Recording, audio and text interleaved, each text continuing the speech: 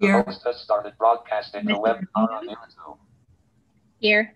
Commissioner Mondor here, Commissioner O'Neill. Corey Lynn Here. Bates. And Alda. Welcome again, everyone. This is the briefing session for the Planning Commission. Principal has briefing been meetings temporarily unmuted. are heard as a preliminary public presentation. Also now Questions from the commission. Public testimony is not taken on these applications. Um, A reminder to our presenters, please clearly describe which slide you are presenting to in order to assist those who are participating via audio. So today for briefing, we have, uh, let me just make sure here, we have four items up for briefing. I'll read through all four. Uh, Item A is DCP ZDR 2021-02021, address 429 Fourth Avenue. Item B is DCP ZDR 2021-3554, address 3420 Fifth Avenue. Item C is DCP MPZC 2021-00368, Banksville Road.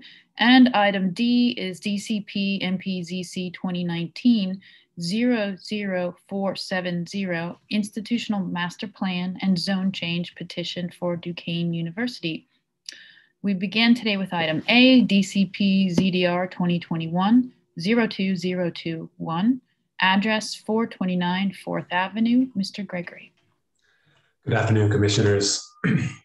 This is an application for uh, 429 Fourth Avenue in the downtown neighborhood. The scope of work is just to replace uh, second floor windows. Um, This project is before the Planning Commission's project development plan as the total cost of those exterior renovations exceed $50,000, which requires Planning Commission review and approval in the Golden Triangle. Uh, The applicants held a development activities meeting or DAM with the Downtown Neighborhoods Registered Community Organization, the Pittsburgh Downtown Partnership, or PDP, on April 8th, 2021. A copy of that DAM staff report is attached to your to the staff report. Um, there were no requests to the zoning board of adjustment, no environmental reviews, and uh, the project was reviewed by design staff, and there are no outstanding concerns. So that's all, and I'll turn it over to uh, to uh, Jeff Davis uh, to walk us through the presentation. Good afternoon, everyone. Thank you very much. Uh, The, as, as Will described, I disappeared for a while, I assume he described the project. Um, So the, the work of this project is replacement of existing aluminum windows for a single floor, which is the second floor of the Law and Finance Building, uh, with new and fixed uh, single hung thermally broken aluminum windows. Uh, and these new windows are intended to, as closely as possible, match the proportions and finish color of the existing windows. I will note that they are not the uh, original windows that were uh, installed in the building when it was constructed uh, over a century ago, or pretty much about a century ago. Uh, next slide, please.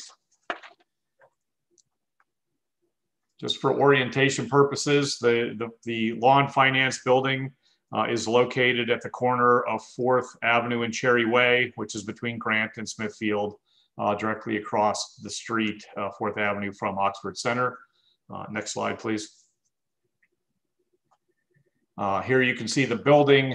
It's in the center. It does have the, the second floor highlighted in that in that photograph, and you can see Fourth Avenue between the Law and Finance Building and Oxford Center. City County Building is up at the top of the page uh, and Grant Street is there as well. Next slide. So these next, uh, I think there's probably four slides that essentially show the elevation of the second floor of the building from all four sides of the building or three sides of the building. The fourth side is adjacent to the parking lot on Grant Street and there are no windows at that location. Uh, so here's the Fourth Avenue elevation showing the windows that are bracketed in red that are being replaced. Next slide is the, is the corner of Fourth and Cherry Way. Uh, the purpose for replacement of these windows is that a new tenant is moving in. Uh, the existing windows are a bit drafty, and because of the proximity to the street level, uh, there's quite a bit of dirt and dust coming in. So, uh, Law and Finance LP uh, is replacing the windows to get a little bit better performance from an energy perspective and keep uh, keep the dust and, and noise out of the space. Next slide, please. And this now shows Cherry Way. Sorry for the distortion, but we had to fit it in. It's a narrow street.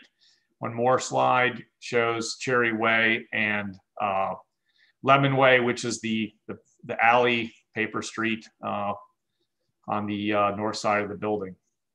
I believe there should, there may be one more slide after that. Which shows the entire Lemon Way elevation.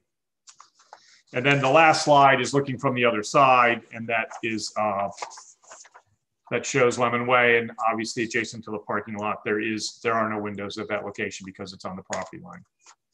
Uh, the next two slides, if we can jump to the next one, uh, is an elevation. Oh, I'm sorry, I skipped that. The, the development activities meeting was held on April 8th. Uh, uh, Law and Finance was present. Frank Ewing was there. I was there. Also, Yoko Palmiciano from, from our office. Uh, we did present the same uh, images that we're showing you today. Uh, there were no questions or comments raised during the presentation. Uh, so that process was completed uh, about a month ago. Next slide shows an elevation of the window. this is the from the fabrication drawings for the windows uh, essentially showing the, the, uh, the, the, window frame construction. Uh, again, it's as closely matching the existing windows uh, as can be uh, achieved with the product that we're installing, and they're fairly identical. And again, the finish is a dark bronze, which is also the same. The next slide is just some uh, product information on the Quaker windows. there are both fixed windows and operable windows that are single hung windows on the sides, but a majority of the windows are actually just fixed. Uh, so there's some product information on those windows. Um, that's, uh, that's the presentation. If there are any questions, uh, Frank Ewing is also here. I'll be willing to answer them as well. Great. Thank you very much. At this time, we take no public testimony. Uh, are there questions or comments from the commission?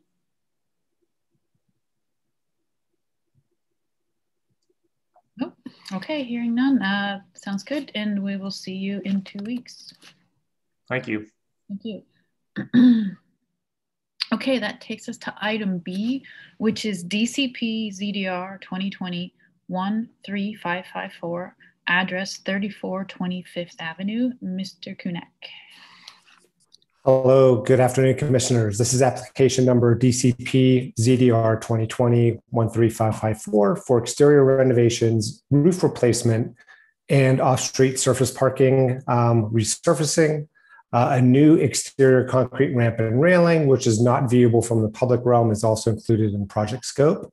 Uh, this project is located in the Oakland public realm, subdistrict C, 5th and Forbes zoning district, and includes um, exterior alterations above $50,000 is why it's before the Planning Commission.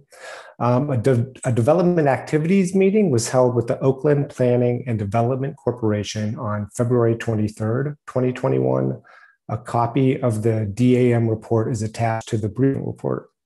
Uh, design staff reviewed the project and did not uh, recommend the project for CDAP review.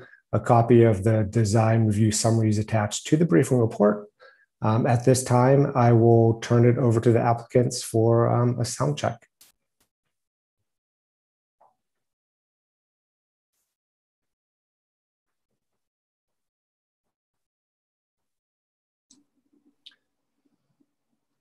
Good afternoon, commissioners. Um, I was expecting my colleague, Bill Simchek, to be here, and he was uh, slated to actually do the presentation. So in his absence, uh, I'll take the initiative. okay. Um, we, we do have a bill in the attendees um, list, listed as bill. I'm not sure if that is um, the that same may, as the applicant or not? I believe that is. I'm not mistaken. And if it would be possible to. Okay, yeah. I'm here. I'm I'm here. It was a, I don't it must have been something going on with my thing. I could hear, but I couldn't couldn't see, and I wasn't being visible. Uh, the the project is uh, we're working um, we're with MCF Architects and working with UPMC to to do the exterior renovations, roof replacement, and upgrades of the elevator. Uh, if you want to go to the next slide, it's sort of the the overall uh, project is the, the we'll, we'll, be renovating the ex exterior facade. There's a stone facade, there's brick, and there's some EIFS that needs to be repaired and and just uh, recoded. Uh, we'll be replacing the entire roof on both buildings. And in relation to that, there's there's mechanical units up there that are going to stay in in uh, place, but they will be upgrading them and adding some UV filters and some uh, some higher grade uh, HEPA filters on the on the units themselves. But the overall uh, units will be just like they are. Uh, on the plaza, we'll be doing, there's some drainage issues on the plaza that we'll be correct, create or, you know, correcting. And also on the parking lot, we're redoing the parking lot to, to make it function a little better so that the circulation of the cars is a little uh, clearer and easier to, to maneuver within, within the small parking lot that's on the side of the building. And in both buildings, we'll be doing the elevator upgrades. The only change to the exterior is on the four-story children's uh, office building, where we'll be creating a small elevator equipment room right beside the elevator tower itself, just on the, the lower level itself. So it won't be visible from, from the Fifth Avenue side at all and really barely visible from the, from the Euler Way side. Uh, this will this will allow the elevator to to uh, downtime to be a little bit min, minimal, and the, the elevator change in the in the uh, the two story medical office building, both floors are accessible from grade, so so the the shutdown time over on that elevator isn't as critical. You want to go to the next slide? Uh, this is just an overall view of the existing conditions that shows the, the roofing, the plaza, and the parking lot side, and where the existing entry is into the uh, facility on Euler Way. If you want to go to the next slide. And these are, these are uh, views from Euler Way side that shows the entrance. If you look at on, on the slide on the right, the 3420, that's the main entrance into the facility that the patients use typically. And it shows the condition back there of the, uh, the existing conditions. You wanna go to the next slide? Uh, this, this is the overall site plan that shows the two buildings, the, the, re, the redoing of the parking lot. We've included the, the uh, parking and the, the uh, count and the, the code thing. So we're all we should be okay there. And if you if you look, we shifted the entrance into the parking lot to the left just a bit to allow for the, the cars to circulate within the parking lot better. And it put some handicap additional handicap spaces closer to the building. Uh, if you want to go to the next slide. These are the existing elevations as the building sits now. The uh, the north elevation, which is the Fifth Avenue elevation, is shows the uh, the masonry, the stone facade of the medical building, and the brick facade of the uh, children's uh, office building. Uh, generally, these these elevations or the condition of the the elevation isn't isn't as bad. The stone will be repointing in entirety, and on the uh, the three story brick there's some repointing that needs to be done, but basically that this facade is in pretty pretty good shape, and we'll be just doing some brick pointing and cleaning of the facade. On the east elevation and the south elevation is where the most of the work will be required. There'll be some uh, the EIFS on the on the uh, the two the two sides of the of the uh, Children's Hospital office building. That's the four story section. The EIFS is in, in relatively, the backup is in good shape, but the surface has some repairs that are required and there'll be some replacement required. So we'll be doing that repairs and then just recoding the entire facade to, to get it sort of better, in better condition. The brick on the the two-story building has been um, patched and retrofitted a number of times. There's some uh, some some jacking of the uh, window uh, lintels that we need to rebuild above those. So we'll be sort of taking those down and, re, and reinstalling the brick and then repointing in a bunch of areas in the brick. And then overall just recoding that building to try to make it more uh, cohesive. If you want to go to the next slide, that'll show the, uh, the new work. So generally we're, we'll be changing the, the facade of the, the EIFS and recoding it to a, uh, if you look at it, it's a cream brulee color. And also on the, the two-story building, we'll be re, we're gonna add a mineral coating of the brick to sort of make it more uniform in, in color and, you know, just in, enhance the, the, the appearance of the building in its entirety so that sort of the, the patching and all that is should will be uh, sort of minimized and be able to it'll it'll look more cohesive altogether. You want to go to the next slide? This is a, a rendering of the uh, of the facade as it would look after it was repaired with the the, the uh, EIFS and the recoding of the brick. If you want to go to the next slide. Uh, this shows a sort of an evening view, the, the recoding of the stone or the repointing of the stone of the two, two-story building and just the cleaning and resurfacing of the EIFS at night. We'll be adding some, some sort of, just some light on the facade to, to enhance that and just doing some minor repairs on the, the gates and, and that type of thing. If you want to go to the next slide. That's the that's a view of the rear portion of the building of the Euler Way side that sort of shows just how the the uh, facility will look. If you look to the left of the elevator tower on the tall building, that's where the elevator equipment room is. So you can see it has, it's really uh, not very visible at all. And the, the next slide shows the material and the the colors that we've selected and UPMC has approved for the for the uh, brick, the EIFS, and the uh, metal coping.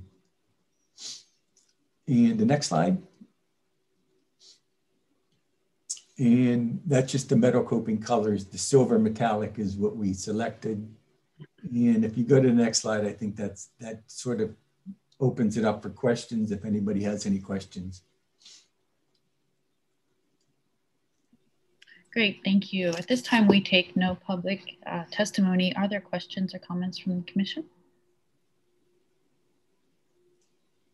I have some questions that maybe are better answered even in the next um, meeting. Maybe they're worth sort of thinking about and, and presenting to us next. But we mostly deal with how customers enter and exit this um, building, um, having been both from the Forbes side and from the parking lot side on a number of occasions. It's a it's a pretty unfriendly um, to non-employee um, entry sequence. So I'm glad that you're doing the parking lot. Um, but having tried to ride there with my child on a bicycle, I can tell you this is not um, a, a great adventure. So I'm curious about how bike arrival and entry on the alley in the back parking lot works for customers as well as employees. I'm curious about, I'm glad that you're doing lighting on the outside of the facade on Forbes Avenue because it's not, um, it doesn't add a lot to that experience of walking down Forbes Avenue. And I'm wondering if there's any more improvements that you might consider making to that sidewalk to make it a little less foreboding um, and uninviting and perhaps to the uh, entry itself, the doors itself um, on the Forbes Avenue side. Uh, I think that's the end of my sort of overall questions. Thanks.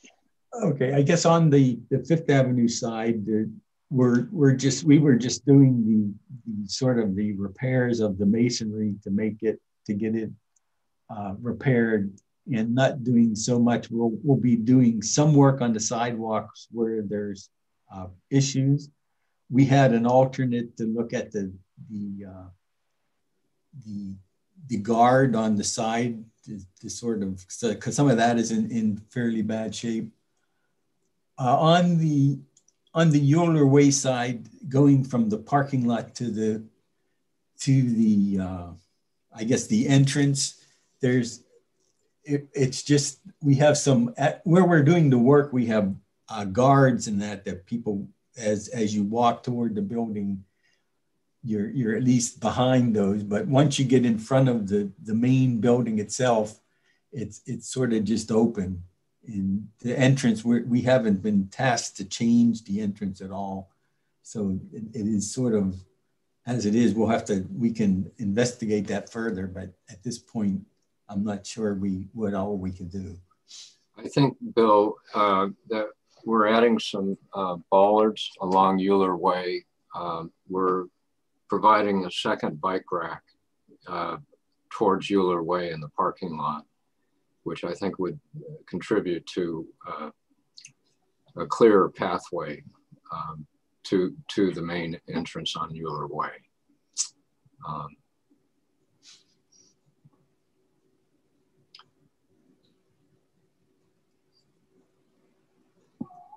Any other questions or comments from the commissioners? Um, Beck, uh, Commissioner Mingo, do you would you like more information on that for the next meeting then?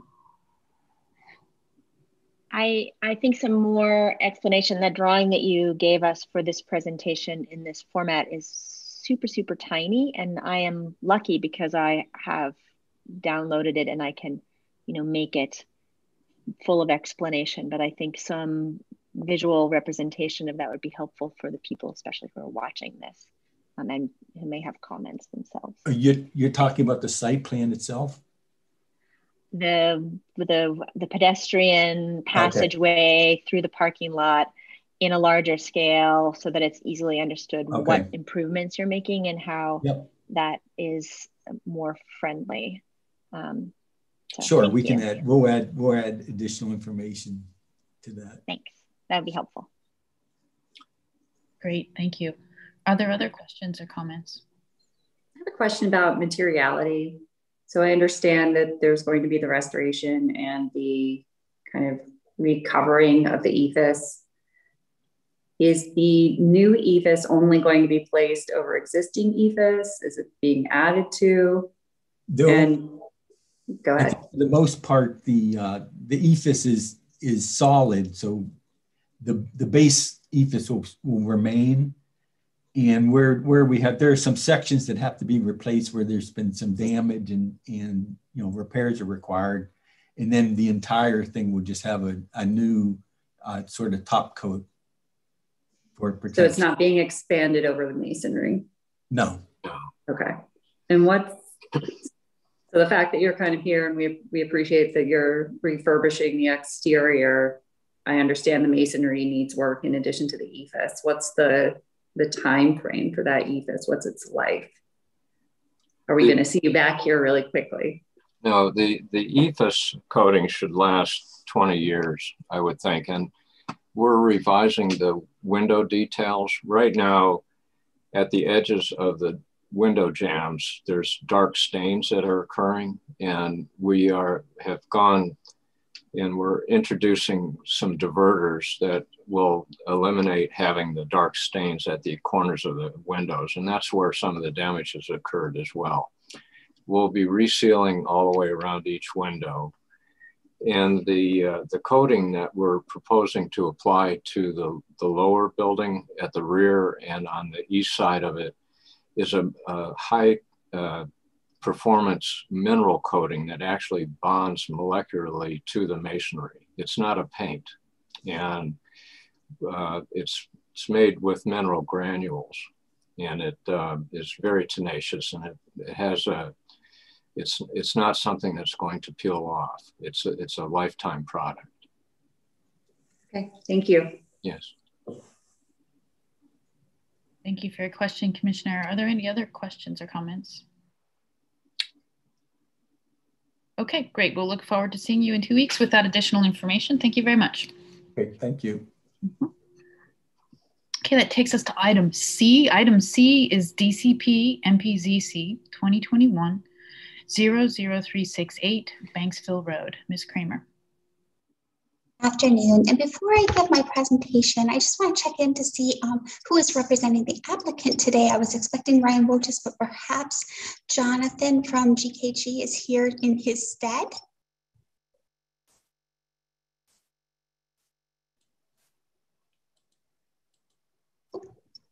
That's correct. Good, good afternoon, commissioners. Okay, let me give my presentation and then I'll turn it over to you.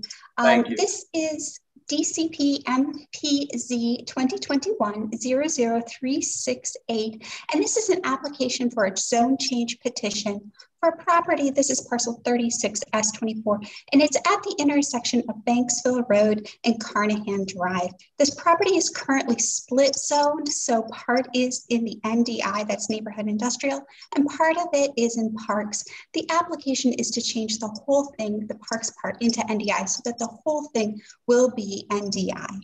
Um, the subject parcel parcel has a billboard and advertising sign on it. And as part of the planned right-of-way improvements along Banksville Road here, the billboard needs to be relocated. And so therefore the zone change petition is one of many steps in order to uh, facilitate this right-of-way improvement. So there will be many steps after this, and this is just one of many.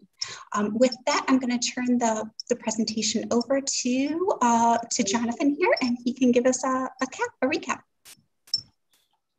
So good afternoon, everybody, and, and, and thank you for your time today. Um, as, as Ann said, uh, our story on this site started actually almost five years ago when we were first approached about road improvements that had to be done for Banksville Road. Um, the site is uh, used to be owned by Lamar and was sold to the, at the time, the Parent and Child Guidance Center so that they could go ahead and develop parking on it. Um, easements were retained for uh, various signage that existed on the property.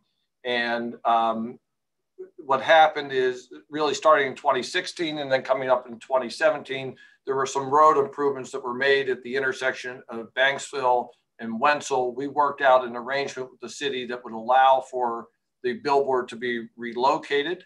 Um, and now that the improvements are done, we were able to do that, except when we went to get our state permit, from the state, they they wanted us to come back and get the piece, the little small piece that we're talking about, rezoned from park to NDI so that they could essentially greenlight the permit. So let me just start out. This is an overview of the site. Again, it's 2644 Banksville Road.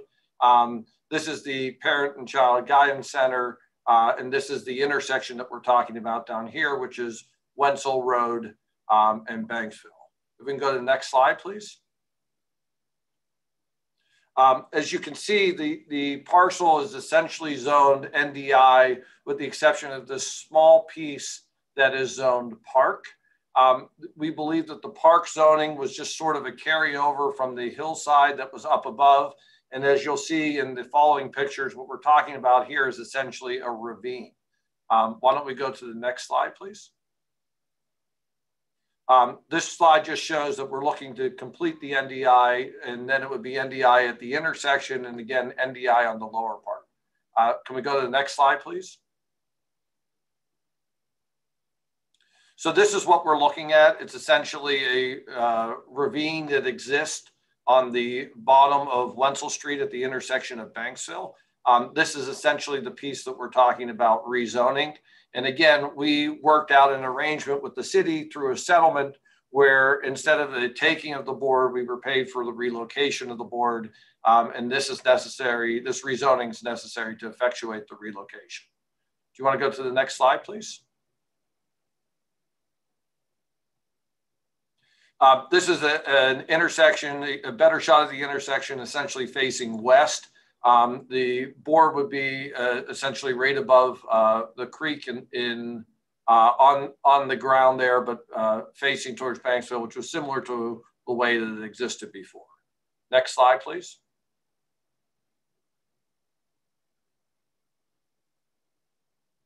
um, this is just a long, a long view of the intersection facing east. We can go to the next slide. Um, in this slide, we just wanted to point out that um, if you take a look at where the NDI district is actually located, it is located in essentially the lower areas of, of elevation that exist along Banksville and, and run essentially parallel with Banksville on both sides of the street. Uh, the P district, as we said, uh, was previously more or less reserved for the hillside, the slopes, and, and the areas that had a much more significant topography. Next slide, please. So, and again, our rationale for the rezoning is that it cures the existing split zone condition. Um, it also allows for uniformity within the Banksville commercial corridor. Uh, from a topographical standpoint, the rezoning is more appropriate because it's consistent with the existing topography. Uh, and most importantly, the NDI will permit us to reconstruct the board um, now that the project is complete and allow us to go ahead and to basically finalize the settlement that we have reached with the city several years ago uh, with result as a result of the completion of the project. I would note that we did seek and previously get uh, approval from the ZBA for this, um, and that we've been sitting patiently for the project to be completed. Uh, and now that it's completed, we're ready to go. So um, with that, uh, that ends our presentation. I'm happy to answer any questions that uh, anybody may have. Okay, thank you. At this time, we take no public testimony. Are there questions or comments from the commission?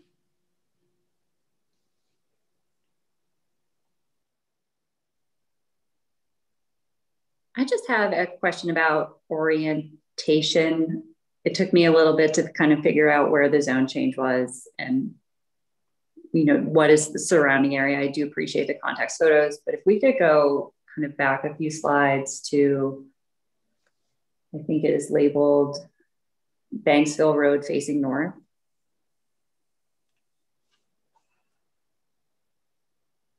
So it's a photograph. Uh, slide four of eight. Yes, thank you. So just so I'm clear, the portion with that building, that's not part of the rezone. That is not part of the rezone. That's not part of our property, correct? Okay. And so mostly, like you said, it is that ravine.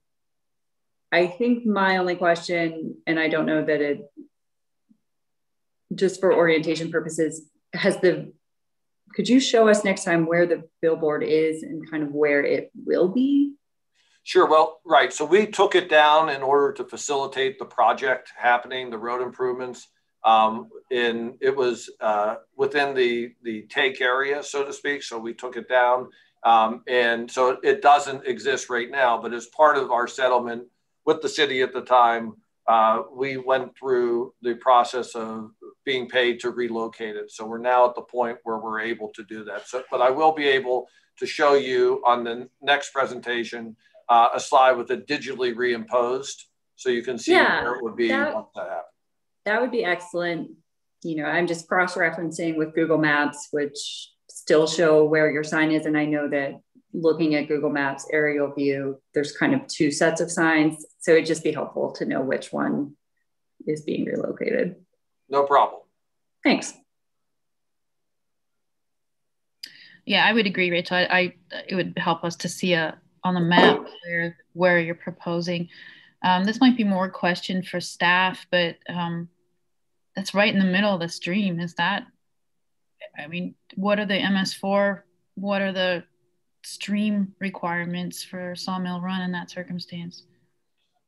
So, so I can answer that. So it, it's it's not going to be the, the structure is not going to be located in the middle of the stream. Um, the structure itself is located outside of the stream. So from that standpoint, there's there's going no change in flow or no change in any of the hydrology associated. Okay, thank you.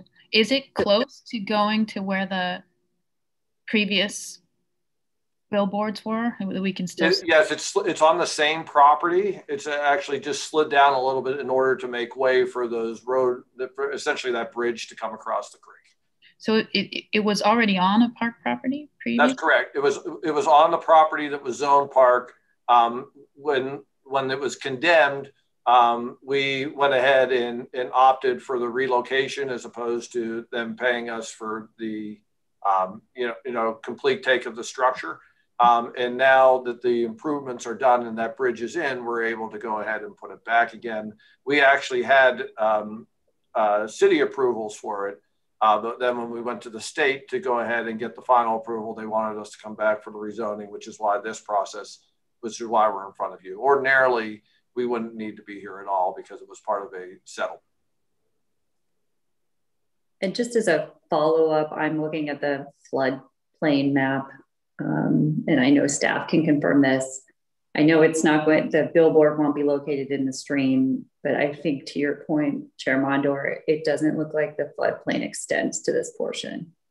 Um, so what is currently being rezoned? Not that, not that it would necessarily matter with a billboard. Um, I'm assuming, but um, I think there's less concern for that reason. You can correct me if I'm wrong, Attorney Kamen. No, I think you're correct. Okay. I think you're correct. And, and it, we've had other issues um, actually outside of the city recently where the, the size of the post that we're talking about putting in to support the billboard is de minimis and doesn't affect the floodplain or hydrology. Thank you. Any other questions or comments, commissioners? Okay, thank you. Please come back with uh, those additional drawings and we'll see you in two weeks. Thank you very much. Okay, commissioners, that takes us to item D, which is DCP MPZC 2019 00470, Institutional Master Plan and Zone Change, Mr. or petition for Duquesne University, Mr. Gregory. Good afternoon again, commissioners. Uh, this is application number DCP MPZC 2019 00470. This is an application for a 10-year institutional master plan and zone change petition for Duquesne University in the Uptown neighborhood.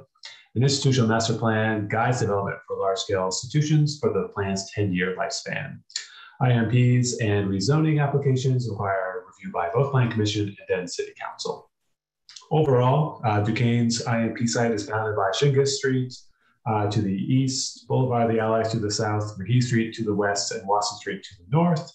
Uh, project match, pro project map is attached to the briefing report.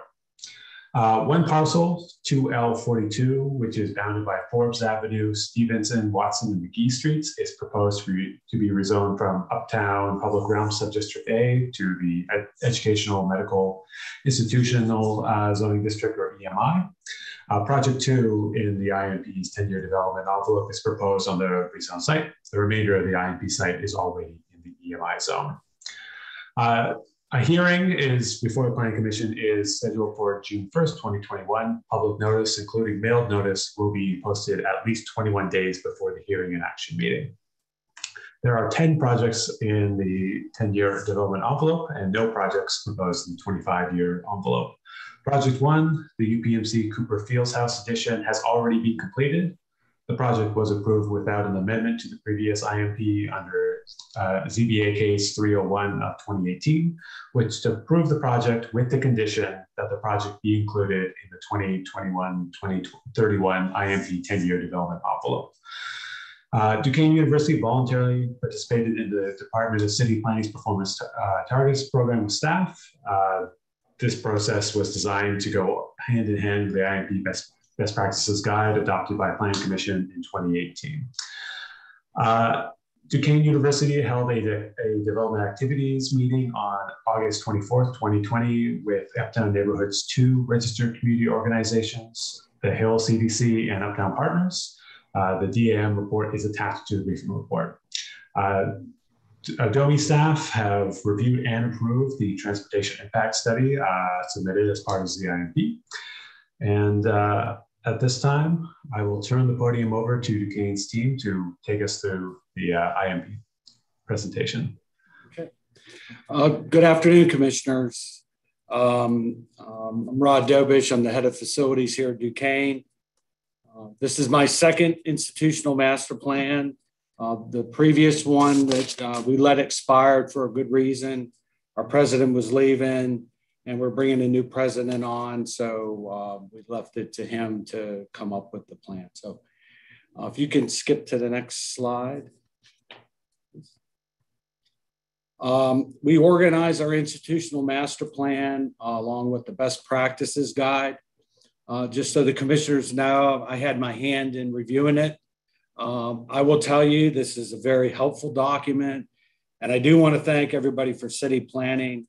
Those performance target meetings, um, they were extremely helpful to us uh, formulating this uh, institutional master plan.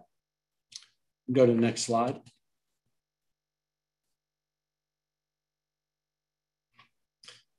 Uh, Duquesne uh, is in its 143rd year. Um, just so everybody knows, we believe here at Duquesne that we serve God by serving students. And we've added a twist to this uh, saying on our campus so they can in turn serve others. Um, and they have proven that during this, this whole COVID uh, um, uh, thing. So we are the only Spiritan um, university uh, in the world. It's a very small order. Uh, you can skip the, go to the next slide. um, we do have 47 buildings, just to give you a little bit about Duquesne, 50 acres, uh, nine schools with the 10th uh, coming soon. Um, we have 216 uh, different academic programs, a um, little over 2,600 employees, 8,800 students. Uh, just so commissioners know, our high mark was 10,400 about 10 years ago. We can house about 3,800 students, and we have a variety of men's and women's um, varsity sports. Go to the next slide. Uh, Duquesne resides in the heart of Uptown, um, uh, along with the other anchor institutions, uh, PPG and UPMC uh, Mercy. And we're very proud to be part of that community. Um, go to the next slide.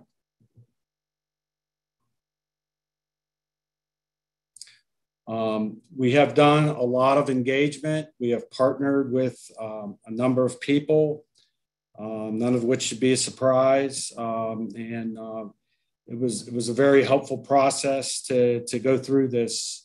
Uh, we actually learned a lot about what the community needed, and they learned a, a lot about what what we needed and some of the challenges we have. You can go to the next slide. We have been a very active member of the Eco Innovation District. Uh, I got to know uh, Derek Dauphin very well. We, uh, Duquesne University was a willing partner to help shape this, and we are still uh, involved in uh, the implementation process of this plan. So we're very proud, and all of our projects uh, take this into account as we're planning them and implementing those projects can go to the next slide. Um, these are a lot of internal and external meetings. There are more in our final document, but we have actively went out. Anybody who wanted to meet with us, we met with them. Um, you, the commissioners may be wondering why our application is 2019 and it took us a while to get here. Um, this is one thing that's not COVID related uh, we were uh, acquiring a property, which I'll explain um, uh, later. You can go to the next slide.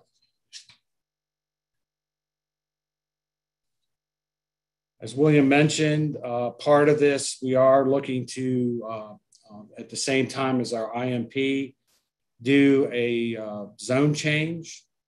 this was one of the reasons why um, our, we submitted this and we delayed it is because we were in the process of acquiring Life's Works uh, property, the whole block.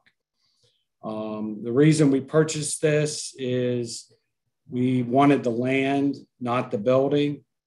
Um, and you will see as I go through the projects that's where we're happy to, to be putting our College of Osteopathic Medicine on that lot. And um, you know that building is is a very imposing structure on Forbes Avenue. So, uh, it, and just for a matter of record, we are working with Domi on a, um, a right-of-way vacation that's part of this lot.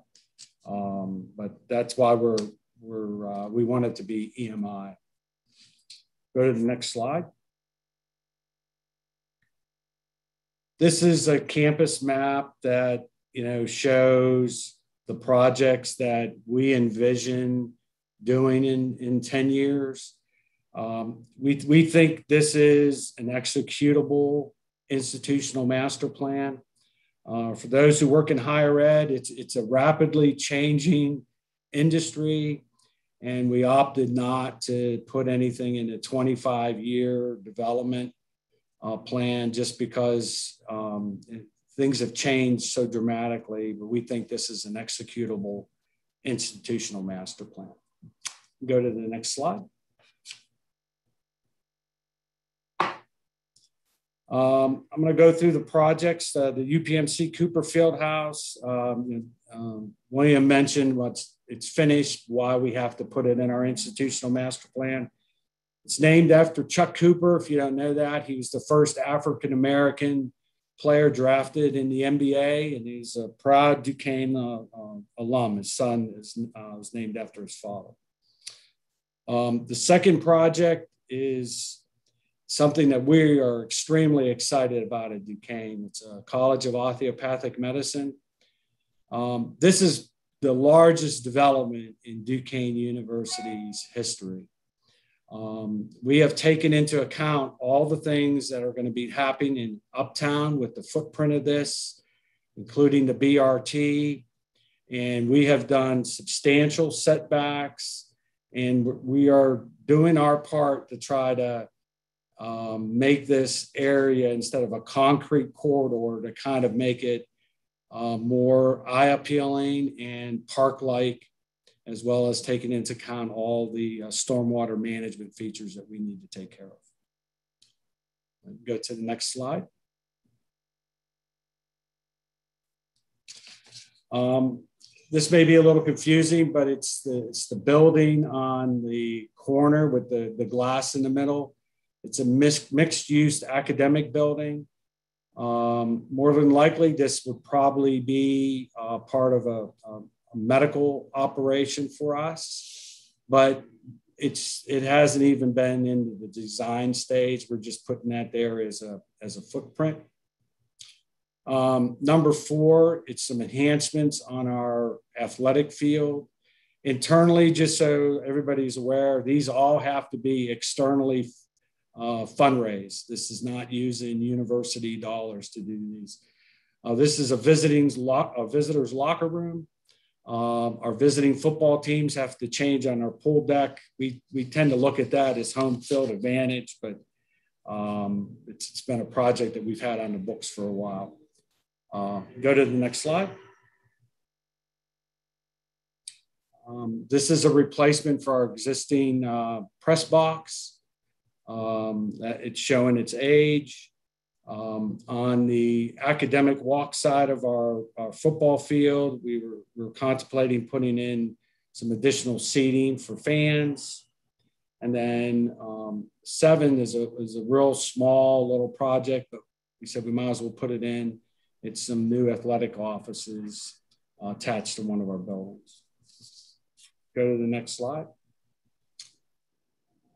Uh, number eight is an, uh, uh, an alumni house. Uh, it's one of the things that we wanted to re-engage our alums in a different way. It's uh, going to reside in, a, in, a, in an area on our upper campus. And then number nine, it's not um, us developing this, but we thought it would be appropriate because of the impact of the BRT to put this in our institutional master plan. Uh, we are actively engaged with the Port Authority to kind of make this uh, somewhat unique to fit in our campus. And we're hoping to get this named as the Duquesne Station. Uh, we have been on board with the BRT I went back to prepare for this seven years ago. We started discussions of the BRT. So we're, we actively support that project. And then go to the next slide. Um, number 10 is a, it's the building that sits in the middle.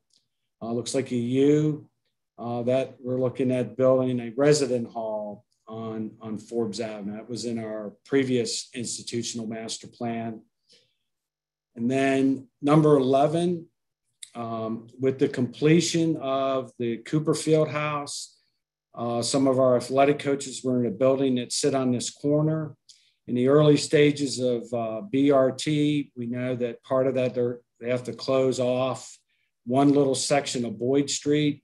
We're contemplating um, tearing that building down and building a, a parklet there to break up the concrete corridor on Forbes. Um, we have, we're going to be engaging with people to actively design this and to get the community on board. But uh, this is something that we're pretty excited about, not just for us, but for the community.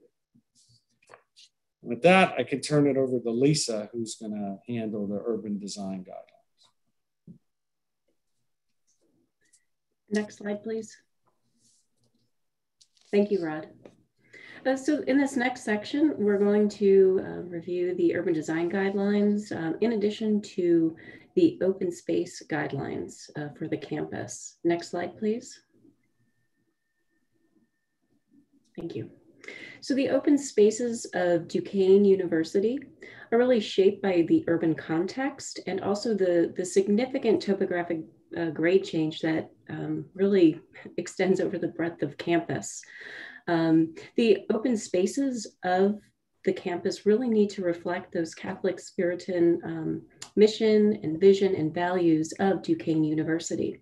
So as such, in addition to the um, the general recommendations and urban design guidelines that uh, Maria is going to review shortly, uh, we really felt that it was important to really carve out those open space guidelines um, and outline the general recommendations uh, for campus so that we're making sure we're creating these high quality, um, high performance campus landscapes at Duquesne University. Um, these uh, seven key areas that we've outlined on the screen there um, also tie to section 7.2, which is the sustainable landscape uh, design guidelines and principles. So all of those are kind of threaded through uh, the seven key areas here, which are citing new projects, and that can be building projects, it can also be landscape projects. The campus spaces, making sure we're creating uh, cohesive, uh, connected campus environments, connectivity, prioritizing um, pedestrian um, circulation and amenities, streetscapes, uh, as Rod was touching on, really making sure we're engaging our streetscapes and activating them.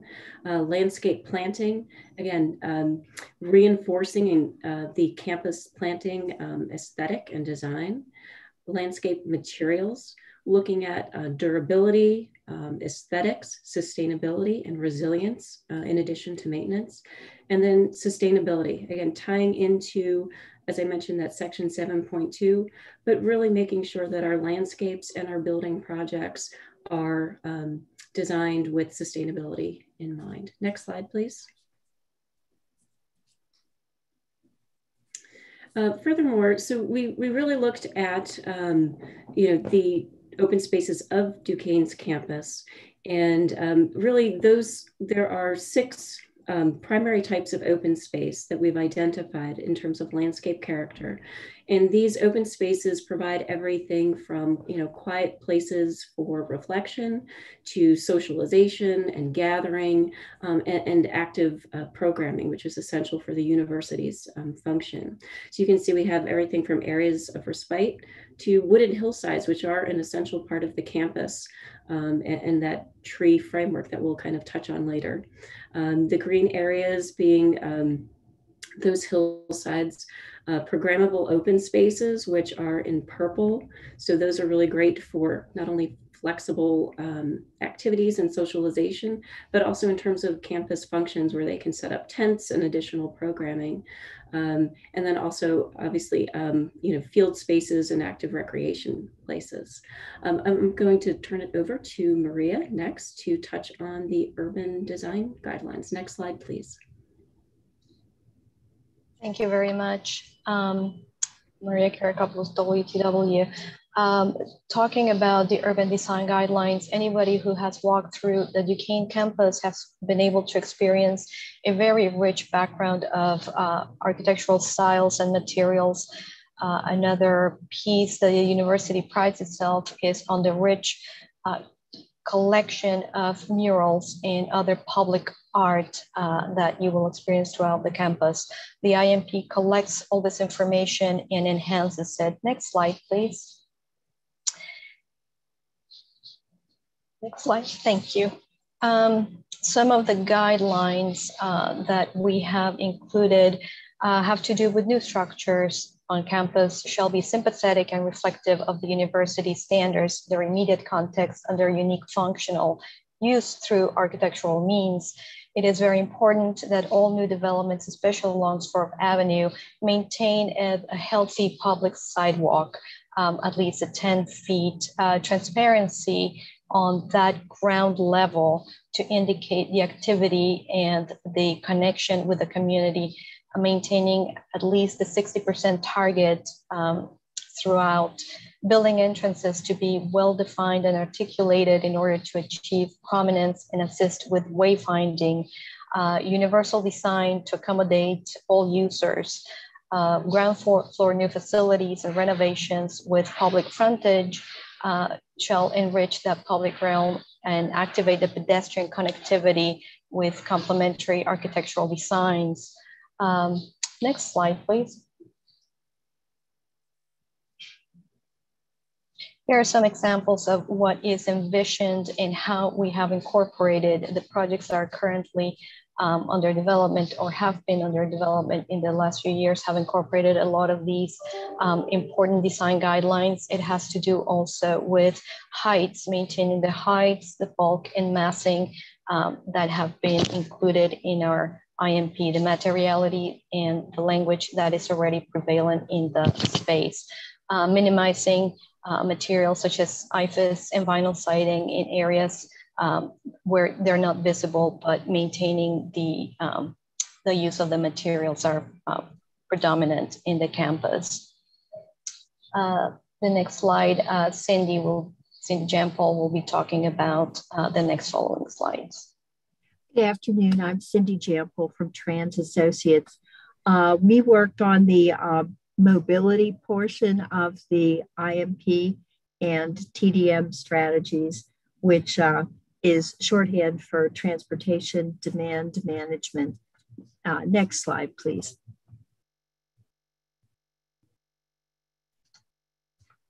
Okay, we began by establishing transportation demand goals and everything is outlined in detail in the IMP and in excruciating detail in our transportation impact study report.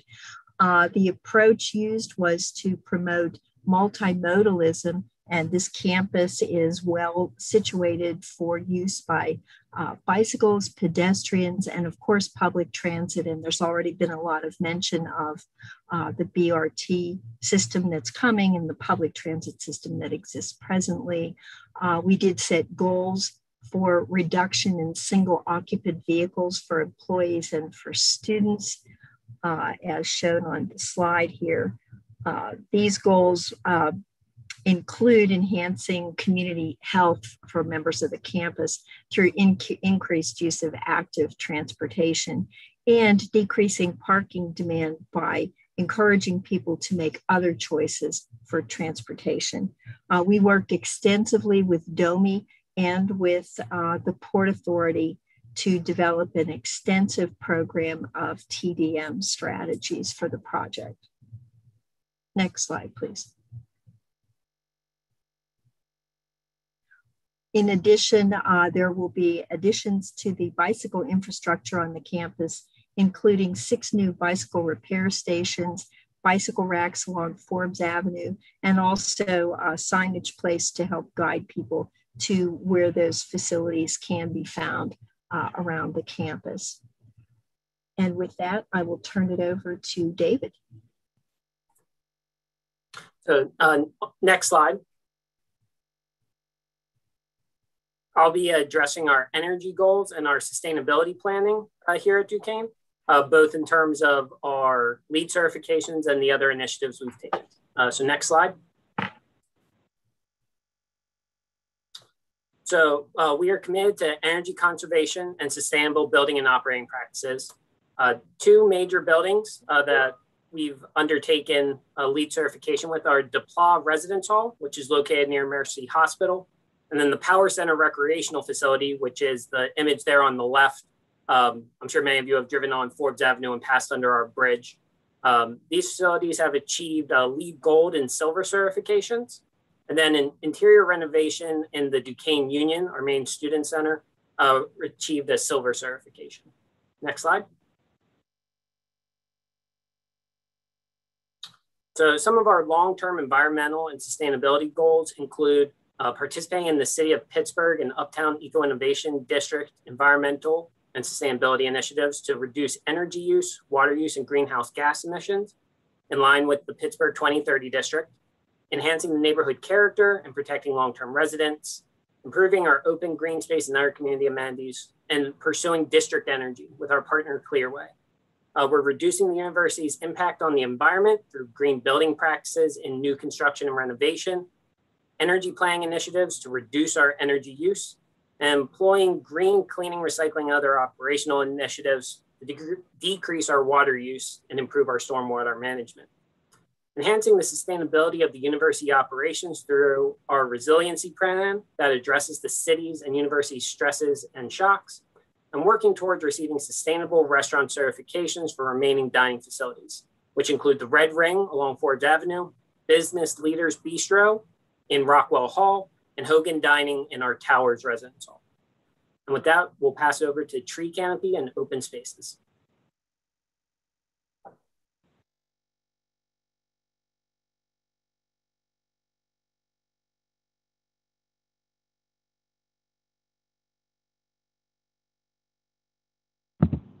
Thank you, David.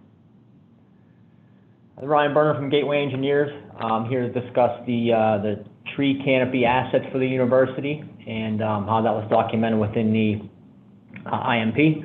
Next slide, please. Thank you. So uh, you can see here we have an exhibit that we put into the IMP that shows all of the um, tree locations that we inventoried across campus for a uh, comprehensive inventory. Um, we collected information along with the help of a certified arborist to collect uh, attributes for each tree associated with uh, species name, trunk diameter, uh, canopy spread, things like that. And then um, we utilize this information to determine future growth based on the current size of the tree as well as the species. And then we were able to anticipate growth over the next 10 years from that information. Uh, using this data, we were also able to um, compare this to the projects over the next 10 years within the IMP and determine the impacts on the tree canopies based on the locations of those projects. So um, on the left side of the slide there, you can see that the projected tree canopy um, increase or, or, the, the total canopy expected to be about 15.2% of the IMP boundary, 7.5 acres. That does show significant um, progress towards the, the city canopy goals over the next 20 years. Uh, next slide, please.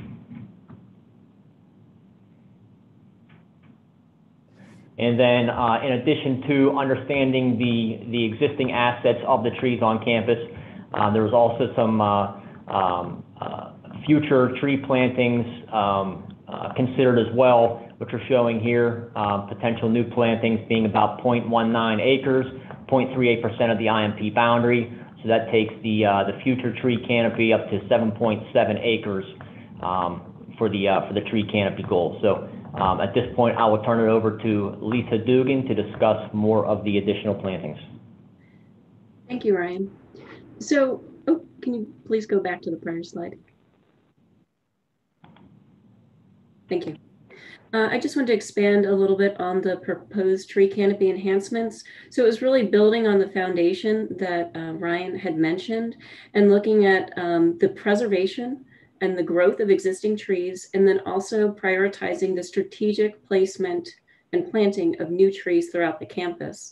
Uh, this map that you're seeing uh, on the screen, all those magenta areas are um, actual feasible locations of um, that that we walked the campus with Duquesne University and identified, you know, these would be good locations for future tree plantings. And actually some of these spaces are already being utilized um, with the, the, other projects. If there was additional tree requirements, I believe it was the uh, Cooper Fieldhouse project, that some of those trees are already um, being planted uh, in these spaces that we've identified. So we're, again, um, keeping that campus framework, maintaining those open spaces and the function of those spaces, but, it, but identifying how we can further, by the use of trees and new plantings, enhance this urban tree canopy, but also continue to shape the campus environment. Uh, next slide, please. Um, and then these are just some of the examples of the open spaces uh, that you'll find throughout Duquesne's campus. Um, the top image uh, is, is, of Assumption Commons, again, great programmable open space flanked on all sides by um, residence halls. We have um, on the right-hand side of your screen, um, areas of quiet reflection um, throughout campus. And then Bernier Commons um, on that bottom left-hand corner of your screen, another great um, open space, really well utilized by students. and then I'm gonna pass it off to Mike Albright at Gateway to uh, walk through some stormwater. Next slide, please. Thanks, Lisa. Um, yeah, good afternoon. I'm Mike Albright with Gateway Engineers. Um, so as you're aware, the campus is an urban campus with uh, limited open space and existing stormwater management facilities. Um, as we show here, uh, the existing pervious area currently is approximately 11.8 acres. Um, the current impervious area, about 38.1 acres. Uh, so in the proposed conditions, um, just through future developments alone, um, the planning to reduce the impervious area by about, about 0.23 acres. So essentially a quarter acre reduction in impervious area just through the current proposed developments um, and added open space areas. Uh, on top of that, so green infrastructure BMPs will be considered to manage stormwater for all the individual developments as they come along.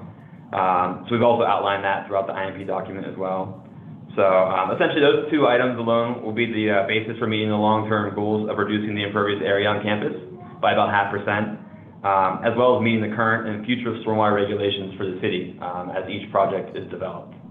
Uh, so with that, I'll pass along to uh, for neighborhood enhancement strategy. Go to the next slide.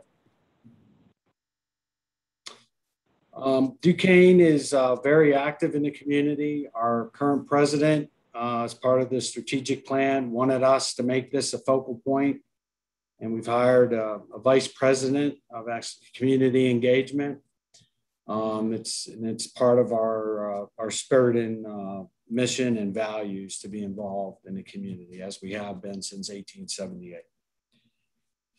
And go to the next slide. Commissioners, I did it as quickly as I could. Could talk uh, for a long time about this. I did as quickly as we could. Thank you. Uh, that was great. Um, Okay, at this time, we take no public testimony. Are there questions or comments from the commission? Hold the Zoom webinar audio now unmuted. Yeah, I have one question. Yeah, Holly, go ahead. Yeah. Okay. Uh, specifically, what kinds of uh, changes are you making to increase the accessibility of the, the entire campus, um, all the buildings um, within this plan? Uh, to people with all types of disabilities? Uh, I can tell you uh, on our staff, we have um, an architect who's a project manager who has a real focus on the Americans with Disabilities Act. Uh, the university does commit um, commit uh, money to take care of our existing buildings, the, the proposed buildings will all be accessible buildings. Mm-hmm. The challenges that we have on our campus is the terrain and all yeah. some of the buildings. Yeah. Uh, but we we do take care of those. We have a very engaged Office of Disability Services that's not just for students, it's for faculty and staff. We collaborate with them to resolve those issues. Um, so we're, we're, very active in that. I'd like to sort of piggyback on the, the um, comment that Commissioner Dick made about access, accessibility. So mm -hmm. I, you know, I am not that familiar with your campus and clearly before our next meeting, I need to spend some time walking around, but you know, knowing it a little bit, I'm I'm very curious too about what the sort of pedestrian circulation experience is for people who are arriving on Forbes Avenue. And you have some lovely maps um, that maybe just at the next presentation you could just share how those how that process works. Um, if you're arriving and you're using wheels or you're with someone who has wheels or someone who has other or multiple things that are happening somebody with wheels and somebody who's you know how do you mm-hmm. how do you progress from arrival on forbes avenue it's sort of easy to understand parking garage to building. And then how does that happen? I think that would be super useful for the next um, meeting including you know when we were looking at the university of pittsburgh's imp recently they have put in um, along on super steep sidewalks little areas where people can take a pause you know where there's a little bench or something. So if there are things like that that also happen in your plan. I'd love to sort of hear about that. Then we can do that next time. But thank you okay so thank you. That that those are all good points. Thank you. Um yeah and i the only my last thing is that I thank you for thinking about the trees because you know the trees will make the campus and and our you know i'm a big fan of more trees so thanks so much. Our look of our campus is the number one reason students come to our our university Commissioner Mingo, I, I had the same questions, especially around the Forbes Avenue uh, properties, being that you all are, you know, stepping out of the um, zone that you've been in for so long on the hilltop, I think it's great that the improvements to the public realm on Fifth Avenue will be will be strong. Um, just uh, you know, I'm just interested in knowing a little more about how that feels welcoming to people. I know you talked about the green spaces and the setbacks. That's all helpful, but signage, orientation, you know, making sure that people know that there are public right of ways going through your campus, even though the campus is, is private, private yet welcoming, making sure that people feel like it's okay to go to go up and to to be welcome in in there, I think will go a long way. So okay, thank you. All the audio now unmuted. And I would add one thing to uh, her, her, statement right now. Uh, you please consider the accessibility of signage uh, to make it as in many as, as many formats as possible for people who are visually impaired or that it be at the, the height that someone utilizing a wheelchair can see more easily and so on. I think it's really important to consider that uh, with any signage you put in. Okay, thank you. Commissioners, other questions or comments? Just had a quick question. This is Commissioner Blackwell regarding community engagement and what that looks like and referencing and connecting to um, the comment about public connectivity from Fifth Avenue. Um, what does your community engagement look like? Is it with downtown or is it with the Lower Hill District, local residents? Um, I'd just be interested to know and see the meetings that you have and who they're with um, before you come before the actual hearing. And we have people lined up. Okay. Okay, thank you.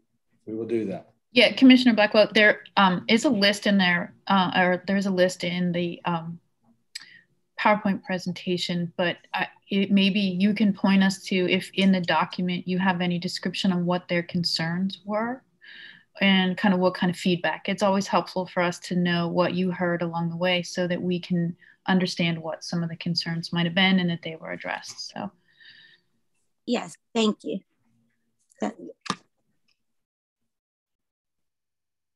I'd like to talk a little bit about the development on Forbes Avenue. Um, and before I get into that, I do have to disclose that my firm does have a relationship. My firm, Reed Smith, does have a relationship with the university, but not on this project and won't be impacting my review.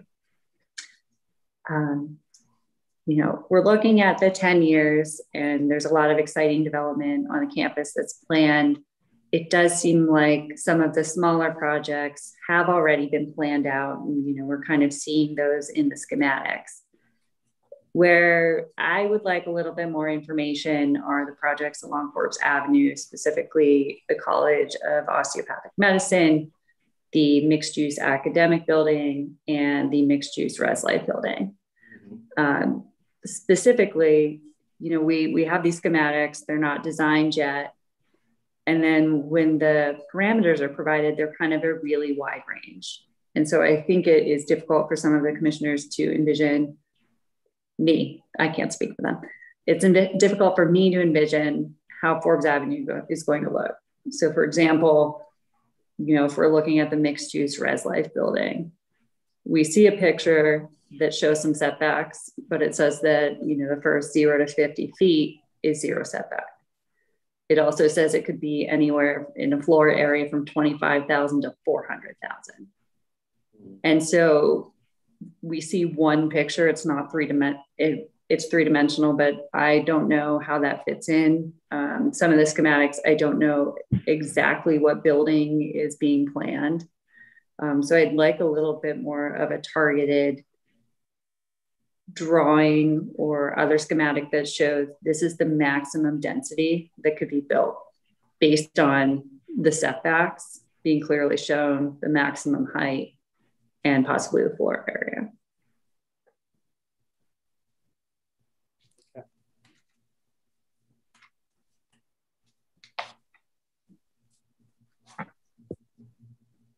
Any any thoughts or Mm. Uh, regarding the Forbes, the we could give you all the details for the com because that's fully designed.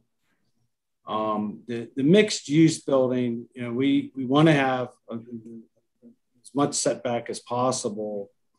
Um, we just dropped that in and then that we dropped it there because when we engaged our internal uh, constituents, it was actually going to be in um, one of our green spaces, and we we got a lot of internal pressure to to move that. Um, I will tell you that originally we took the resident hall out of our institutional master plan on Forbes, and because of community engagement, they asked us to put that back in. Um, you know, I've been in that corridor. Um, I actually work right down the street from that corridor.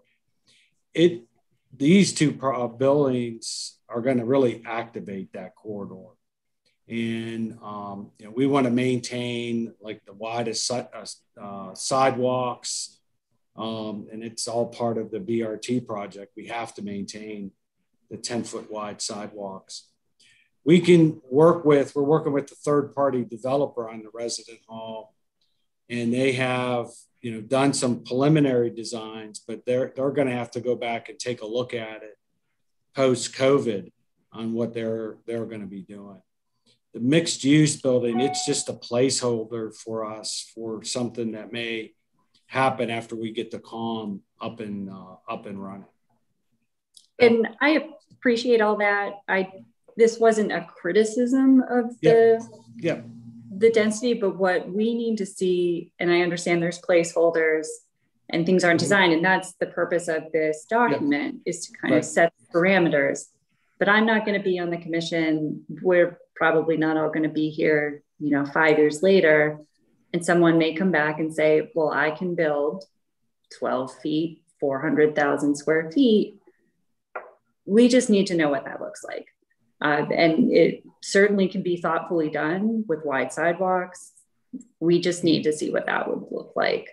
Um, and we're not asking for full design drawings either. Yep. Anything Okay. like that. Okay. I got you. Thank you very much. Yeah, I, I, I, I think I have um, a similar kind of question or comment is that sometimes the IMP guidelines are really great.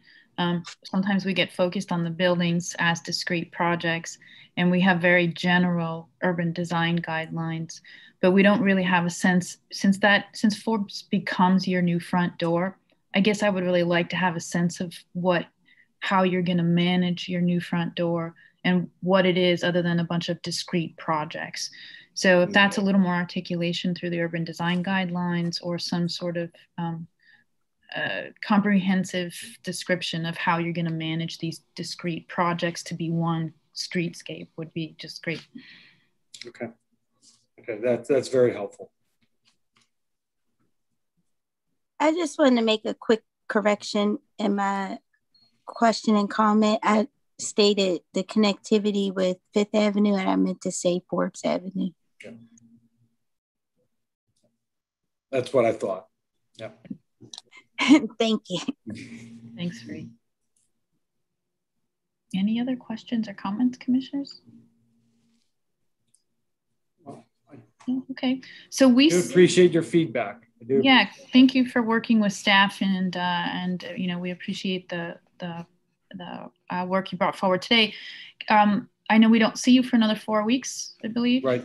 Okay, Correct. and so um, I think that uh, you can work with staff and um, that time is useful for us, for you to think about the things that are requested and to um, feel free to forward anything in advance of that um, if you think it needs to be seen and we need under time to digest it in the meantime. So Okay. Thank you. This is very helpful.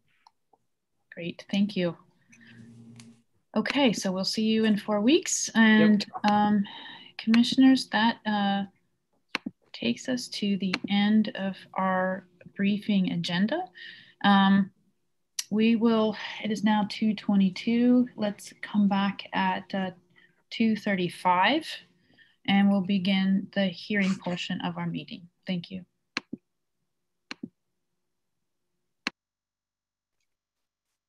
How's my audio? Super. Yeah, sounds good. Okay, Sounds thanks. good.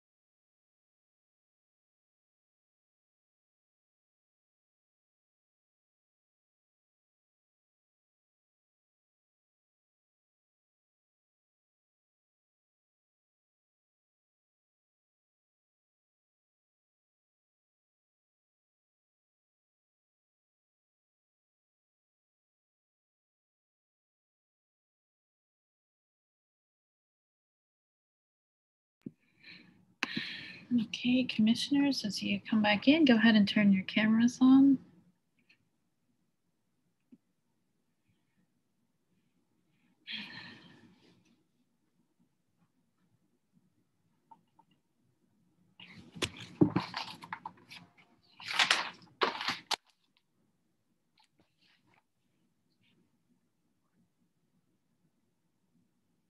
Okay. I will do a 10 second countdown again. 10, 9, 8, 7, 6, 5, 4, 3, 2, 1.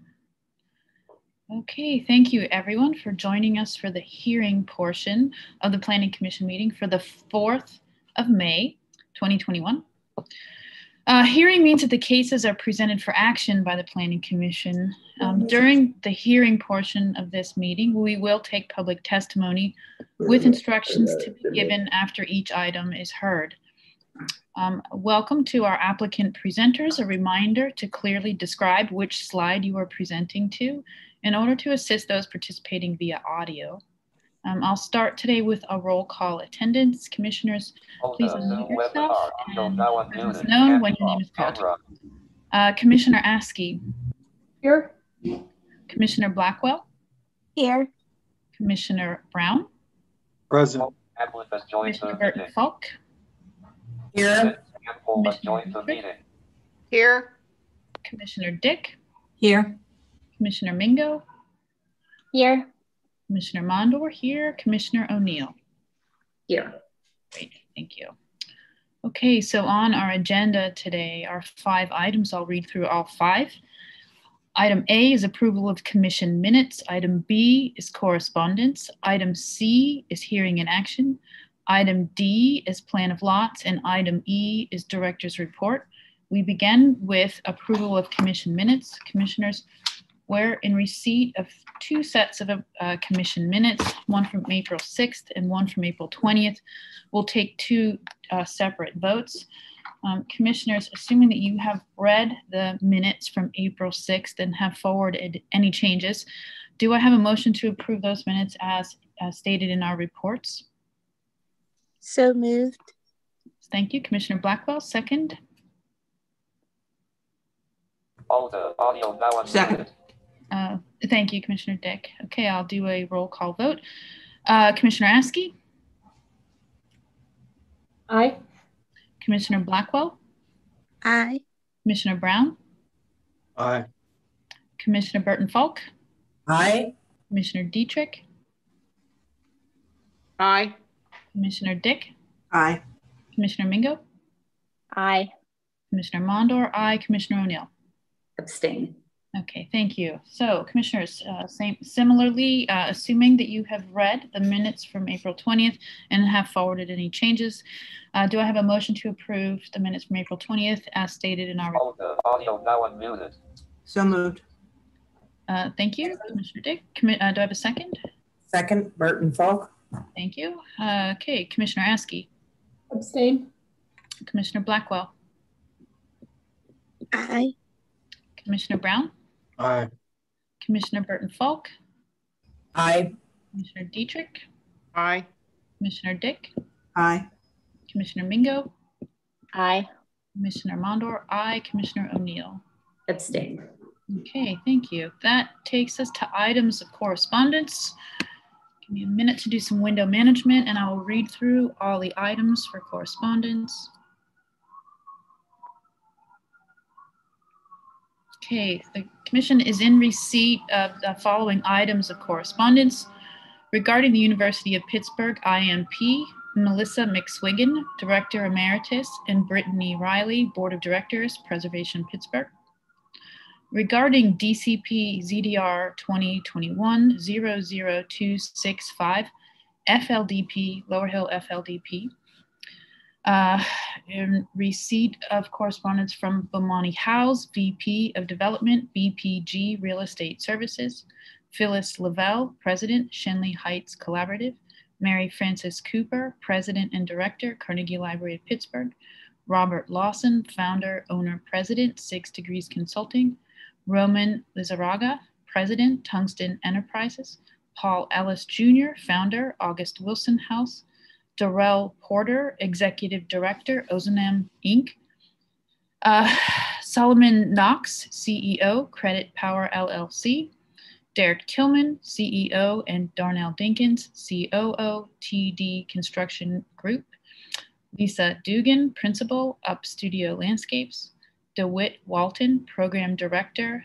PAPRI, Curtis Moorhead, Superintendent, Emerald Electrical Services, LLC, Rob Chambers III, Owner, RWIV Construction, Roy Butler Jr., Owner, Butler Landscaping, Adrian Boyd, Operations Manager, Boyd Roloff Services, James Cooper, President, Sterling Contracting LLC, Richard Witherspoon, CEO, Hill District Federal Credit Union, Thomas Melcher, Business Manager, Pittsburgh Regional Building Trades Council, Jeff Nobers, Executive Director, Builders Guild of Western Pennsylvania, Howard Graves, Principal, Graves Design, Juan Garrett, Executive Director, Riverside Center for Innovation, Janae Smith, Managing Director, E Holdings, Thomas Boyer, Tonya Ford, Tiffany Kinney, Tammy DeBruce, Catherine Colwell, Marimba Milliones, President and CEO, Hill District Community Development Corporation, Phyllis Gafford, Kimberly Ellis, PBG, and Clay, Clay Cove Capital, uh, open letter to Historic Hill District Community, PBG, and Clay Cove Capital letter to CCIP Executive Management Committee. And I believe that is it. Okay, uh, next on the agenda. Uh, next on the agenda is hearing and action. We have one item under hearing and action. That is DCP ZDR 2021 00265 FLDP Specially Planned District, number 11, Lower Hill, Ms. Rakus. And before Ms. Rakus starts, I will be recusing. Thank you. Okay, thank you. Thank you. Good afternoon, commission members. If I can just do a quick check, at least with Bill Sittig, you and your team, make sure we can, we've got audio on you. I know you have a number of participants, but we'll just start there. Lost the vote. Hmm? Who's lost the vote? I'm sorry, is the, is. Okay, Bill, we can hear you. That's okay. great. That's all I needed. Perfect. Okay. Thanks. Sorry. We're having trouble with our architect, so we're trying to get him logged in. So. Okay, and we weren't we there was another room that we let in as a presenter. They were named boardroom because we didn't see everyone that you had provided as presenter. So um, if we're missing somebody or we've promoted someone wrong just let us know. Thank you. Okay. Uh, thank you. Uh, good afternoon commission members. This is dcp zdr 2021 00265 uh, it's an application for new construction of a mixed use 26 uh, story office tower uh, in the SP11, the Lower Hill Specially Planned District. So stormwater was submitted for this application and under review by staff, uh, and you'll see that as a condition that that final stormwater approval be approved uh, uh prior to the ROZA issuance. A TIS, a transportation study impact for the entire SP11 and for this the scope of this work was submitted and is under review by the Department of Mobility and Infrastructure. Uh, and you will also see that as a condition of approval that those be approved by the time of the ROZA issuance. Uh, so to meet the maximum setback in the zoning code text for SP11 and the frontage requirements in the PLDP, the applicant is proposing to dedicate a portion of the site as right-of-way. The Department of Mobility and Infrastructure has provided an initial okay to staff on the dedication, uh, and then final dedication will be required prior to the final certificate of occupancy. And again, you'll see that as part of the conditions. Urban open space is not required on this parcel as, as per the current preliminary land development plan. However, the proposed urban open space on Block F is required to be commenced within two years of the date of an approval for an FLDP, FLDP on this block. The project was reviewed in staff design review and then by the contextual design advisory panel. And you have that memo summarizing that process and the applicant's response as part of your report. Uh, the development activities meeting for this project was held on March 15th, 2021, uh, and you have an attached memo as part of your report summarizing that, the meeting and the discussion. Uh, so staff is recommending approval of this final land development application with five conditions. Uh, the first two just relate again to the final stormwater management plan and the final transportation studies. The third is our standard condition that final construction plans, including site plans, landscape plans, and elevations be reviewed and approved prior to issuance of the final record of zoning approval. The fourth relates to the right-of-way dedication that the it's required um, again prior to the final certificate of occupancy. And the fifth uh, condition is that an amendment to the preliminary land development plan that addresses the removal of Wiley and any other proposed changes to the master plan shall be approved prior to or at the same time as the next final land development plan for SP11 or is required within two years for commencement of the open space on Block F. Uh, with that, I'll turn it over to the applicants to make their presentation. Thank you, Katie. Uh, thank you, board. I, this is Bill Sittig. I represent the applicant in connection with this FLDP presentation. Uh, just to introduce the board and the attendees to um, our presenters today, we're going to start with Dr. Kimberly Ellis. Dr. Ellis is a BPG Director of Community Arts and Culture, uh, a Hill District resident. Uh, Bomani Howze, uh, who is in the room with us today, he is BPG's Vice President of Development for the Greater Pittsburgh area, also a longtime Hill District resident. Uh, Chris Buccini is Principal and Co-Founder of the Buccini Pollin Group, here is BPG. Uh, Amici Aka is the co-founder and managing partner of Clay Cove Capital uh, Equity Partners um, in this project. Boris Kaplan is uh, a BPG senior VP and, and, has led up the effort, particularly the community effort on behalf of the developer. Um, the architect for the project, uh, principal and design director with Gensler is Peter Stubb. And Peter, Peter um, we're told, isn't in the room. I'm hoping he's on and can join us but he's uh, he has not been recognized. So I don't. we definitely want to hear from Peter if we can. Uh, Lisa Dugan, who the board just heard from in connection with the master plan presentation. Lisa's the landscape architect with Upstudio Landscapes, uh, and Lakeisha Bird, architectural design consultant for the project, uh, founder of Communion LLC, and also a Hill District resident. Uh, the framework for this uh, FLDP is the 2014 PLDP, and it's been a long time coming. It was a long time getting to that PLDP. Uh, so we're talking about many years of, of planning effort, a collaborative effort with the Greater Hill District community. And we believe, and it, we believe staff has found that the FLDP complies in every respect with the PLDP, which is the best indicator of the success of that planning project. And while there wasn't any look as to what project would come out of the ground first. Uh, there have been various projects that have been here. This is uh, by far the furthest anyone's got, and it's it's ready to fund and to get built. Uh, we took into account some of the comments and directives made at the briefing. Uh, particularly, we're going to provide some detail on direct benefits to Hill District residents and, and businesses and, and provide some a specific and personal flavor to that. We're also going to try to improve and uh, take into account the presence of the project and understanding uh, that the fact that it's a tower, but and that it's a catalyst, but that it's part of a connection. And we think we'll be able to better demonstrate that today. As Kate mentioned, there was a request to clarify the open space requirement.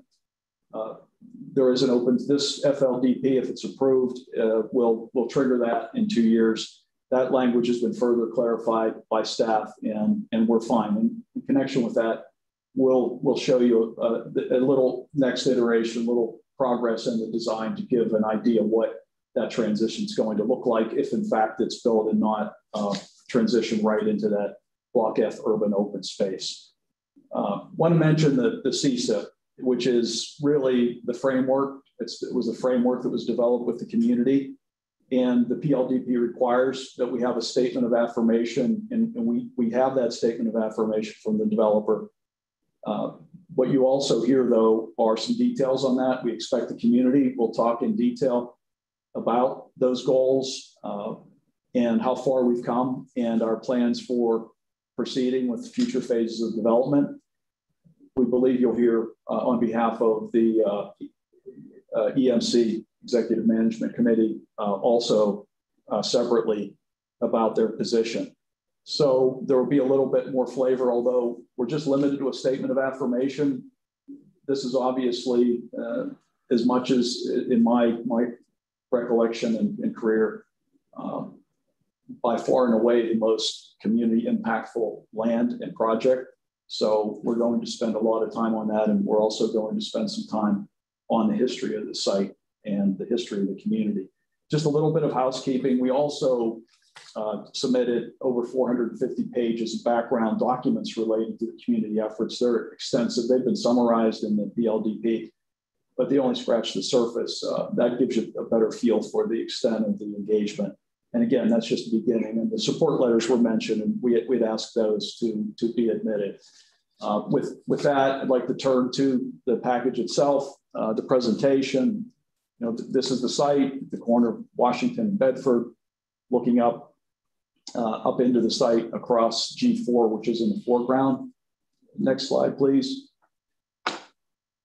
This is our development owner and consultant team many of whom I mentioned, and the other folks are here and available to speak today um, as, as, as consultants and advisors. Uh, next slide, please. This is the broader scope of the project team. Obviously, many sublayers of these, but it's an extensive development team with, with many arms connected with the community. And as you can see by the highlighted, uh, it's heavily Hill District based. Next slide, please.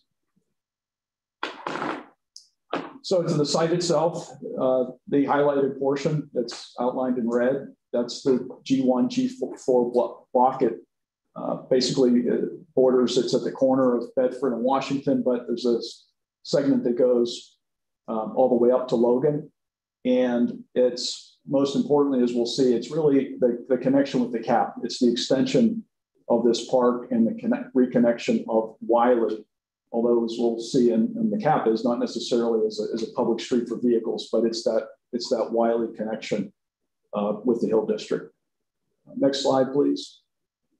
And just to clarify, we wanted to look ahead in a planning sense, and I think we we and I, I'll take personal blame for it, probably added to the confusion by not showing that Wiley Avenue right away, right away as clearly as it is it is still, and we've tried to be consistent now in showing it as an existing right of way. We, we, we think very, very strongly, uh, I think there's unanimity on it really. I haven't heard anybody that's, that's opposed to it believe that that should be vacated and become part of the urban open space. But we're trying to consistently show what it is now, and, and our plans will show that we're designing to it as a public right of way with a, uh, a constructible G4 transition to that right of way. Um, next slide, please. And this gives you a little bit of detail, which the later speakers will, will uh, be able to provide um, all of the intricate aspects of the overall G1, G4 plan. But that gives you an idea of how G1, G4 fits into the greater G block and how it relates to FM Wiley. Um, next slide, please. And with that, I'd like to turn it over to Dr. Kimberly Ellis, um, who, as I mentioned, is uh, with, G, uh, with um, VPG, but uh, most importantly, has served for all of us as our, our, our historian for the project. Thank you so much, Bill, and good afternoon to all of the Planning Commission and each commissioner. Um, thank you so much for the opportunity to present this history. Uh, our National Poet Laureate, Amanda Gorman says in her poem, The Hill We Climb, quote, it's the past we step into and how we repair it. So how do we honor and help repair the historic Hill District? well, in many different ways. And in this particular section, I want to talk about how it's time to tell a new story about Pittsburgh, and it actually starts with our history. Um, in 1829, a small set of Black families settled upon the hill, the lower hill. At the time, it was known as Prospect Hill, Little Haiti, and Arthur'sburg. An attractive settlement with a good view, they had found a sweet spot. Some years later, white families began to settle in the area as they also found it desirable. In 1840 is when William Penn bought the farmland in the middle and upper hill. And I stress that so we understand who was there first. These sets of families were free, and many of them were abolitionists. They hosted Martin Delany, who arrived in 1831 and was su supported by this free community and served as the basis for him studying and becoming a doctor, an abolitionist, an entrepreneur, a freedom fighter, and a US military soldier. Next slide. this is a picture of the colored convention in Pennsylvania in 1841. Colored conventions, as they were called, were held all across the United States during the period I'm sorry. Um, yes, during the period of enslavement, as activists and organizers sorted out how to end slavery, try to decide where they wanted to live, and how to make this country a quote, more perfect union. In Pittsburgh, the Anti Slavery Society welcomed persons such as William Lloyd Garrison and Frederick Douglass. And Pittsburgh's African American community hosted its own colored convention in 1843 at Bethel AME Church. The 1850 Fugitive Slave Act is the reason why so many Black people departed Pittsburgh en masse, but free Blacks stayed and they left a community here. I can't stress the importance of this. Next slide. During the 19th century, immigrants began flowing into what we now know to be the Lower Hill. Upon exiting the train station, they came the Irish, the Italian, the Jewish, the Russian, the African Americans. They all came and settled upon a new life in Pittsburgh, Pennsylvania, and in the Lower Hill. The Irene Kaufmann Settlement House, later to be known as the Hill House, became a necessary local focal point. It's important to note um, that the African Americans coming up from the South were meeting the older Black community that had been there. Soon, the lower hill seams were bursting and there was urban decay but there were still many hopeful people making the best of the area. After World War II, there were many discussions by the federal government to renew American cities and engage in what we now know to be urban renewal and urban redevelopment. Pittsburgh was the first to be chosen and created the Urban Redevelopment Authority in order to create the program and receive the federal funds. Unfortunately, the plans that were made only partially came into fruition. This is a picture of one of the original designs of the Lower Hill Arena site. I want you to pay very close attention to what was promised versus what was delivered. Next slide. The Civic Arena was built, but only one apartment building was created from the 20 or so that you saw on that previous slide. Black people were hired to demolish the lower hill and then not hired to build the innovative civic arena. Eminent domain could have been handled much, much better. Many of the persons who lived in the lower hill found the process to be dissatisfactory, and African Americans were the last ones left and moved up into the rest of the hill. Intention in development matters, and everything begins with design. What did it mean to have city councilman and URA member George Evans at the time say that, quote, there would be no social loss if it were all destroyed? Pittsburgh's first redevelopment plan did not just fail the African American community, it failed the entire city of Pittsburgh, but it did so in our neighborhood. And so it matters even more that we now have City Councilman Daniel Lavelle, a present Historic Hill District resident, and someone such as Diamonte Walker as Deputy Director of the Urban Redevelopment Authority, who is also a present Historic Hill resident. It matters to have a responsible and informed URA board and planning commission. Next slide. I want to draw your attention to these protests outside of the Civic Arena, which you can see in the upper right corner of that picture. It was after it was already built.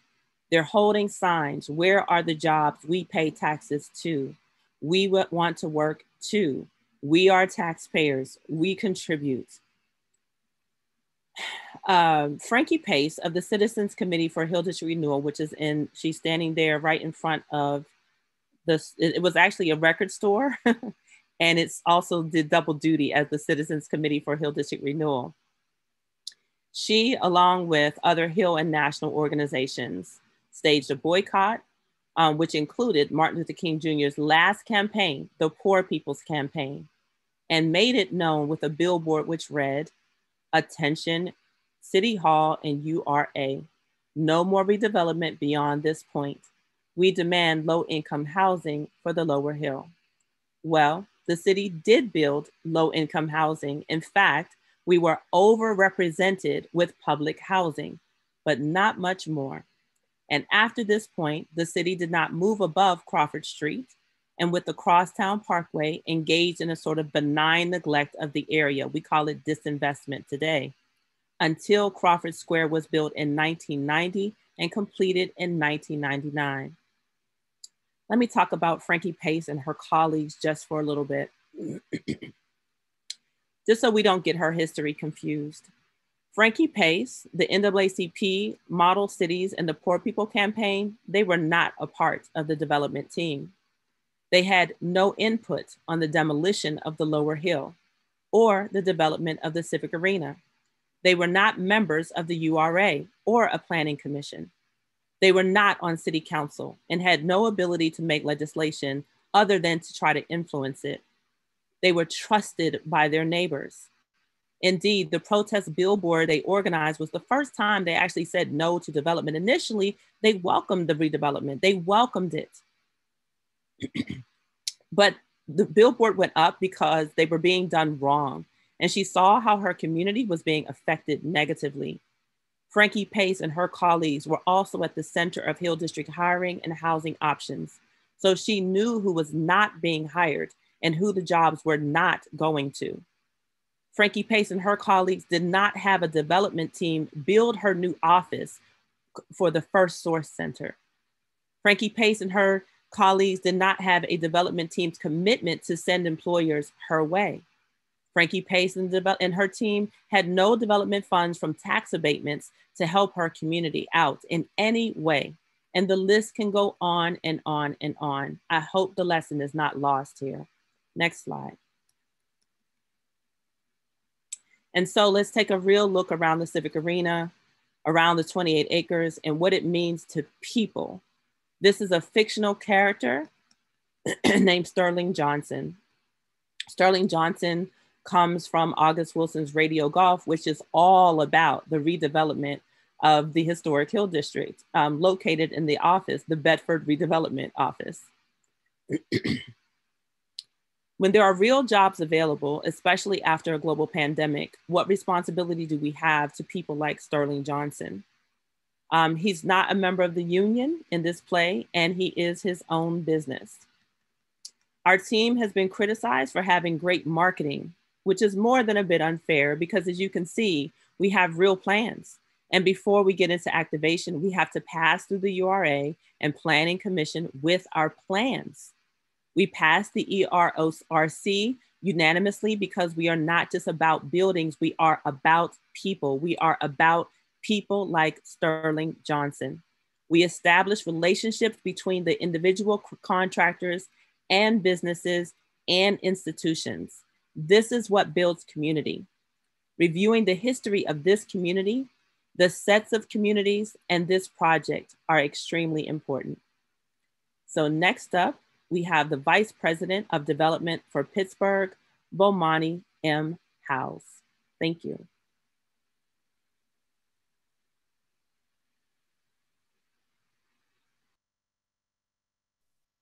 Can you all hear me okay? Thank you. Dr. Ellis, thank you for that, that journey into history. To now take us forward, I want to welcome you all to the Hill District 10 years from now in the year 2031 a fully realized Lower Hill redevelopment with a vision before us that we may have seen many times before over the past two decades, but unrealized. Over the last 15 years, Dr. Ellis and I have been a part of many planning sessions, uh, the Hill District Master Plan, the Green Print Plan, the Center Avenue Plan, the Choice Neighborhoods Plan, the Community Collaborative Implementation Plan, and the list goes on. However, this one is backed by experienced development firm Buccini Pollin Group, brought on by the Pittsburgh Pens, capitalized by the equity investment firm Clay Cove Capital, and committed anchor tenant First National Bank. This aerial view shows us hovering over Crawford Square to the left. We could go to uh, screen 13, please.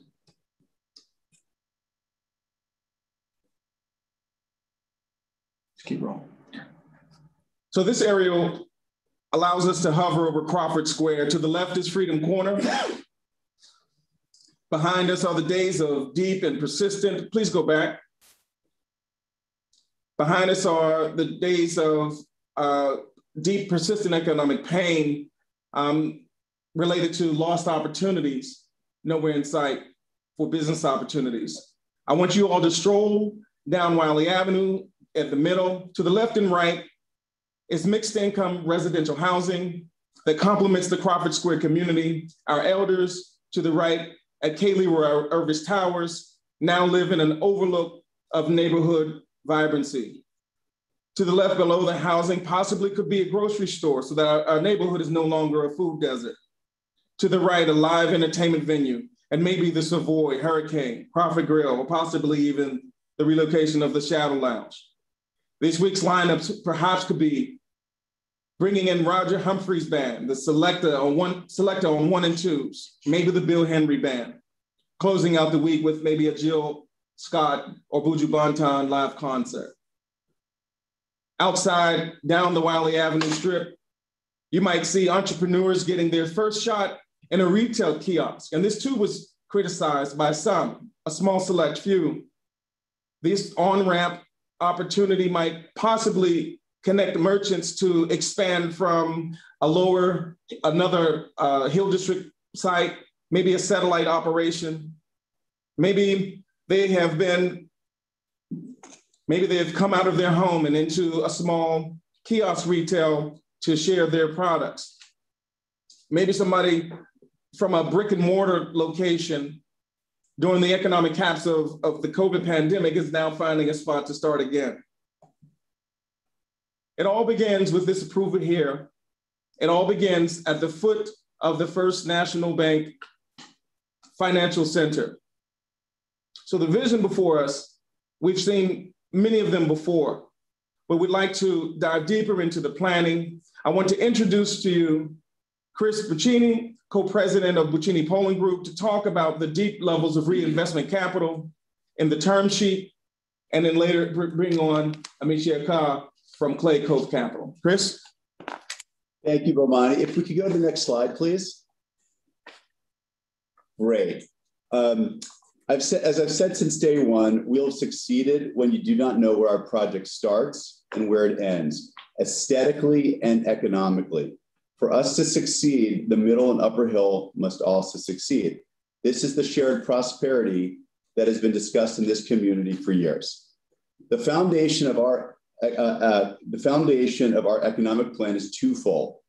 Number one, BPG has always made it a priority to partner with our communities, assessing their needs and seeing how they can best be dressed. The second uh, part of our foundation is the Community, Community Collaborative Impact Plan, the CCIP, that was approved by the URA and the SEA last May during the preliminary takedown review and the approvals.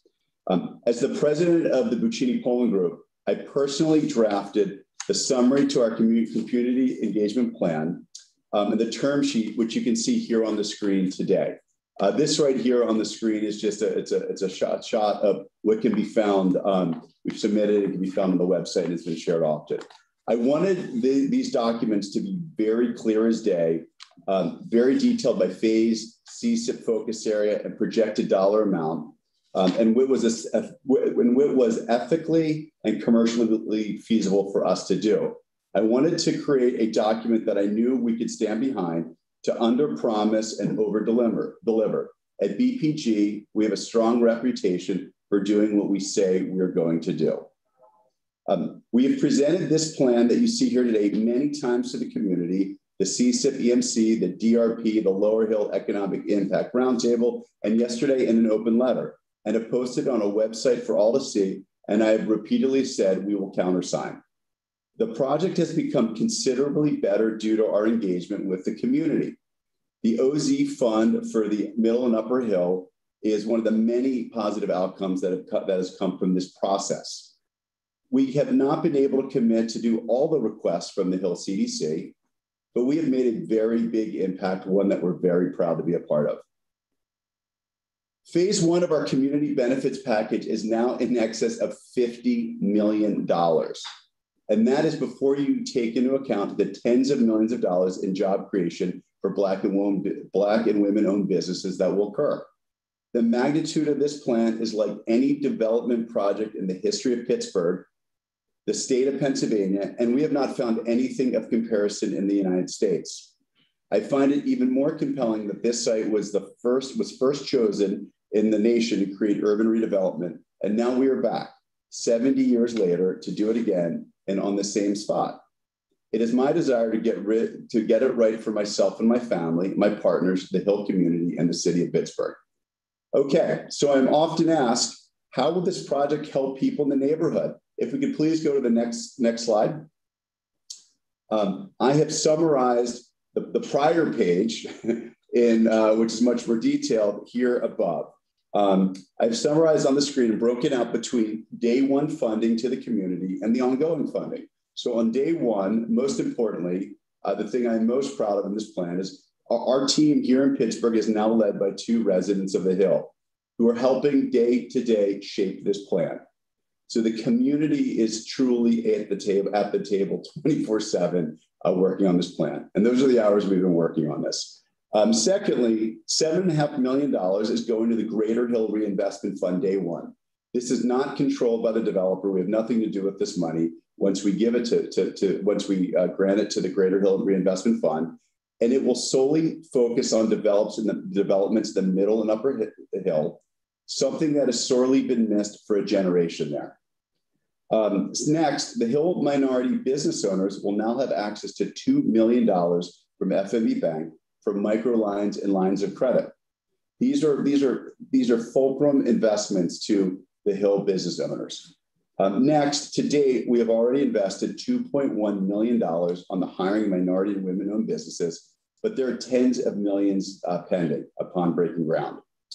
And the first Source Center will be opening this month, and it will be a hub of job creation and training. The first Source Center will be supported for a minimum of 10 years.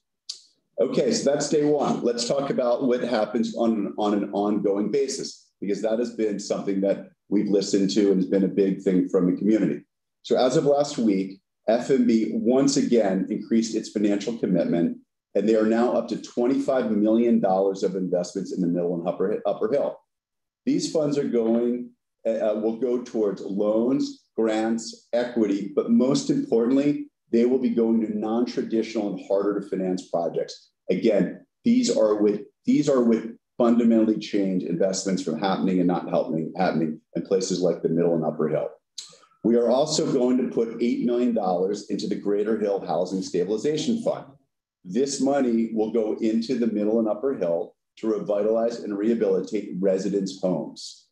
Um, my partner, uh, uh, Amici Ka, from Clay Cove Capital will lead our Opportunity Zone Fund to invest $5 million in new development projects in the middle and upper hill that are, and these are, these are projects that are struggling to find capital to make their dreams come true. Um, and, and two and a half million dollars will go to develop the phase one of our um, community urban space. Oh, I'm sorry. And we also have committed to both repair and maintain the Freedom Corner. It was really important for me to outline what I've just said so residents understand what we are doing and what we'll continue to do. We want them to see what, what is happening. Our community investment plan is the result of a broad-based engagement process, unlike anything I've never ever been a part of, but that got us here to today. This plan is an opportunity for generational change.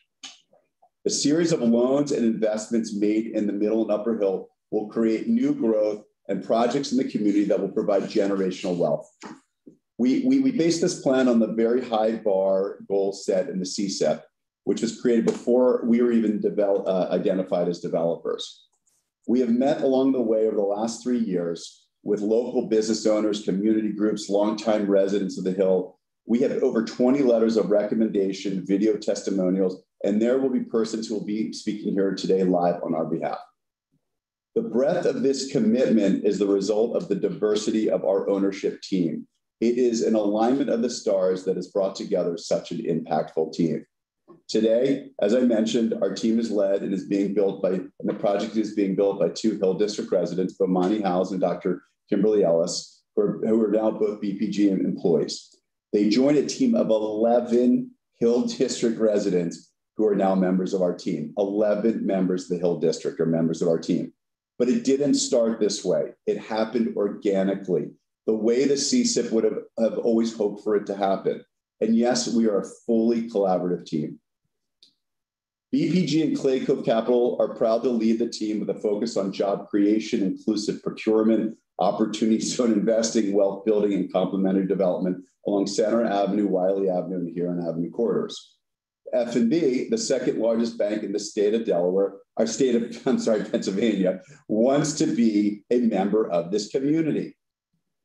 Um, they, um, they have a long history of investing in the Hill with $7 million of new um, commitments just this past week and will be doing much more in the coming years. It should be noted that FNB has chosen to make a very long-term commitment to be a member of this community.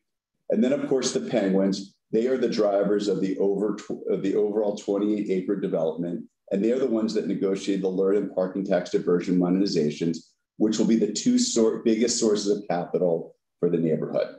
In conclusion, BPG and Clay Cove aren't just making promises. We have a very long track record of tangible success and community reinvestment. And BPG and Clay Cove have made a long-term commitment themselves for a minimum of 11 years to this investment. I am also personally guaranteeing um, the construction loan, um, the, yeah, the guaranteeing the construction loan. And we are also guaranteeing the monetization of the LERD and the parking tax diversion. So the community will receive this money day one instead of waiting for 20 years as it comes in. We have created a world-class team to work on a world-class project with BPG, one of the largest mixed-use developers in the US, but locally led by residents of the Hill, Clay Cove Capital, one of the largest Black-owned real estate investment firms in the US, and then FNB and the Pittsburgh Penguins, two companies that have more hometown pride and commitment than I've ever seen. This team can deliver what I believe to be the best community reinvestment plan in America and building project that Pittsburgh and the Hill District will be very proud of. Unfortunately, any delay will negatively impact and in fact put an end to this project because of anchor tenant complications and interest rate exposure. We humbly request that you see this as a viable project that invests in humans and people even more than, than buildings, and that you pass on our project today. I am very, very grateful for your consideration. Next. Next slide. Oh, I'm sorry, the next slide, please. Um, and then let's just keep going to the next slide. Thank you so much. Yeah. So you've heard our introduction. And so now I'd like to, you, have heard our introduction. Now I'd like to dive into where we are in our pre-development. Our MWEB plan, our MWBE plan, pardon me, started out rough and it perfected itself or worked, moved to move towards perfection along the way. Um, there was a scoring system by the development review panel that in 2020 of last year set us just 12 points shy of the CCIP and two points shy of the Hill District Master Plan. And so we rolled up our sleeves and got to work. As Chris mentioned earlier, in our pre-development plan, we've already invested $2.1 million in MWBE uh, contracting. 42% of our contracting went to MWBEs, and we took our plan to the Equal Opportunity Review Commission. When they received our plan, heard our presentation, they unanimously approved our plan so that we could go forward. We were very proud of that. And some of those commissioners are on the call uh, this afternoon. We have through e-holdings with the work of Janae Smith and Irv Williams, been able to gather and collect a database of 495 MWBE firms that are interested in, in participating on the Lower Hill site. We have a method that if we cannot find the contractors in the uh, Hill District community, we search outside and go towards the larger greater Pittsburgh community, the state of Pennsylvania, and we will even go with national firms to make sure that we have huge MWBE participation. And so we're very proud of that, working with organizations like the uh, EMSDC, the Eastern Minority uh, Supplier Development Council. so I want to go to the next uh, next page. Um, before we dive into this, I want to uh, cue up a video that really shows how our architect and uh, Howard Graves and other business owners in the Hill District community are in support of the plan going forward without delay.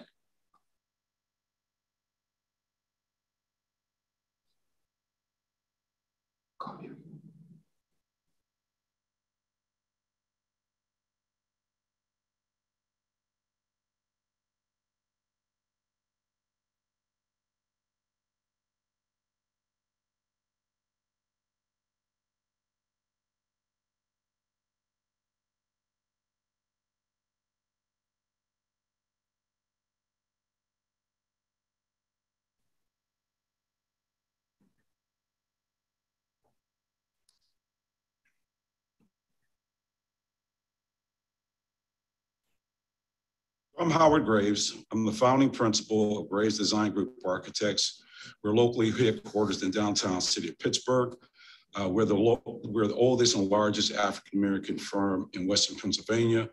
Uh, we, we had an opportunity to engage with, uh, with the Buccini Pollin Group, uh, who essentially invited us to uh, to the team along with Gensler. We are working directly in concert with Gensler on the FNB Tower, uh, which has various, very aspects, various aspects to it. Uh, one of which is to create a community space uh, along the historical corridor of Wiley Avenue. Uh, it's the opportunity to bring a vibrant community back uh, that had been there previously. It'll encourage entertainment and growth, economic prosperity, uh, we think it's a way that people will find their find an opportunity to engage with others, uh, discover both themselves and the greater Pittsburgh community.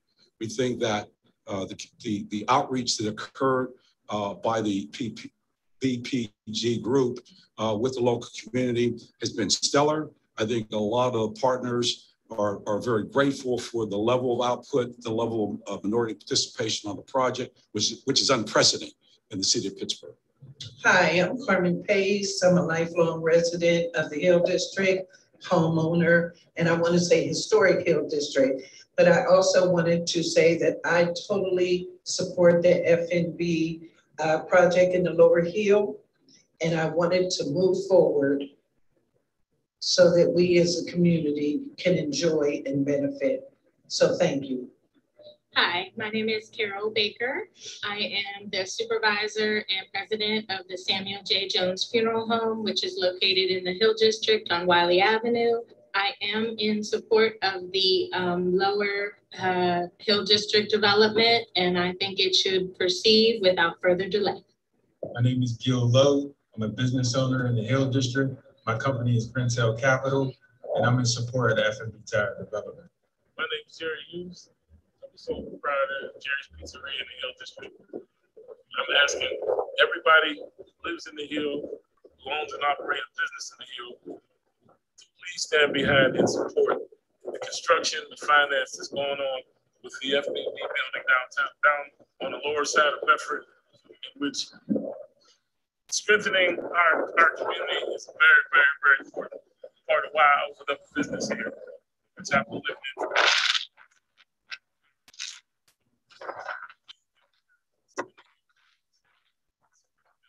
My name is Lorraine and I'm a Hill District, longtime Hill District resident, and I'm full support of the Lower Hill project going forward now. Hello, I'm Marcia Scott. I'm a lifetime Hill District resident. I am in support of the FNB project moving forward without delay. Hey, how you guys doing? I'm Steve Rucker, owner and operator of Rucker's Electric. Hey, I'm in full support of FNB Towers moving forward in the Hill District. I've been a long time resident of the Hill District myself for some years, since I was born actually, but definitely in full support of FNB Towers moving forward in the Hill District. Thank you. Hello, I'm Tony Cole, a lifelong resident of the Hill District. I am in full support of the FNB project and we are ready to move forward.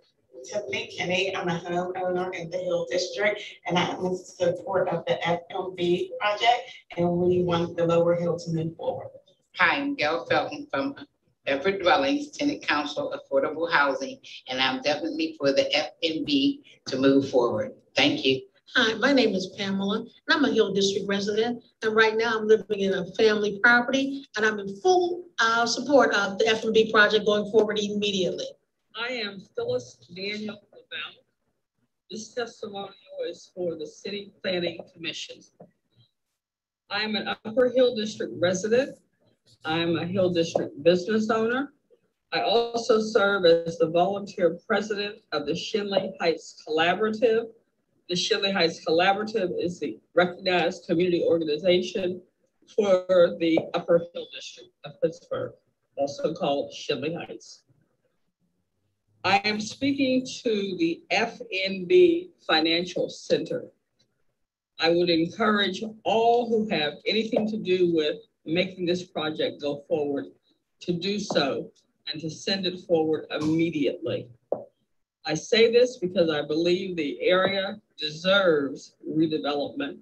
I say this because the benefits that are to come to residents in terms of jobs, housing development, business development, all of these are urgently needed by our community.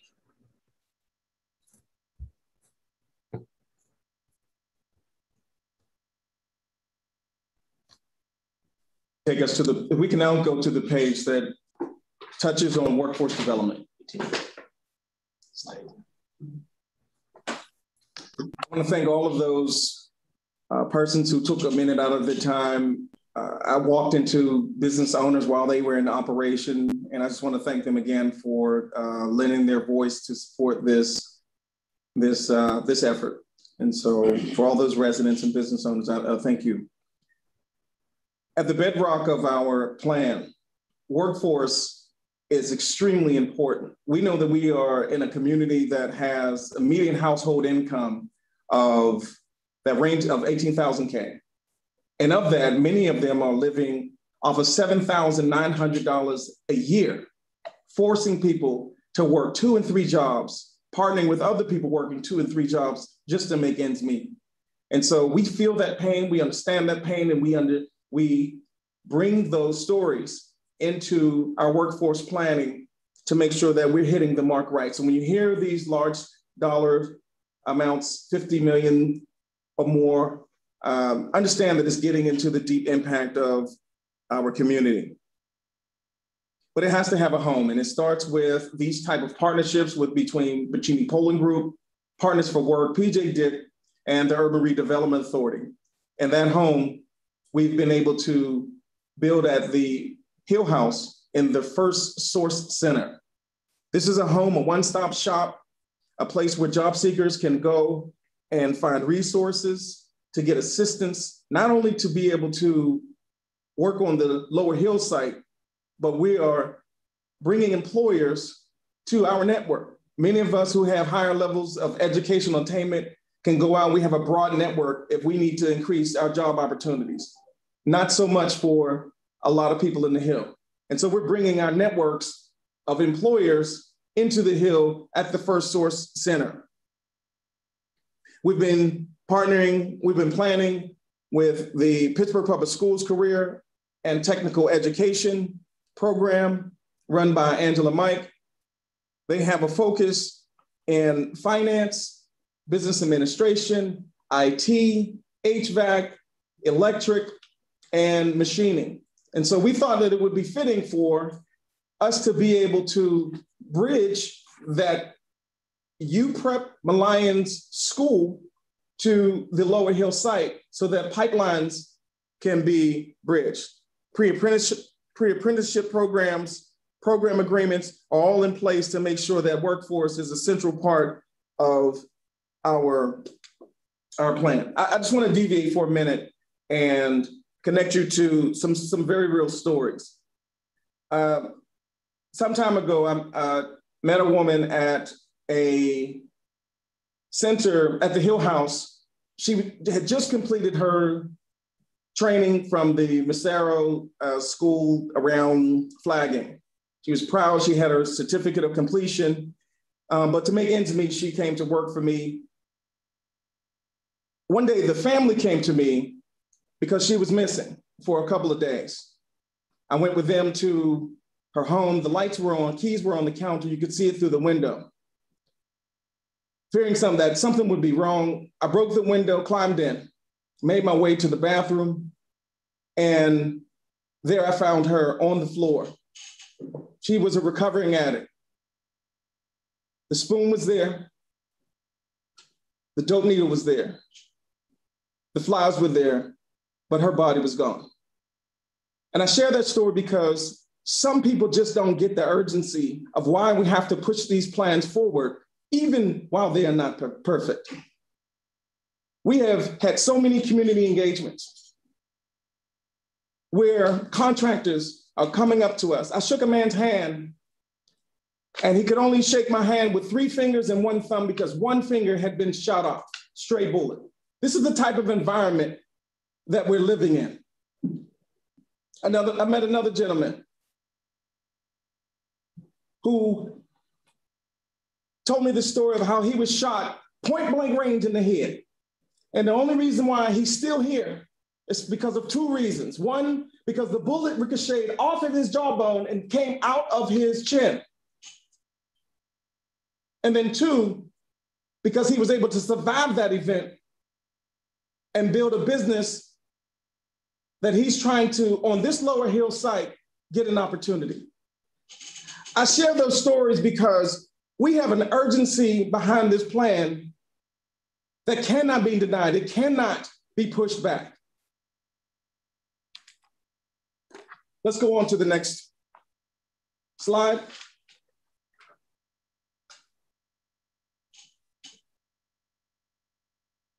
The reason we believe that this will be a successful plan, a beneficial plan for our community is because we now have an alignment of partnerships that we haven't had before. In the center, you have First National Bank, BPG, Clay Cove, and the Pittsburgh Pens. On the exterior rim, we have made sure that we forge partnerships with the Urban Redevelopment Authority, thanks to Deputy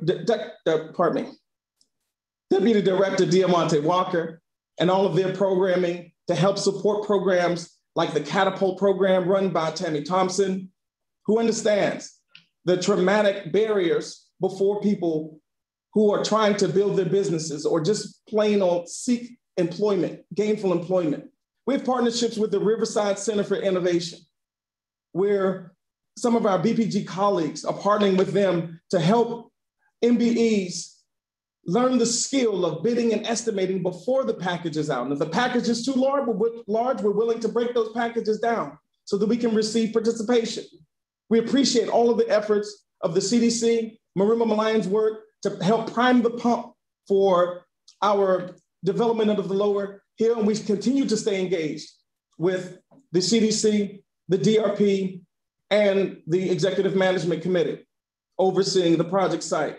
We have partnerships with the Hill District Federal Credit Union, who can, you can walk in their door with a 400 credit score, no, sa- no money in your savings account, and begin to scale and grow your, your, your monies so that you can participate in the, the growing economy of the Hill District. The Poise Foundation is ready and standing as a bridge to be able to partner with to bring partnerships of the philanthropic community, the Heinz Endowments, the R.K. Mellons, Pittsburgh Foundation, the Ford Funds, and the and McAuley Ministries and others.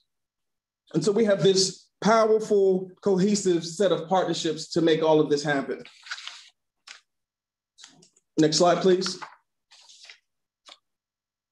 Next slide, please.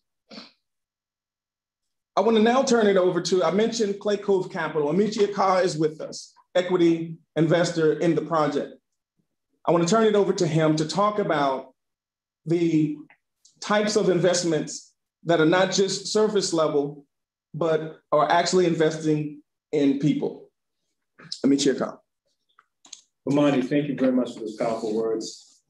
Uh, as he said, this is more than just about investing money. Although this project has brought together a unique partnership that is perfectly situated to help alleviate the chronic problem of lack of access to capital in the Hill District. FNB has a history of providing mortgages and will continue to provide more unique financing for projects in the Hill District. Clay Cove Capital has committed and will continue to invest equity capital to, for stable capital stacks that will, that will actually look at bringing capital stacks that do not primarily rely on government grants and foundation grants. I'm not saying that these grants are important, but these grants should be in, to enhance projects, not to launch developments. We want to fix the problem to make sure that we get to the goal of sustainable economic development in the Hill District and to empower the entrepreneurs and developers in the Hill District to redevelop the Hill. However, community reinvestment and involvement does not just stop at that capital stack. As Bomani mentioned, we are implementing a program of mentorship, of shared resources. We uniquely have a developer of national scale and, and, and skill in Buccini, Pollin, who is willing to mentor developers to get to the point where they can build their businesses and they can grow into strong, growing institutional quality developers, which will, will have an impact for generations to come in the Hill District and around the Pittsburgh area. Next slide, please. We don't only just want to work or invest in real estate. We invest the community beyond this and look for opportunities to help and provide support for more than just developers. The reinvestment program will include and provide food and beverage incubation for potential restaurateurs. Live Nation will provide facilities for local entertainment and concession industry. The kiosk will provide important food and beverage and retail incubation for business owners in the Hill District. And public arts installations to display the works of local artists and, uh, and fabricators. These are all extremely important in building community and building a business community that is sustainable, that will, tap into the unmet demand of the Hill District and build an economic environment that can thrive. Next slide, please. Our partnership, as we've said time and time again, has a holistic view of investment and reinvestment with at least a 12 year commitment to the Hill District, we strongly believe that we can only be successful if we bring increased economic vitality to the middle and upper hill. That means not only investing in real estate and in businesses, but most, most importantly, investing in people and Hill District residents. We plan to partner with the community to build an environment for the Hill residents to thrive and prosper in a redeveloped neighborhood. This reinvestment program will achieve this by providing services such as credit repair programs for residents, financial literacy programs, STEM scholarships and internships for young people, AI robotics and coding summer camps, the tax diversion, with the parking tax diversion, will provide funds for down payments assistance on homes. There'll be funds for repairs on roofs, windows, and insulations for homes. We will look at home equity credit lines for homeowners. And we'll also provide funds to rehab existing housing stock in the Hill. We're taking an approach that makes us at a point where we can provide the Hill District with the type of environment, the type of support, and the type of capital to build a thriving community. We are very proud of that, not only because of our commitment to the Hill District, but because we believe that this is the type of placemaking that makes lives better. And so this investment program goes far beyond buildings and businesses. It's an investment in the people of the Hill District. And we are looking forward to being members of this neighborhood and this community for many, many years to come. And now I hand it over to Boris Kaplan, Senior VP uh, Development for Buccini Pollin Group. Thank you for that introduction, Amici and, and, and, Chris and, and Bomani. Um, for the past three years, I've been the um, day-to-day executive on this project on the Lower Hill for the Buccini Pollin Group. And my goal over the next few minutes is to provide a summary of our prior and our current planning and engagement efforts. I remember attending BPG's very first CCIP EMC meeting back in the fall of 2018. And I've attended every one since uh, uh, that, that, we've been president in since, ever since then. I remember at that first meeting, we discussed uh, we discussed a look ahead 10 years from now and, um, and, and how we wanted to envision a project that we can all be proud of. Much as you did, Bomani, earlier, looking into the future, uh, we tried to do that back in 2018 collectively. Both the developer new to the project, as well as the senior stakeholders from the Hill District. I think that was an incredible place for us to start, and we've made a lot of progress since that point. Uh, this is on the next slide, please. So I'm very excited to have a project that's so close to realization, given how many projects across the country uh, have not been able to move forward into the strong headwinds of the pandemic. Not only do we have a project, but we have one that's a true catalyst, after which so much additional investment and community reinvestment can follow. A little bit on the chronology and the history. Early on, the development team worked with Gensler to update plans for an overall mixed use development. When we had progress to report, we met at the nearby Energy Innovation Center in large public forums to introduce ourselves, to introduce our team, and to hear direct concerns from residents. So many of those conversations focused on opportunities, which is why so much of our discussion today echoes those very concerns and focus on uh, focuses on opportunities. Along the way, we tried to update our website. We reached out through newsletters. And most importantly, we had a lot of meetings direct with uh, business owners, with residents, and stakeholders to advance the project. Next slide, please. Bill mentioned earlier that we've made a pretty significant submission of all of our uh, engagement materials. No. I didn't think you wanted eggs. You'd be like, I can't have this and that mix. I'll be pooping. You can keep going. Thank you. So, uh, of the of the submissions we've made today, uh, perhaps one of the most important uh, single pages of, of documentation is the one that's on the screen today, in front of you right now. That is the statement of affirmation from the Community Collaboration and Implementation Plan. Chris Buccini's signature is on this affirmation. Since so much of the reinvestment uh, plan will be realized as we advance this project further, we could demonstrate with this single document, and of course with our diligent follow-up, that reinvestment was more than just a series of promises. This affirmation meant that we were contractually bound to implement a world-class revitalization plan.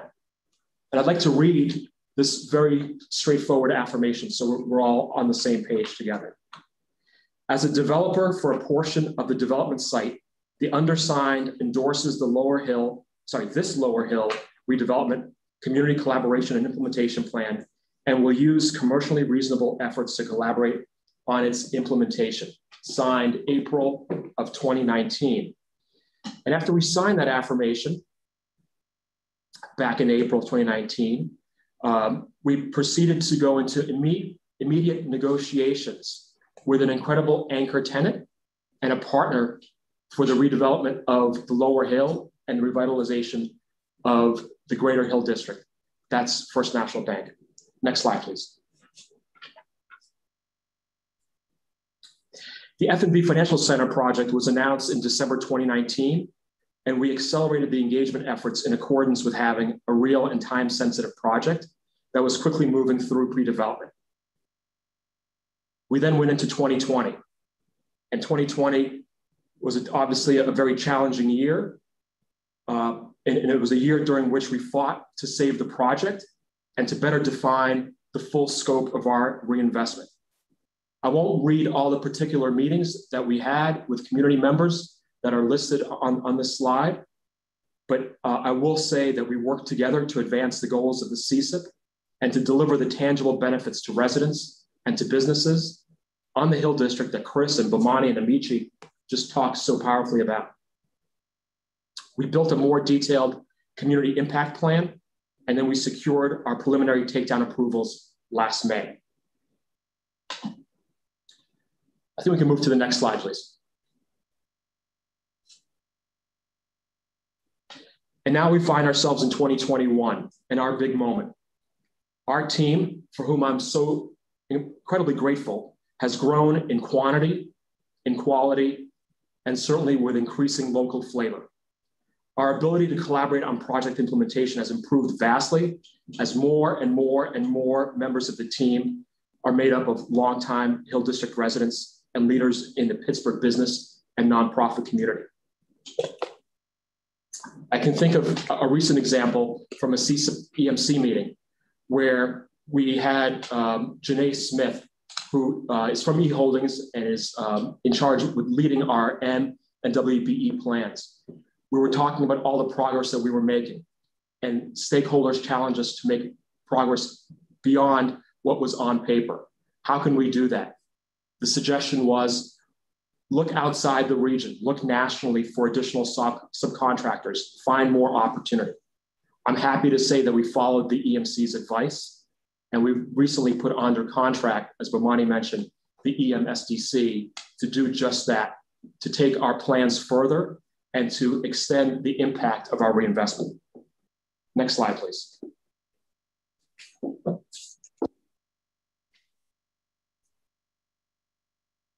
I see the images on the screen now that demonstrate this full range of platforms that we've used to share project and reinvestment details.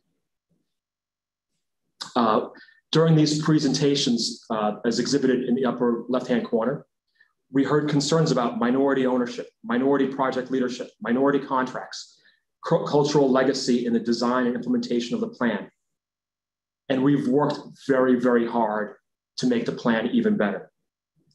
In good faith, we've conducted an extensive community process, and that process was built upon years of prior planning that preceded us. Uh, next slide, please. So in conclusion, I would say that we have engaged, we are engaging now, and we'll continue to engage to implement the best possible project. Our conversations with contractors are accelerating. Chris, you mentioned that what comes next for us is putting under contract tens of millions of dollars of minority and women-owned uh, contracts to build and operate the world-class FNB Financial Center. Our efforts to engage the community are getting stronger and stronger. And later this month, Bomani, you mentioned, we'll have that first source center open at 1835 Center Avenue. We have a great project that has gotten better over time. We need to, and we're ready to move on the FNB Financial Center and to set into full motion these full uh, set into full motion these time-sensitive revitalization and reinvestment efforts. And with that, uh, I'd like to hand, hand off to Peter Stubb, who will be covering the next section of the presentation on project design and project programming. Thank you. Great, thank, thank you, Boris. Um, you know, I'm ha really happy to have this opportunity to talk about the design for parcels G1 and G4 um, with you today. Uh, and I'm, I'm like Boris and the rest of the team, I'm very proud to be part of this this team and, and the uh, this amazingly impactful project starting with the work on the master plan in, in 2019. Uh, in the image on the screen, uh, next slide, please, sorry. Um, yeah, this image uh, depicts the tower in the context of the master plan vision that was, you know, worked on over the course of those years. Uh, and it's seen as part of a vibrant, robust, mixed-use development fronting on a new public green space, what you see in the foreground, uh, which is uh, a shared place for people to come together in a completely new setting within the context of the hill and, and the city itself. Uh, next slide, please. Uh, you know, briefly, um, you know, the, the, the, tower is around uh, 420 feet in height and 560,000 square feet at 26 uh, stories, and it is a speculative commercial office building. Um, with contiguous open space. So there's a lot of detail in there, but that's the high level uh, information. Next slide, uh, which leads us to you know where where this project sits. Um, you know the G uh, block G is uh, in the pink parcel, which is the northeast most uh, northwest most parcel in this 28 acre development. Um, the initial infrastructure has been uh, constructed in accordance with the PLDP.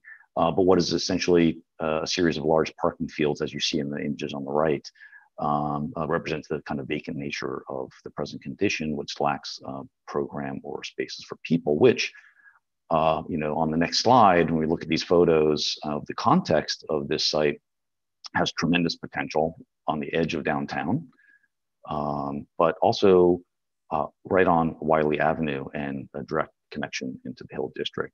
And so this project will be a catalyst uh, for new people-centered vision, which on the next slide uh, really starts here with this diagram uh, from our uh, master plan um, explorations, which in essence reestablishes Wylie as a physical and cultural heart of, of the lower hill. Uh, the green arrow represents the central importance of Wylie Avenue in this plan uh, with the G4, G1, G4 parcels literally fronting on Wylie Avenue and that strong connection direct into the hill is is there, and um, and also with Washington Place and the Cap Park um, immediately uh, adjacent um, provides a strong uh, tie into downtown. Uh, so at its core, the project is built around the idea of community and connectivity. Next slide. Uh, and you see in this slide the actual master plan vision itself. Um, G1 and G4 are highlighted uh, on the image there to, for, for context. But, um, you know, this project really uh, can be the start to uh, that bold vision that you see here in this plan. As part of a larger holistic open space design, planned with a diverse mix of spaces and uses, um, spanning from the Cap Park all the way up to Crawford Street, uh, bridging the upper hill to downtown and connecting the, the tower and plaza to this vibrant uh, ecosystem you know, reimagine Wylie as a cultural connector with these activated open spaces all along its length. Every block in these 28 acres ultimately has a direct frontage on this connective uh, public green space. Next slide, please. Uh, this is just dialing into the, the particulars. If you think about the, so for reference, downtown is sort of bottom right in this image and the north of the page is um, looking up towards the hill district itself, you can see the primary frontages along Washington and Bedford. It's a highly visible and accessible location uh, to the broader city and to the community for this, uh, this uh, speculative mixed-use office building. Um, next slide, please. Uh, this plan uh, just goes into a little bit more detail. You're going to start to pick up on what the character of the spaces that sit adjacent to the tower, and Lisa and, and Lakeisha are going to talk more about that. Um, but the, the, the, the, graphic here is really representative of, of a really vibrant kind of uh, public space that's really integrated into the building, which we'll talk about in the series of next slides. Uh, if you go to the next one, please, you can see the, uh, the plan of, of the building imposed on that image and showing the connectivity of the retail spaces to the plaza uh, on uh, the upper plaza labeled as G1, G4, also the lobby and the retail uh, plaza down off of Washington Street and Bedford intersection. Um, So really, you know, connecting into that tissue, uh, the fabric of the city. And also one other thing to point out is uh, in this plan, there's a there's a terrace envisioned on the um, on the podium level of the building that will overlook onto the plazas and also to the river uh, to the north. Next slide, please. So just real briefly, um, you know, walk through major compositional elements of the building's massing and, and facade. So we really envision this building as a, as a base middle top um, uh, typology. So you have this kind of uh, lifted middle section that exposes a, a, really transparent base that allows the, the building and the streets and plazas to really interact with one another. And then there's this extension at the top that really represents kind of the way the building meets the sky. Um, and so it has this very kind of knitted to the ground, knitted to the sky uh, concept. Next slide. Next. Just spinning around the building here. Next slide again, please. Uh, and um, to the next slide. And so, uh, you know, as the first building in the Lower Hill redevelopment and, and really the closest building to downtown, this has an opportunity to establish this location as a destination uh, with the opportunity to, to initiate a whole new uh, uh, level of development here. Um, it's a unique opportunity in the Pittsburgh skyline. It's highly visible. Um, in reality, there's not a bad view uh, from all directions, and it has the opportunity to really be a gateway and a signature tower that draws people to this location and making it a successful project. You know, ultimately, also, you know, this this building has, uh, you know, it's differentiated in the marketplace um, because of the, the type of uh, building that it is. That uh, the, the kind of views and and uh, daylight that one will uh, be afforded from within uh, will be quite incredible. And the next series of slides that we'll walk through pretty quickly is just um, how the building meets the ground, as I mentioned, you know, this idea of this kind of transparent base, because it's really about the connectivity to the spaces that are really here for the community. Um, streets and plazas kind of knit themselves, you know, into into that lobby uh, that you'll see here, maximizing green space on the G4 and G1 plazas. So this is like an aerial view looking down from from above um, over center. If you go to the next slide, uh, again, that idea of the highly visible lobby um, that is here envisioned from one of the steps terraces that rises up to the, um, the upper plaza. So there's variety of activity. Uh, the next slide uh, gives you a sense of the pathway. So it's all about kind of creating pathways. Um, so from the Washington Place uh, uh Plaza, the Washington Place and Bedford corner, a view up towards the upper plaza, the building's entry on the left. And the next slide um, kind of hovering back up again over the Bedford and uh, Washington Place intersection. Um, you know, there's, there's a great crossing at this location that stitches the building into downtown. Uh, the retail space that anchors the corner there. Um, with that, uh, you can see the stepping uh, plaza uh, that takes you up into the uh, upper plaza um, in the background there. Next slide. If I could just interrupt you for a minute, is mm -hmm. the Commission um, had some specific requests for additional information at the pre-briefing. So if you're covering a slide that's changed or okay. You want to point it out specifically, it now would be a good time as you're going through. So great. Uh, well, I'll be getting to those in a second. Yep. Yeah. yeah, Peter, I think we want to specifically focus on Bedford. Uh, it's one of the things I should have mentioned at the outset because the, the commission was was interested yeah. in. So. so. so. if you go back, if you go back to that slide then on Bedford, um, you know what, what you're seeing there is the uh, you know the street trees along the the edge of the street. You can see the how the uh, the crosswalk intersects. They're they're indicated there in the white stripes that take you right to the corner that leads you to the retail space um, that is on that corner there. And um, there's a planting strip adjacent to the uh, the building's base, which uh, is envisioned to be seen as an extension of the plaza that meets the building on the other side, essentially coming through and, and providing that buffer and creating a really nice pedestrian environment as you walk up the Bedford Street um, pathway. Um, the next slide just uh, it takes you around to the upper plaza, looking back towards the building and the downtown in the background. You know, it's a high performance office building, uh, which um, we think is going to provide a, a state-of-the-art workplace environment in this in this market. Um, next slide. Again, a view from the upper plaza looking back towards that uh, that lobby and the openness and, and uh, interconnectedness of interior and exterior spaces. Um, next slide, please. And uh, you know, this is uh, this next couple slides just really contextually talk about the massing materiality and and sort of not only is there a conversation about surface expression that we'll get into in a second, but this idea of depth and and um, and reveals and relief in the facade as well. Um, so you're seeing sort of a foreground and background composition. Um, next slide, please. And how using articulation of the glass typologies and surfaces to kind of articulate the building. Next slide. Uh, this is uh, something we, we worked a lot with uh, staff to, um, to achieve a facade that, that was meeting the requirements of the PLDP. And I'll walk through a, a series of, of slides very um, just at a high level to kind of explain some of the strategies of the facade development. Um, and this one in particular talks about the, the coming together of many elements such as uh, fins that project out uh, from the facade, creating uh, relief to differing glass types that create a sense of pattern on the facade as well. If you go to the next slide, you'll see in detail um, some of how, so the, the one on the left is just a kind of a single floor detail and showing the, the kind of surface articulation and rhythms that will be seen um, in this facade.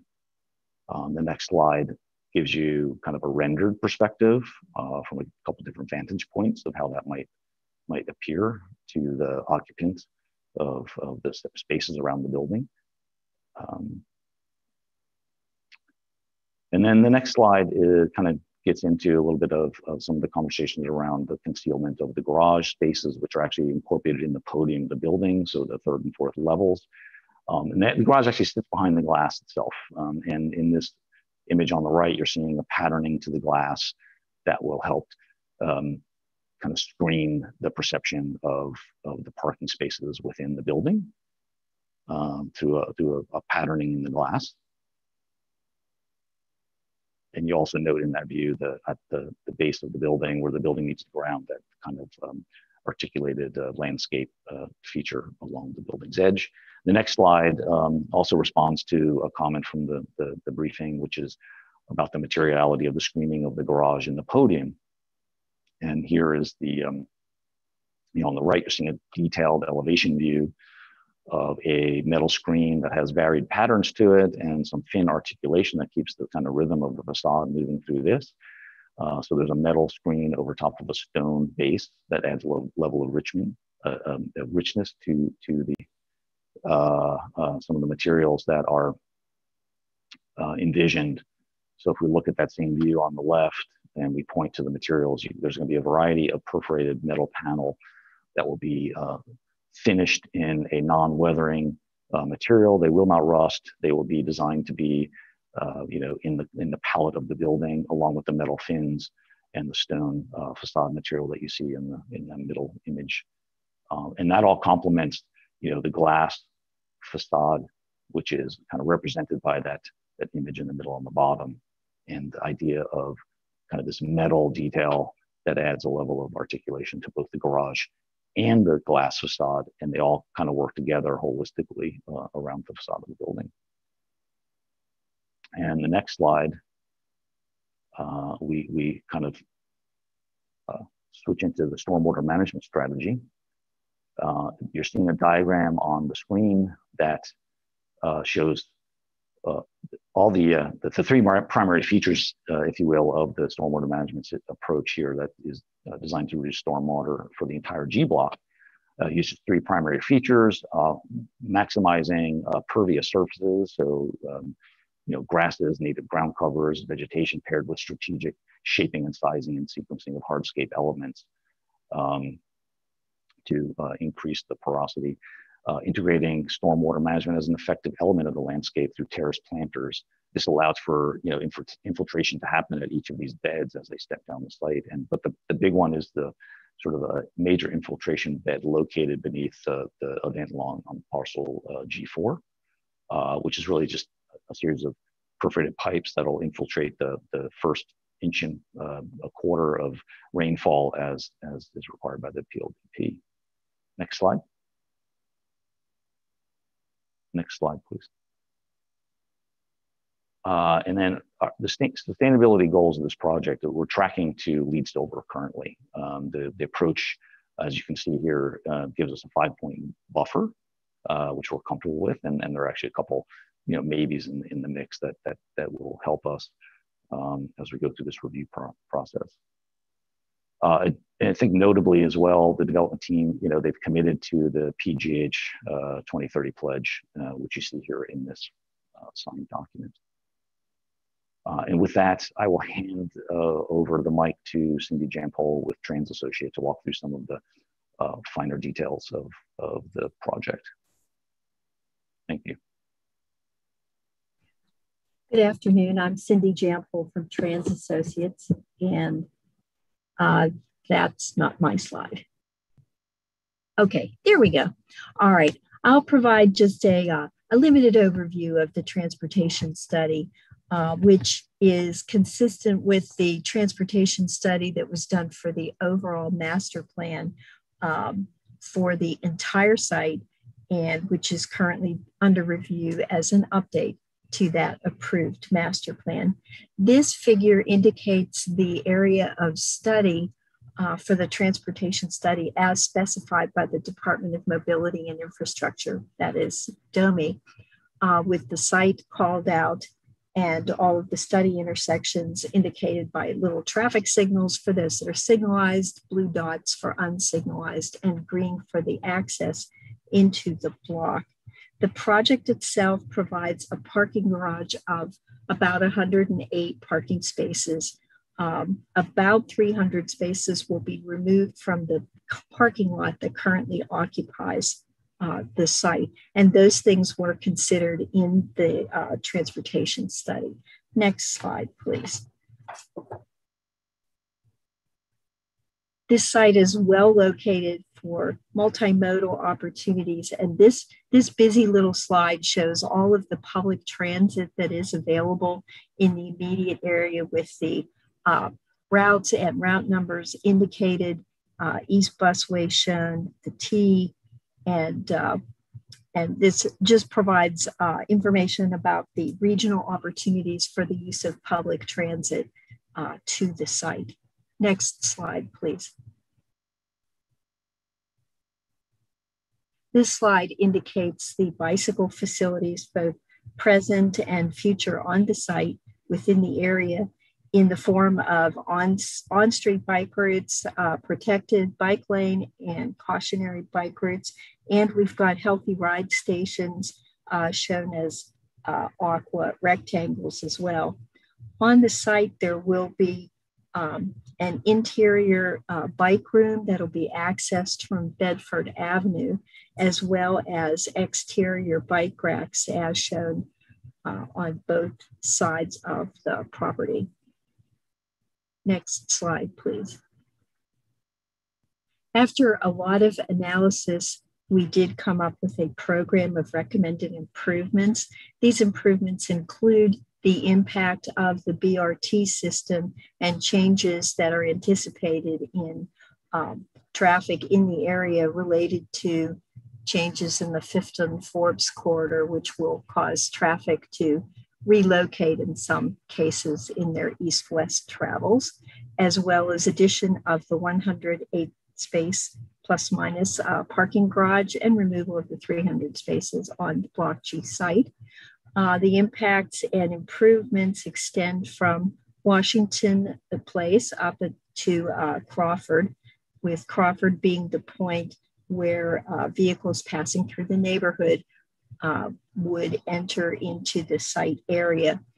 Um, so as shown here, we're indicating that at the traffic signals, optimization of traffic signal timings will serve to um, improve movement of vehicles while also providing for pedestrian crossing conditions and decrease of congestion and queuing in the area.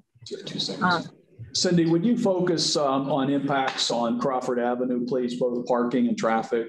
And how oh, sure. affect the residents? Right. On Crawford, uh, there is uh, there is residential permit parking on the east side of Crawford and there will be no change to residential permit parking uh, whatsoever on Crawford uh, or in any other street in the residential permit parking area. The um, development on the site is anticipated to meet its own parking demand on the site. As far as traffic flow in the neighborhood, compared to what's what's there now, and there are vehicles that move through Crawford Avenue to access the parking on the Block G site, uh, we anticipate a very small difference in the number of vehicles because we're minusing 300 spaces and plusing 108 um, of typical uh, weekday travelers, basically. Uh, so we're looking at a change of maybe in the range of 10 to 20 vehicles an hour through those intersections due to the changes in the parking as previously described. Uh, I have one more box on there, which um, uh, calls out the improvements for access on Bedford Avenue, and those are shown in the next slide. Okay, on this slide, um, we're looking from the bottom of the hill to the top, moving from left to right. Uh, there will be two driveways separated by a five foot pedestrian refuge area as access to the site. The lower or westerly driveway will be the, the uh, driveway for passenger cars into and out of the parking garage, one lane in each direction and controlled by a stop sign on the exit onto, uh, uh onto Bedford Avenue. Then so there'll be the able to access the site inbound on Bedford. Oh, no, uh, not unless you can fly.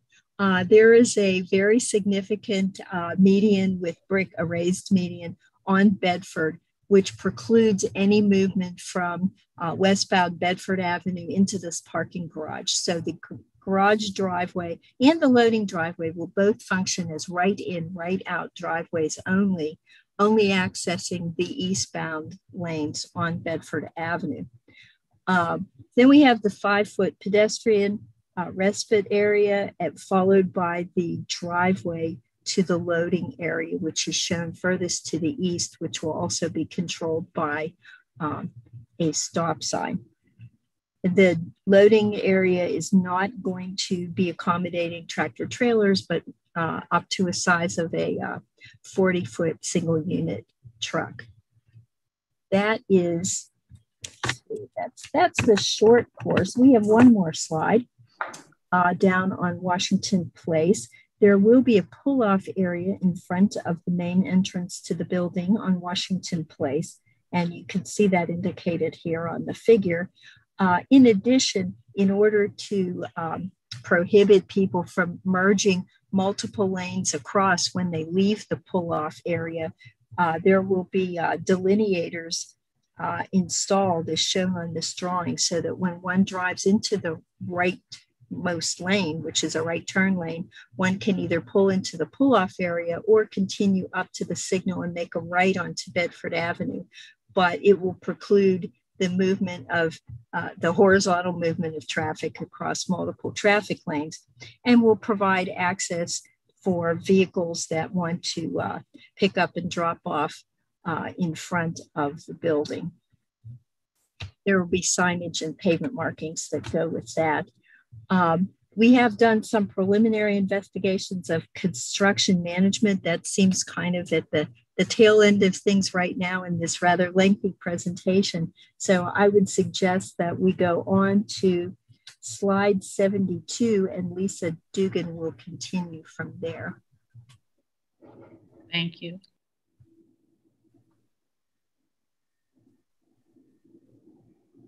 There you go, right there. Thank you, Cindy.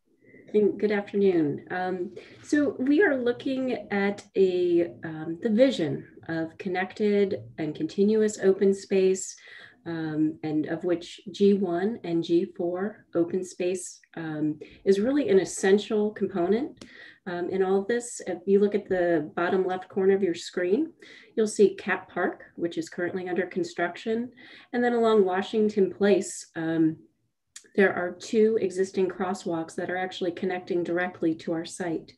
Um, and then I just want to touch on as well, um, just as an overview, that some of those um, cultural and historic uh, elements of Cap Park are also going to be, and you'll see in later parts of the presentation, but threaded throughout um, the, the open space of the G1 and G4 parcels.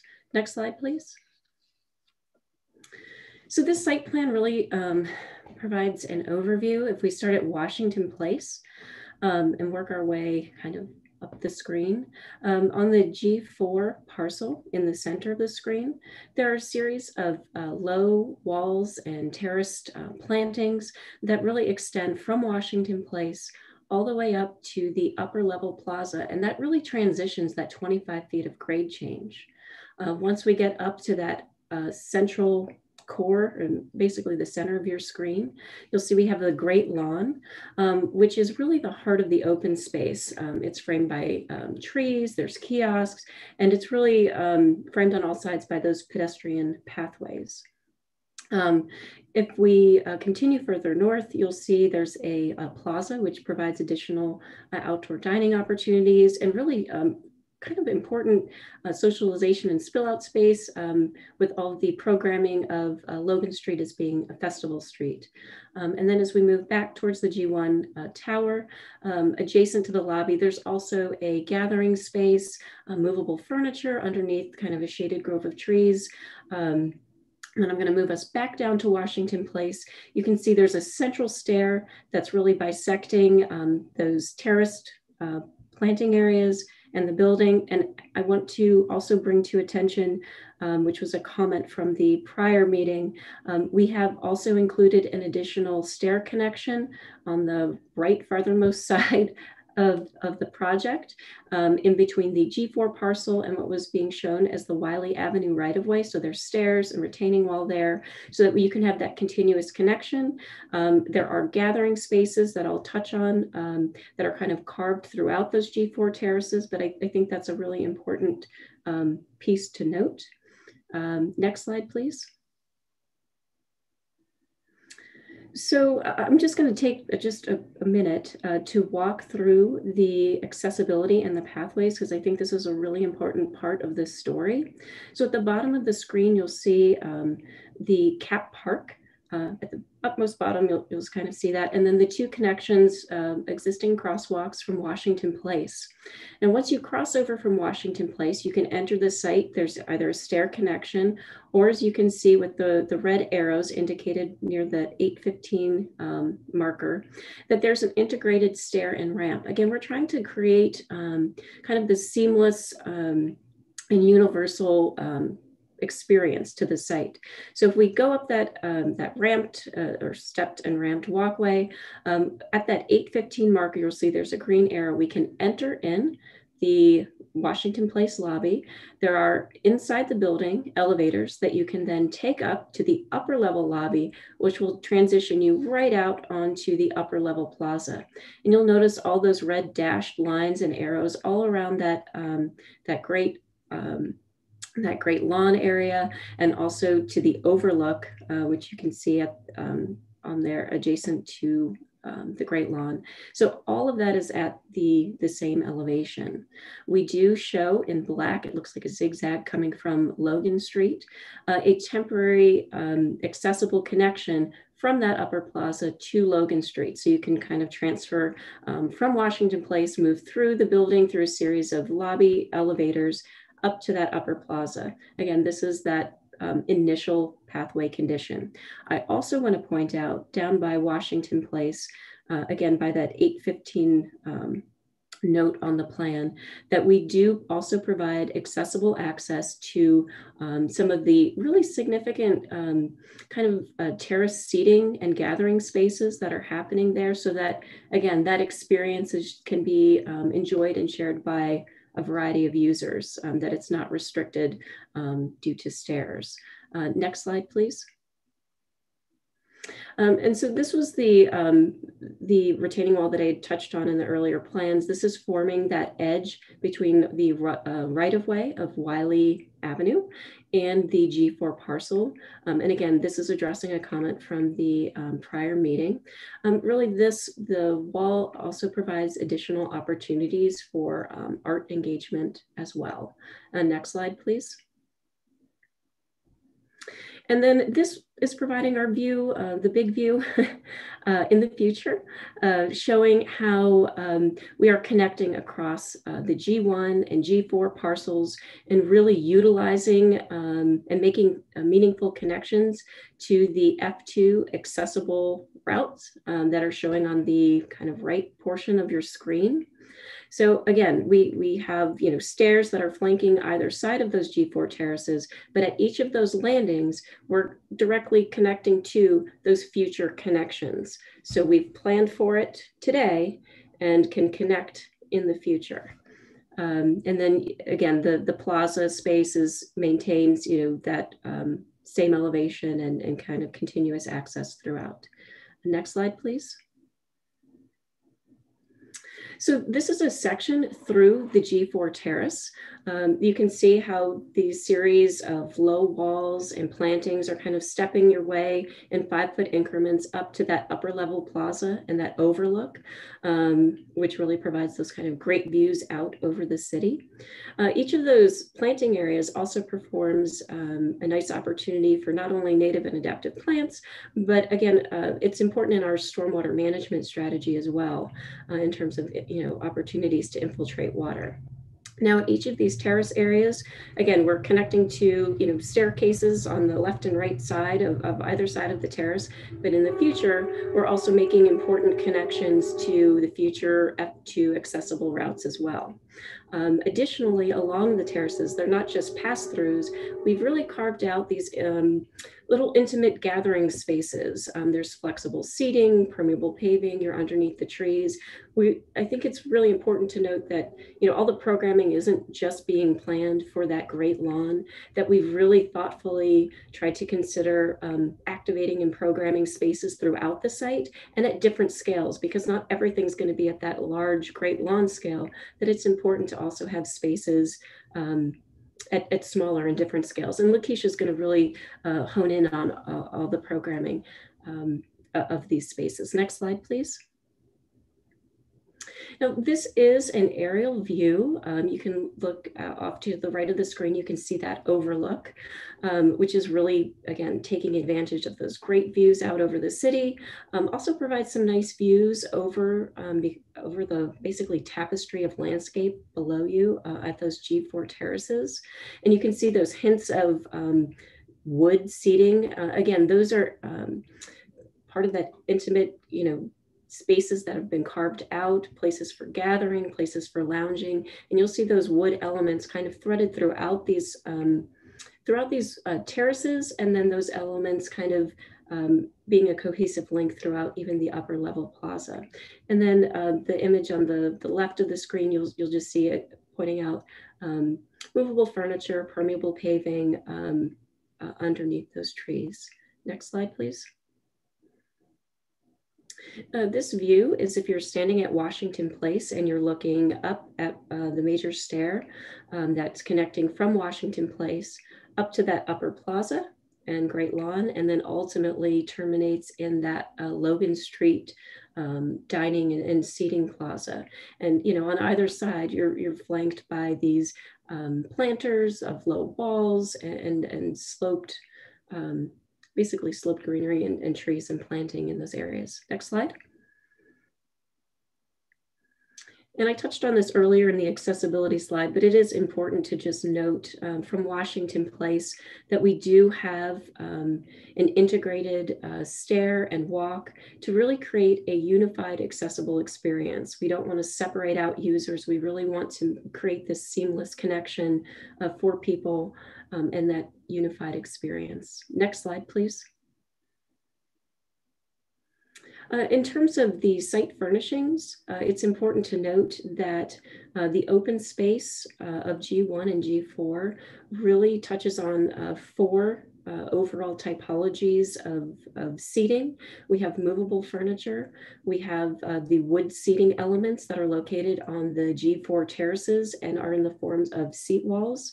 Uh, we have um, fixed dining, and then we have uh, fixed uh, benches that are both backed and backless. Next slide, please. And then our uh, the paving of our plaza, uh, we have planned, you know, for concrete unit pavers. You'll also see um, at the bottom left corner of the screen, there's um, imagery of exposed aggregate concrete and broom finish uh, concrete. Those are those two elements are um, actually requirements of the PLDP in terms of the right of way there's a, a whole prescribed uh, patterning based on those tree planters and how the uh, aggregate concrete and plain concrete uh, interact on the right-of-way in the streetscape there. Um, we've touched on the permeable granular material underneath the trees in the G4 terraces. Um, and I just also wanted to note uh, additionally that we are being very thoughtful in terms of um, in terms of the selection of the hardscape materials um, and really uh, making efforts to reduce our um, urban heat, uh, excuse me, urban heat island effects. Next slide, please. And then lastly, just uh, wanted to touch on um, the kind of lighting concepts for the landscape. Uh, the top left image kind of gives you um, a feel for the open spaces uh, towards dusk as things are starting to be illuminated. Um, we're really looking at um, integrating a family of, of pedestrian fixtures, you know, from um, you know larger scale of, of illuminating kind of that great lawn space versus uh, to kind of smaller more intimate scaled lighting at some of those um, smaller seating areas. Um, it, it is really important that we're creating a space that is really comfortable for people to use at different times of the day that people feel you know safe it's inviting um, and that the lighting is um, is the lighting that we're selecting is um, you know, beneficial to the landscape, but it's also tied to um, and complementing the um, programming and activation that's happening um, on the site. And with that, I'd like to pass it over to Lakeisha, who's really going to um, dive further into the activation and the programming.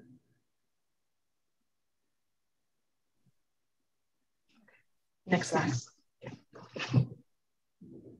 All right, thank you very much. Um, just to briefly introduce myself, um, I am Keisha Bird, working as an architectural design consultant with BPG and the Lower Hill development team, specifically with the design activation and programming of the open space, which includes portions of uh, the G1 uh, as well as the G4 sites, as previously mentioned. Um, it's just to note it's, it's, essential that we extended the design scope and intent to not only include the activation and programming of the open space, which includes uh, the G1 and G4 part, uh, sites, but to center the open space, um, thus creating um, opportunities, scalable opportunities, as well as immediate space for social, recreational, as well as cultural uses. Um, the intent of the open space is um, as kind of identified through the previous uh, slides and discussions is to connect the Lower Hill site back to the historic Hill District, as well as re- reestablish connections, uh, cultural connections, sustainable connections, economic, um, as well as pedestrian connections between the downtown site, as we can see, uh, you know, with the activation of the Cap Park through our sites, uh, G1 and G4, back up into the historic Hill District. Um, uh, just want to note by reestablishing these connections and ultimately activating the open space, we, you know, we were presented with the opportunity to really elevate Wylie Avenue in particular um, as this Main Street and heritage site, uh, uh, this people-centered or pedestrian-focused connection between downtown and uh, the historic Hill District. And it's evident by the diagram on the screen here, you can kind of see that spine that flows through the center of the screen where uh, that is Wylie Avenue. Um, and it has become a core element um, of the site that is both anchored and activated by the open space. Um, and all of this starts with uh, the, the G1 and G4 parcel, which fronts uh, that Wylie Avenue spine. And, uh, spine. If we can go to the next slide, please. Uh, this this uh, image had been shared previously, but just to uh, further reemphasize kind of uh, specifically around the activation and programming and um, how that starts with being able to identify and design uh, for both economic and cultural opportunities both within the built and the the the, lands, uh, the built environment and the landscape um, at varying scales. Uh, uh, following, we'll talk more about specific opportunities, but we just want to start by just asking the question: How do we create and sustain presence here in the Lower Hill site? And, and as mentioned, this starts by centering the open space and reestablishing those connections uh, between uh, the site uh, downtown, starting with the Cap Park, um, and, and, connecting back to the historic Hill District. Uh, as, and again, just activating, uh, utilizing activation strategies um, that open up the site beyond the traditional 9 to 5 office building concept. And so the question is, how do we do this? Uh, if we can go to the next slide, please. Thank you. Uh, the, the goal is to introduce both fluid and flexible spaces um, that allow us to incubate scalable ideas and concepts um, that provide lower barriers and, and risk um, and, and, giving us the infrastructure to incubate art entrepreneurs and local businesses. Uh, we begin to feel and live the culture through these opportunities, um, which go beyond just leasable spaces, but really think about other opportunities as well. And what we are uh, illustrating here are just, uh, we're calling out different opportunities both directly within our sites, the G1 and G4, but how it also connects to a larger narrative. So just to provide some context, as you can see from the uh, from the previous uh, diagram and, and, and, just really laying out the site and the different elevations of the site, creating these different moments, we also want to capture uh, the, the, culture through different opportunities. Um, you know, early morning uh, opportunities with like yoga on the lawn or, you know, inviting the youth out for chess, uh, um, chess and checkers, and just being able to be out in the, the, the public space. We also look at opportunities uh, to um, activate the, the corridors uh, with food truck opportunities. And uh, several of these other are just calls out, call outs to kind of start to illustrate what the opportunity is when we activate the open space and connect that to the spine, if you will. Um, other things to note, um, there'll be events that will be activated at the Cap Park that we'll connect to, um, and we'll speak more on that momentarily. We look at um, creating open space opportunities allows us to uh, engage with people um, in the public realm, which is really the first layer of engagement. So by being able to, uh, to provide daytime concerts, you know, the, the Hill is filled with uh, many artists, performance performing artists, um, and, and other other type of artists, and creating spaces where they can be seen is, is, is, is vital to this to this development. Um, one thing that was mentioned earlier uh, is these kiosks that are scattered throughout the site and will be activated on the, the G4 parcel um, at the, I think that's the uh, southeast corner um, there, there's an opportunity for us to provide um, kiosks of varying scales where, you know, from pop-up opportunities as well as uh, full service kiosks. Uh, the opportunity there is that we can engage uh, people who, uh, businesses and entrepreneurs and, and help incubate uh, these opportunities with lower risk and scales. And just to reemphasize with these, with these kiosks specifically, um, creating these full scale opportunities right there immediately on the street, um, it captures a different type of audience and creates a different presence that goes beyond the nine to five, you know, office building concept, if you will, something that can be lived day and night. Uh, if we can go to the next slide. Thank you. Uh, and again, this just really creates the infrastructure uh, to incubate our entrepreneurs and local businesses uh, by activating uh, night markets and pop-up plazas and food trucks, if you will, um, and creating this culture that can be lived around the clock.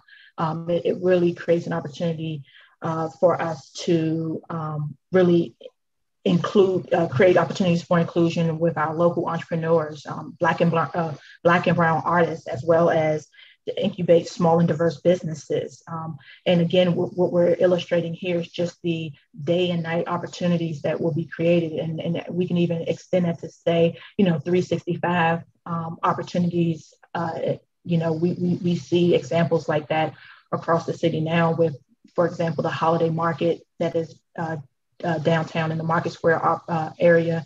Um, we want to create opportunities like that, you know, for our neighborhood as well. Um, and if we can go to the next slide. Ultimately, what we're doing is creating value, opportunity, and presence. And with that being said, I would like to reintroduce uh, Dr. Kimberly Ellis, who will uh, further speak on art, cultural legacy, and activation. Thank you so much. Um, I really appreciate it. Thank you so much, Peter and Lisa. You did an excellent job outlining our space. Um, I'm going to be filling in a couple of gaps here and giving you um, the, the last overall view. Um, if we start on Crawford Street and we look at Wylie and Crawford, um, you see it says curtain call. Curtain call is very important because it's actually a, an old promise uh, that the Pittsburgh Penguins uh, engaged in with, uh, in our last community benefits agreement. Um, and it was supposed to be on the arena site and it, different things. Uh, there's just a big mix up. And uh, so uh, Curtain Call has been re engaged with Walter Hood, the national artist with a $2 million contract uh, working through Cosmos. And so Curtain Call is alive, it is well, it will be at Wylie and Crawford Street. So that's the picture that you see there. I want to direct your attention to the arrow that takes you from uh, Wylie and Crawford to Freedom Corner. Freedom Corner is not shown here except for the name, but I just want you all to be clear that Freedom Corner is the space where Frankie Pace and her colleagues put up that billboard that said, Attention City Hall and URA, no more redevelopment beyond this point. Freedom Corner is now a public art space. Freedom Corner has been adopted by the development team to finish uh, repairs, including the kiosk, uh, the etching on the back wall, the etchings in the, uh, the center, and to provide annual maintenance of Freedom Corner. Um, that's extremely important. Um, and so going down Wylie Avenue, um, the kiosks have already been discussed uh, many times and just be very clear that they are for the arts entrepreneurs to build up their businesses with a robust footprint and to create generational wealth. Um, these kiosks are built and paid for by the development team and are items the artists won't have to manage, which is extremely important when it comes to this type of pop up um, entrepreneurship. So, and then with regard to the open space, the open space is for daily leisure, it's for small events, it's for slightly larger events, and then it's for larger festivals, particularly when we focus upon the event lawn and Logan Avenue. A part of the open space will contain a large video display that was actually in Keisha's slide um, that you can have the potential to show games and other sporting events and concerts. The open space largely depends upon activation and programming. Otherwise, it's just an open space. It's just event lawn, right? Um, so it requires people. And as I said before, we are invested in people. So, what is the presence? What is the presence of the lower hill? What is the presence of African American artists? What is the presence of the entire hill? Beyond the curtain call, um, beyond the kiosk, beyond the programming, there are plans for embedded, embedded artistic renderings on Hill history and culture. So you all saw the stairs. There's so much potential for um, great quotes from our favorite uh, artists and our favorite literary experts. Um, you saw the benches, you saw the chairs, you saw the lighting design, all of those aspects. Imagine a North Star constellation with our lighting design, which would be actually bigger and better and match uh, what's in Market Square. So the arts, the narrative, the design, the culture, it's not always about the past, but also about the future. So um, as I go down Wylie Avenue, I'm gonna show you something else, which is we're looking into Cap Park, all right? Now Cap Park is a public park. Um, it is being finished as we speak. It's supposed to be finished in November. However, the people that worked on the Cap Park are myself, Lakeisha Bird, and LaQuatra Bonci. And so the team is back together again to work on the urban open space. Why is that important? Because of what we created in the Cap Park. Um, so I, uh, in, let me see, I just want you to be mindful of this. All right, next slide. Cap Park. So this is what we, this is a part of what we created in the Cap Park. And this, these are specifically my designs, all right? So on the bottom, we have the history walls. Um, that this is features Martin Delany. I told you about his history already, but this is the 1800s. In the 19, 1900s, I told you about Frankie Pace, and that history is already there. People will be able to read that and so on and so forth. And then in the 2000s, we wanted to welcome the next generation, and this is Keisha. Keisha is our tour guide. She likes to play and dance. She likes to contemplate at night, looking up at the stars. And even though this picture is rather small, what you can't see is that she's looking up at the North Star. It's very important. She likes music and the performing arts. She likes to sit in the grass and read, like many of the, of the young people will have the opportunity to do so. Um, but something smaller that you also can't see is that she's reading uh, uh, about Harriet Tubman and, and Martin Delany. All right. And lastly, she's leaping her way into the future. All of these things are important, and all of these pictures are put on these the sort of silver signs that you see. And that's because we're placemaking in the Cap Park. Um, so each of them say like, welcome to Wylie Avenue, or do you know about stormwater? Uh, welcome to the Children's Garden, things like that. All right. So we wanted to transfer some of these cultural elements from the Cap Park over to the urban open space, which we can do because we all worked on the Cap Park. And I specifically brought these designs and hired the illustrator and managed that process and wrote the stories. So they do have the right people. Um, so we're talking about presence here. Um, then you see the totems. Uh, we'll have different lighting design. That's just an that's just an example of the type of art that we created on Cap Park, and we will do some more on the urban open space. Not exactly this design, but with that element. All right. So um, next slide. Thank you. So um, again, you see Keisha and these elements down in the, the left corner of the screen. Um, and this is important just because we're further creating the route of the Underground Railroad. Like this is not just for the lower hill, right? This is also about the city of Pittsburgh in general. And we definitely want to tell a story. As I started off in my historical presentation, it's time to tell a new story about Pittsburgh. It's time to tell the progressive story about Pittsburgh that for whatever reason has been um, undertold. Let's just say that. All right. So when it comes to these uh, designs, we have the Keisha element, we have uh, quotes and places where we can put um, in, engravings um, and embed the art. Um, Lisa showed you how uh, the art installations could come on that wall that, that goes down Wylie Avenue. Plenty of open space. That is an artist's canvas. That is their best dream to have just a, a blank canvas to do their art. And we are going to give it to them. Um, and then also we're gonna have a call for public art because we do want a major piece of public art there in this space. Um, so we're gonna do a call and it will be culturally responsive and internationally attractive. Um, so that is, I think, almost everything. And I think the next slide, um, oh yeah, and just in terms of our kiosks, they're gonna be, they'll be permanent, some will be temporary and they will be mobile. So just know about that. So when it comes to um, the tears, this, Lisa and Peter showed you these slides, but the Keisha, the Keisha signage will be something like this. I know that it looks small in, in, in this picture, but you know, it will be to scale. And then the stories at the overlook, this is one part where, you know, imagine looking out over at Cap Park and learning about the history of the neighborhood and the community uh, where you're standing and having a real vision, right, for, for where you are, having an appreciation. Um, we're talking about placemaking here, all right? Um, next slide. So this, this is the overall connection to Wylie Avenue. I wanna remind you all um, that, as I said in the last presentation, the streets between Crawford and Wylie and Fullerton and Wylie and Logan or Wylie have already been developed. Those are open streets. So the last part that we have is just Logan um, over to Washington Plaza.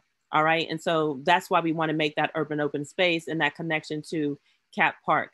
Um, one of the things that Lakeisha reminded you all of early on was that the connection to Wylie Avenue is meant to honor the legacy of Wylie Avenue um, and it was not necessarily meant to be a fully vehicular um, uh, pathway, but but to be a pedestrian pathway to a certain point. As you all know, Wylie Avenue actually doesn't go directly to downtown. Um, it we, it stops, you know, and it stops at the DoubleTree uh, Hilton uh, downtown, and so it'll get you there. But the way that we want to get there is very important. Um, and also that Center Avenue is our main street now. You know, Wylie Wylie was lost in that way. So Center Avenue is our main street. Center Avenue is our business corridor. And you saw a great presentation from Bomani and um, Amici um, and Chris about the Center Avenue corridor and how we're developing the Center Avenue corridor. So we're honoring Wylie Avenue and developing Center Avenue. Um, next slide. Um, these are just notes about the Lower Hill redevelopment. This is just for, for you all to have. Next slide. Same, the public art plan. Next slide. All right, so this is it, Planning Commission. I know that the, you all have been here for quite some time. Um, this is both the FNB Tower. This is G1 and G4. This is the start of our project. And we want the Planning Commission to vote yes today so that we can move forward on this project. It is time, it is time for us to write a new chapter of Pittsburgh that tells the progressive history of its past as well as its future. Let's move forward with a new vision that honors and repairs the past, that creates a better design for the future, and forges a new equitable path of shared prosperity. Thank you so much for your time today. We really appreciate you listening. Thank you. Um, so at this time, we do take public testimony. I'm sure that there are people here who are waiting to te uh, testify. You can raise your hand and you'll be called in the order of which you raise your hand. Um, we ask that you limit your comments to three minutes. We do have some organizations that we will allow a little bit longer, but we would ask that they um, specify their testimony when they are brought into the room so that we know what to expect. Um, I uh, when you come into the room, please state your name, your address, and then any organization that you represent. Um, and we do have a timekeeper. So let's get started with that um, uh, when you're ready.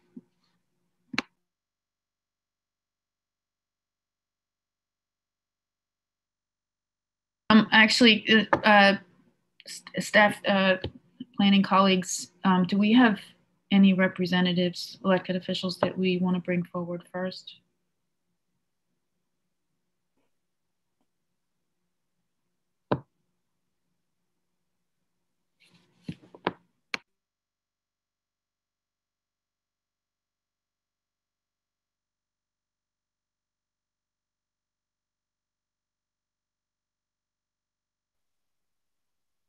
Sorry, Chairwoman. I'm trying to scroll through uh, the attendee list. Um, it does look uh, like we have Councilman Lavelle. Okay, good. Uh, that's who I was looking for. Uh, so if we want to, if, if, we want to promote him uh, first and then go through public uh, testimony after that.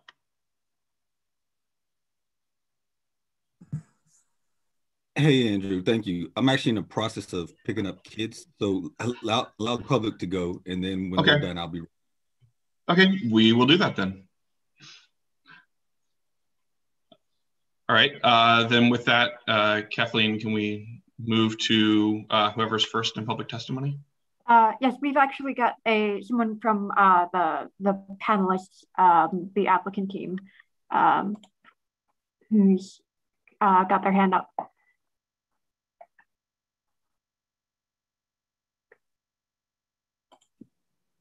Kathleen, do you want to say their name? Because I don't uh, Tracy, yes, Tracy McCants Lewis, you should be unmuted. Uh, thank you very much. Again, my name is Tracy McCants Lewis. Address is 1221 Pemberton Street, Pittsburgh, PA, 15212.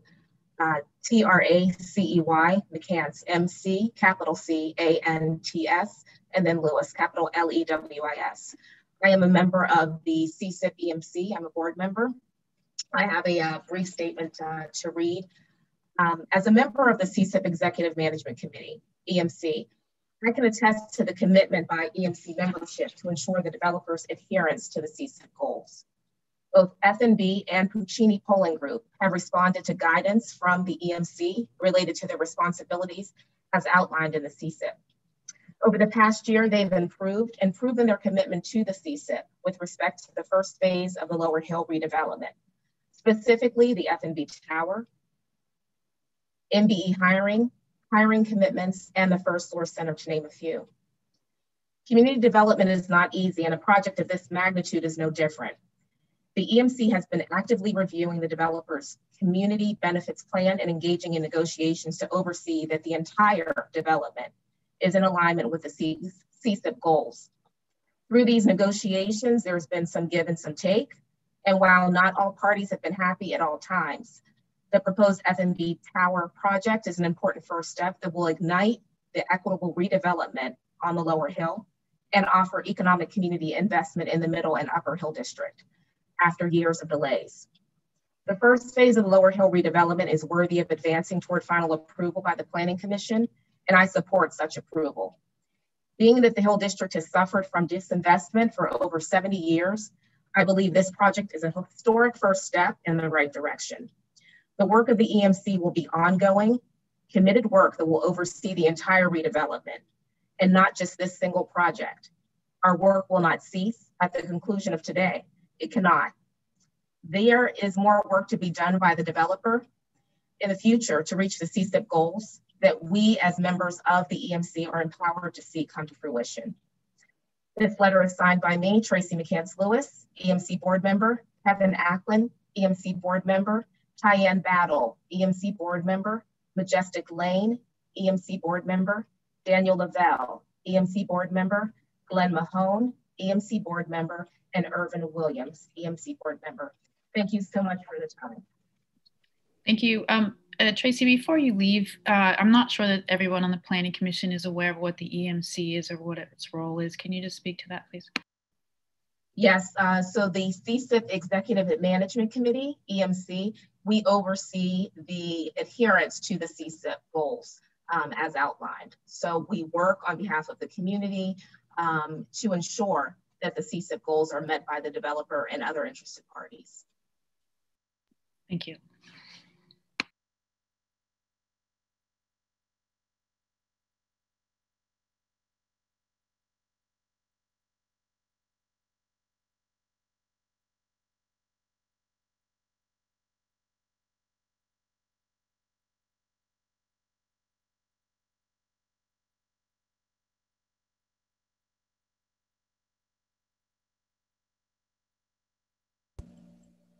Okay, uh, Leonard Hammonds for a second. You should be unmuted.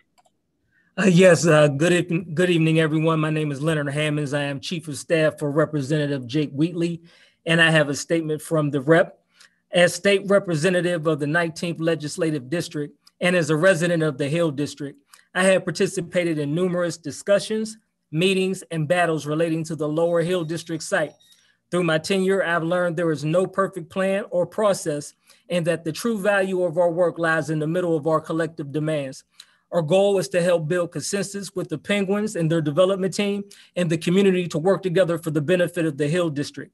Hence, I write in support of First National Bank stepping in to make substantial investments in the neighborhood. As a community, we are ready to move forward with equitable development on the lower hill and cannot afford to wait any longer. I stand together with Councilman Daniel Lavelle and other elected officials who are supportive of advancing development of the lower hill while holding the development team accountable to the goals of the CCIP. I acknowledge the, the Penguins and the uh, uh, Buccini Pollin Group, together with the representatives from the community, had worked in good faith over the past year during the pandemic. As a result, the development team has agreed to a substantial benefit package that will invest millions of dollars into the Greater Hill District, help create Black wealth, and provide employment for opportunities for Hill District residents. Though there is still much work left to be done, but this first step forward with First National Bank is a tremendous opportunity for us to move the needle forward. I am thankful that First National Bank has shown the willingness to be part of our community and make the commitment to invest in a historic Hill District. Now is the time for us to continue the work for a much better outcome for our residents, businesses, and organizations. Thank you. Thank you.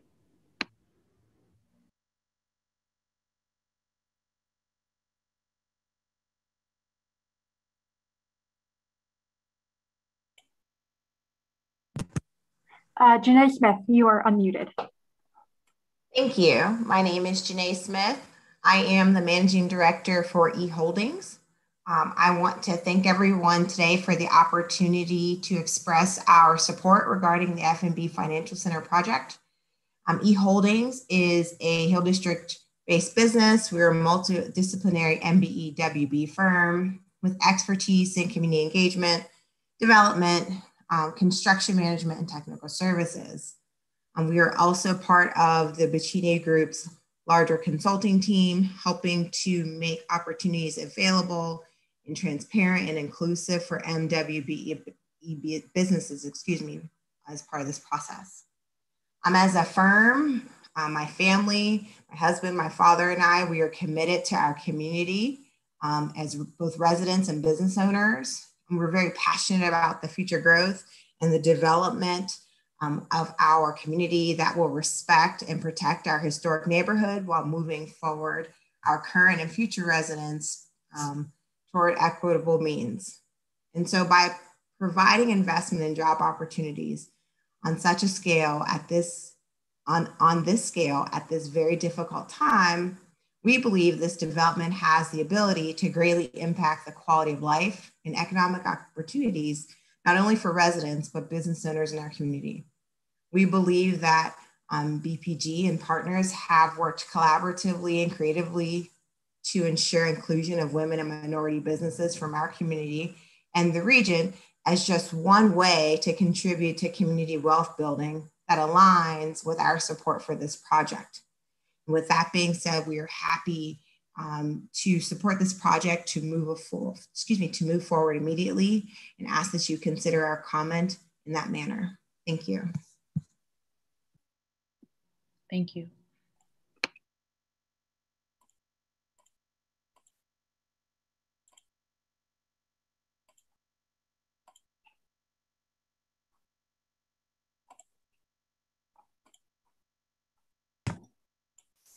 Uh, Earl Buford, you're unmuted. Thank you. Um, good evening, uh, Earl Buford. I am presently the, the president of CALE, the Council on Adult Expert and Learning. Um, but, about, but about three weeks ago, I was the, I was the chief executive officer of Partner for Work, the local workforce development board, and also a workforce partner on said project. I am also a standing commissioner on the EEORC. um, I am a Pittsburgh resident, um, 1909 Waterfront Place and thank you for giving me the time to speak today. Um, I just want to say that I'm excited to have been a partner in this project, and the need for this project to move forward without any delay is is necessary. Um, I've had the pleasure in my career um, working on other major projects similar to this. I'm from Milwaukee, Wisconsin originally, and have worked on major projects as diverse as the Milwaukee Brewers baseball arena, leading the workforce on that, Milwaukee Bucks basketball arena, uh, Northwestern Mutual headquarter, and um, and other projects of that nature. And um, this project is on parallel, if not a further advanced in any of those projects at this point in time. Um, so really excited to have had a role in the voice and development of this and the impact it will have in the Hill District and in the Pittsburgh greater community as a whole. And you know, with with the EORC's unanimous approval back in March, that was also another major step in getting this pro, uh, project moving forward. So this team is focused on all the right goals and have built plans that can have the kind of impact that we all are envisioning. Um, just as I've seen this in other major markets. So with that said, I'd see this project as a, as a major and critical catalyst for small businesses, Black-owned businesses, and workforce development efforts across um, greater Pittsburgh area. I believe in this project. I believe in this team, and I wholeheartedly endorse that this plan moves forward with your approval. Thank you. If you have any questions, I'm available. Thank you.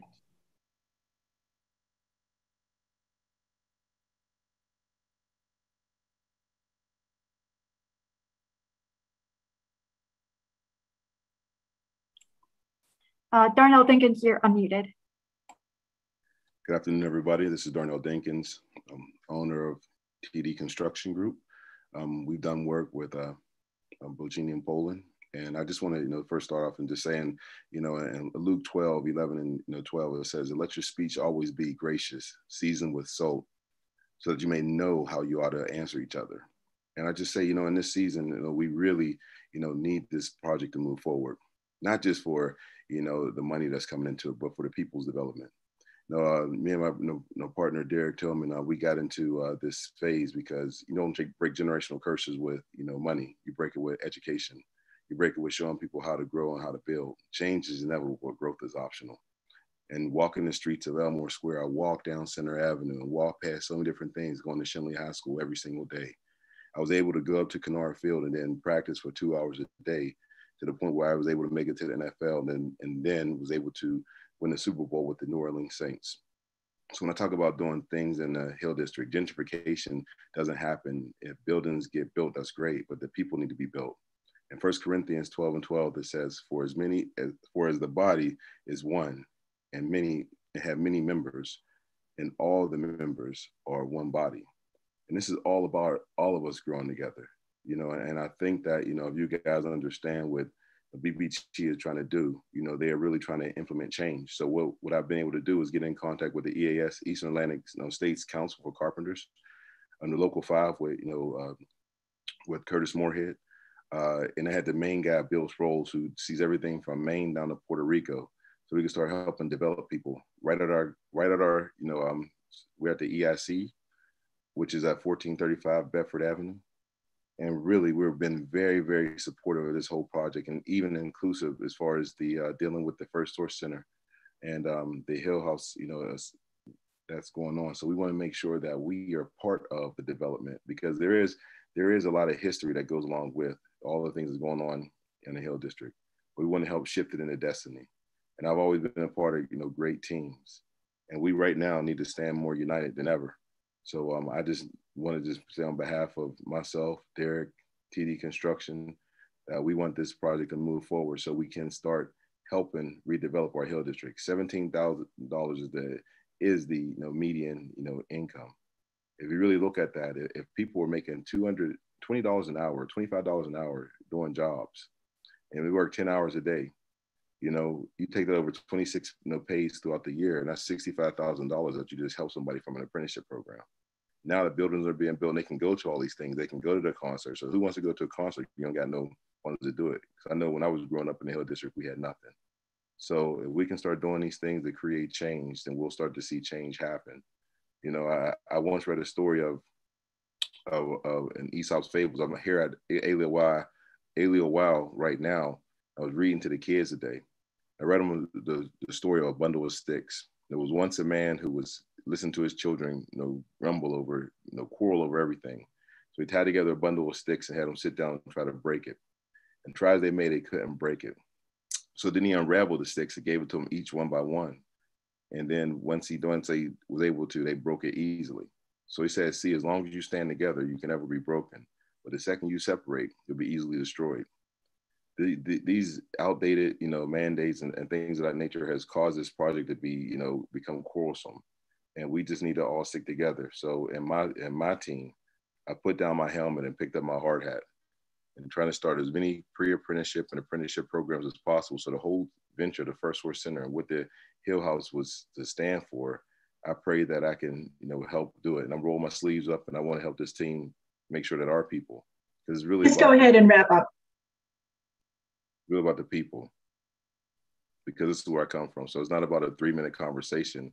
It's about us making sure this project moves ahead for the people who are not speaking for themselves today. Thank you. Thank you.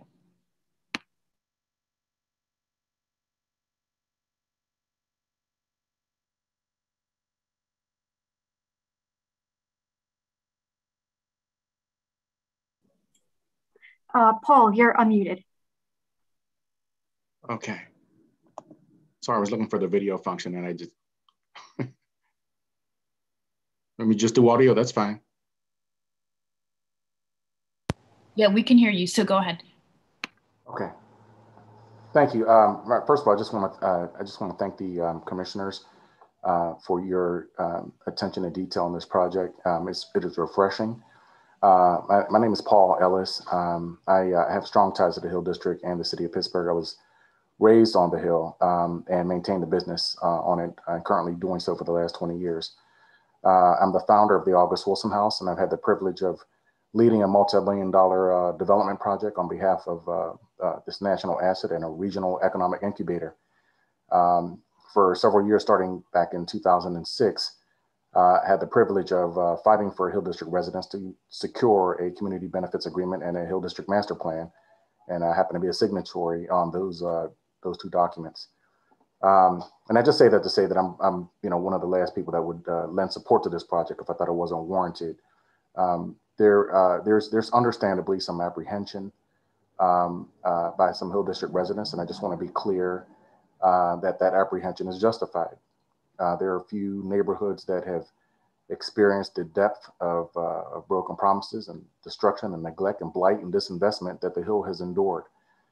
Um, so, uh, you know, I say that to say that the proper outcome uh, for, uh, you know, procedural and, subs- and substantive justice uh, in terms of outcome for the Hill District, the proper outcome is to restore this historic neighborhood to the um, level of uh, economic and cultural vitality that it earned a national reputation for, and, and an international one at that. Um, you have to have uh, empathy to be concerned about the civic health of a community. So, uh, you know, my, my, uncle once said that he has a fierce affect, affection for the Hill District. That's exactly how I feel about the neighborhood. Um, I've had a chance to review the investment plans I, I worked very closely with Bill Monty and my sister, uh, Kimberly Ellis, for years to improve our communities. I worked with Kevin Acklin and Tracy McCants Lewis and uh, the last two mayoral administrations. So um, I, I, fully intend to work closely with the Lower Hill team to, to uh, maintain accountability um, and be an ongoing resource as these uh, historic waters are navigated. Um, I did provide a letter of support um, in the packet um, to support the uh, Buccini Pollin Group. Uh, and for these reasons, uh, I endorse the Lower Hill redevelopment project and its bid before the City Planning Commission. And I thank you for your time. Thank you.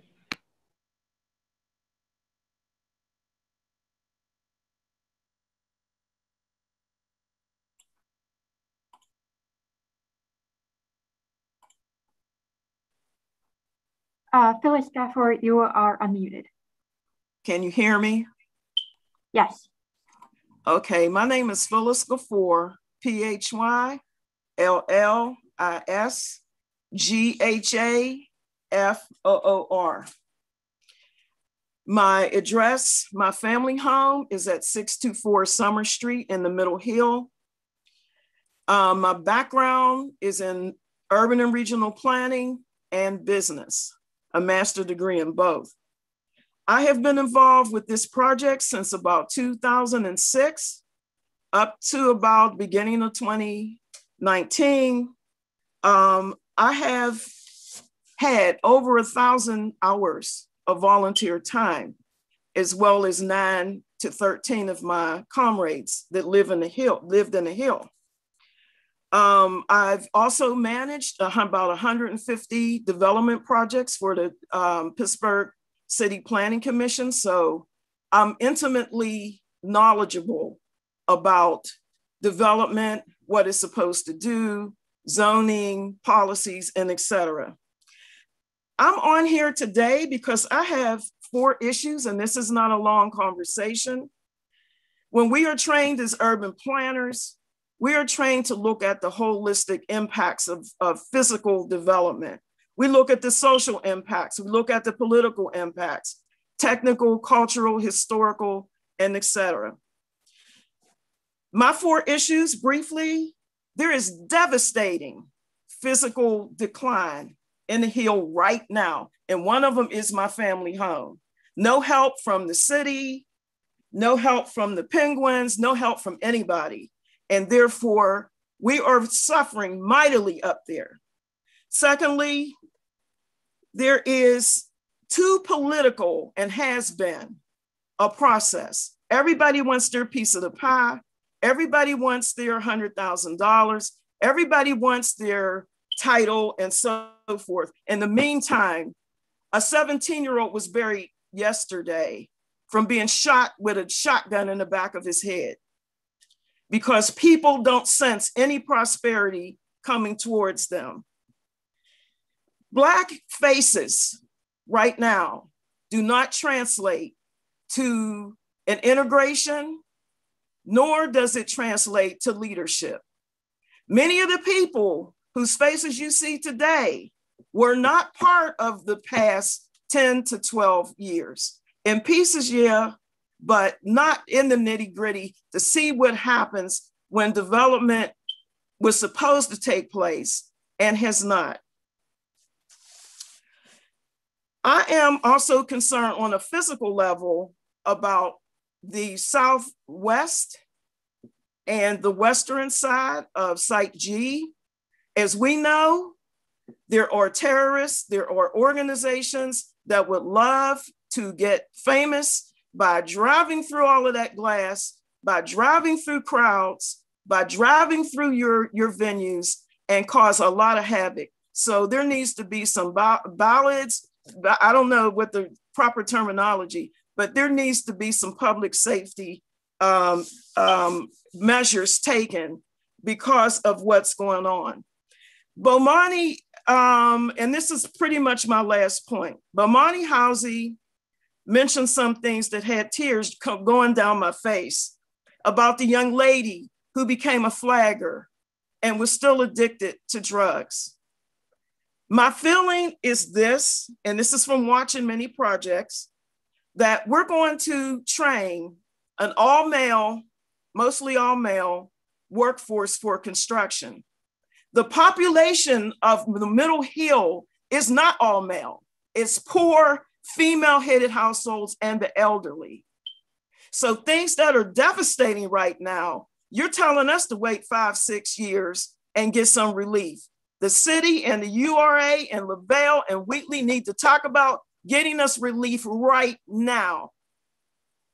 A lot of people are getting good salaries now from the benefit of people like me who were in the trenches, going to hearings after hearings after hearings. And yet we're supposed to look at them and feel that you're our leaders, you're speaking for us. I don't think so. They kept saying in the day that this was a transformational project. But Kim just got finished saying, oh, we're going to take the Black bourgeoisie project called the CAP, and we're going to take that same value system and go all the way to Crawford Street. We want big duty artists in that space. There are a lot of very talented artists that you could utilize from here that could use the money, that could use the exposure. But it seems to me, as long as we promote the Black bourgeoisie from the upper hill, get them to testify, we're okay. In approving this, please so you can a proper economic, yes, I'm stopping, a proper economic and social plan. Because what I have heard is pretty much the same old thing. Thank you. Thank you.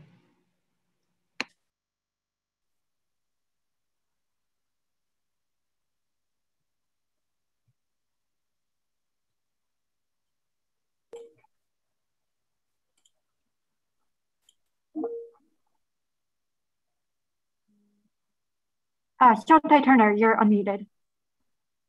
Thank you. Uh, my name is Sante Turner. Uh, my address is 608 Duff Street, Pittsburgh 15219. I am representing the Zone 2 Public Safety Council. And I'll read a brief statement that we've prepared. As residents of the Hill District and members of the Zone 2 Public Safety Council, we offer our full support for the Lower Hill FNB Financial Center Development Project. Capital investments such as this project not only enhance business objectives, but they also create economic opportunities and expanded growth for the communities in which they exist. As a council, we all agree on one fact. The redevelopment and revitalization of the Hill District is long overdue, and we cannot wait any longer. We believe that this project will be the catalyst to improving the condition of our community and for creating a safer community for current Hill residents and future generations of Hill residents. We do, however, expect all parties involved to keep the interests of, Hill, of the Hill District and its residents in the forefront of this project as it moves forward. Signed by the Zone 2 Public Safety Council, Gail Felton Chair, members Lorraine Morton, Tanya Ford, Sante Turner, Pam Walker, Tiffany Kinney, Antoine Bailey, Jan Council, Antoine Smalls, Tom Boyd, Mike Logan, and Gilbert Lowe. Thank you. Thank you.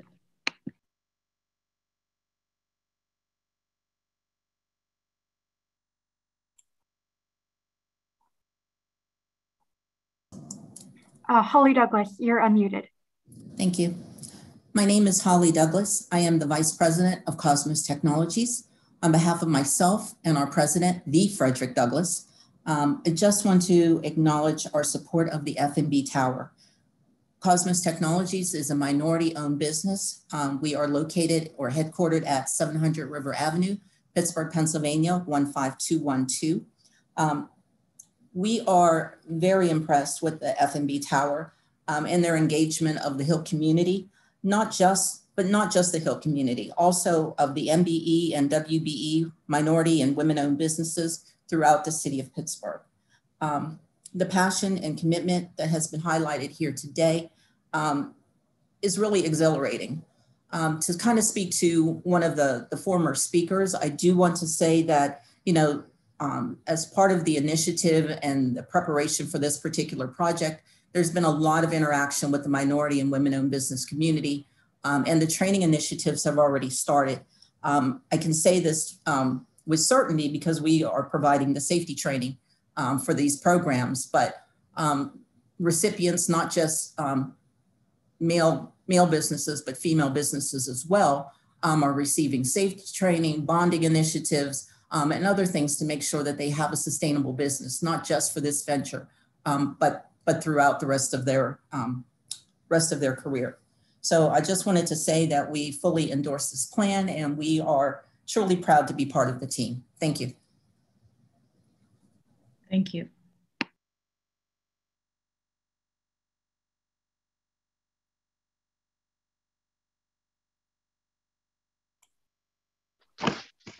Uh, Cheyenne Bronzel, you're unmuted. Hi, thank you. My name is Cheyenne Bronzel. I am chef and owner of Fat Girls of Cooking. I'm located at 2308 Arlington Avenue, Pittsburgh, Pennsylvania, 15210. I'm grateful that I was invited here today to um, speak. First, I would like to say that I'm definitely in agreement of the FNB project. Um, I I guess um, what I would like to say is that I think that this new um, this new project has given hope to people like me because at this point I've been in contact and in with a lot of help from several um, representatives from the Hill, Marimba, Diamonte, Bumonte, um, Diamonte Bomani, Kim Ellis, um, Jake Wheatley have all been instrumental in helping me keep my business afloat over the years. However, I have come to the point that when I only want for my business to be located on the hill, I've never wanted it to be located anywhere else but on the hill. I was born and raised on the hill, Webster Avenue. I was raised in Elmore Square. Um, I was born, I was at the town where the hill was flourishing um, full of Black businesses, and that's what I would like to see again. Um, I like to thank everybody for allowing me to be here, and I don't want to put like sadness on it, but I really was at a point where I was ready to give up on my business because it didn't. I didn't feel like the things on the Hill District were flourishing as well as they were going to. Um, I also had a conversation with someone the other day and they asked me why did I want my business to be on the hill when it was dead. It's not dead to me. It's a lot of problems. Problems that we were hope would be fixed soon. I don't have anything to say bad about the hill. It's my first love. Um, not only do I want my business to be based on the hill, but I want to live back on the hill. Um, I, it is also my hope that I will be able to help those that have the same kind of problems that I have as a food business owner um, not give up on their business. Um, thanks for letting me speak.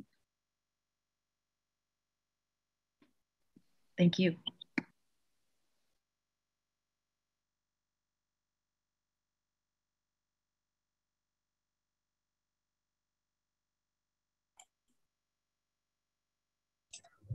Uh, Christine Turkovich, you're unmuted. I say thank you for having me. My name is Christine Turkovich, T U R K O V I C H. I live at 6719 Buchanan Avenue, West Mifflin 15122, and I own Turco LLC, which is a women owned carpentry company.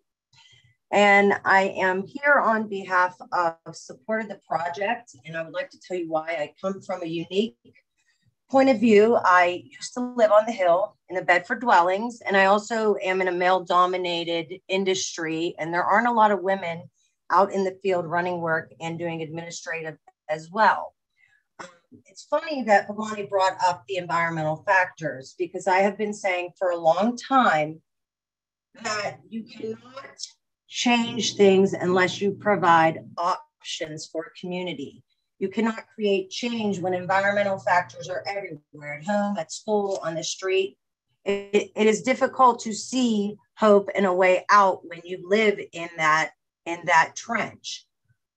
That being said, there's been many things throughout this process and this project that impressed me. Number one, the kiosks. I have said for a long time, there are so many entrepreneurs in and about the Hill District that maybe aren't ready to go full on business, I see it as a way for the many restaurants, to craft makers, to retail operations um, to be introduced to a business model and maybe find some long term income to the local entrepreneurs instead of it being a cash entity with no long term security. This is something that I experienced. Um, talked about um, the environmental factors. Um, I found my way out of those environmental factors. I'm a product of Riverside, of the BizFit program. I actually got my OSHA 30 through Cosmos Enterprise a long time ago. And um, I think that these opportunities for women owned from that angle are incredible because I can tell you there's something that occurs. I have been bidding work, I'm non union, I've been bidding with the certification. I've bid prior to the certification, commercial work. I've been involved in projects that had not necessarily labor agreements, but agreements where we could intermingle with companies. I can tell you that there is a due diligence to minority and women owned inclusion that oftentimes doesn't have any any endpoint you know my email was filled in the time of this this video thing with 25 invites and none of those people even know who i am. They just know that i have a certification. And that's usually as far as it goes. I wrote an email when i i, I got a blast about the hill cdc and, and i put my frustrations out there. It was a matter of 72 hours i was addressed by bpg i was addressed by um, e holdings. I was addressed by pj dick and I can tell you, I've written more than one of these emails. I've addressed people, and this is the first time on a $331 million project, I'm a third tier subcontractor. The price of tea in China, my spot will be very small. I was treated with a red carpet priority in wanting to know what it is that we need, what I need as a third tier subcontractor to make this work, to make the work available to me. So, on many levels, I want to be involved in this. And, and real quick, um, I hire recovering addicts. I hire Section 2 workers. I have an active duty member from the service on my staff. I would be willing to continue the promise from the top tier all the way down to the bottom tier in efforts to make this project succeed because the Hill District is very close to my heart. And I believe that we learn empathy through experience. And I've had the experience to understand and I also have put the time in on the other side in construction to be part of this. As far as work, I keep hearing this undertone of it's only temporary construction work. Let me tell you. 30 more seconds, please. Thank you. One to three years of temporary work is a game changer for construction. It's very difficult to attain that long-term work. So this would benefit um, many small businesses in a very big way. I want to thank you for the opportunity and I'm in full support of the project. Thank you. Thank you.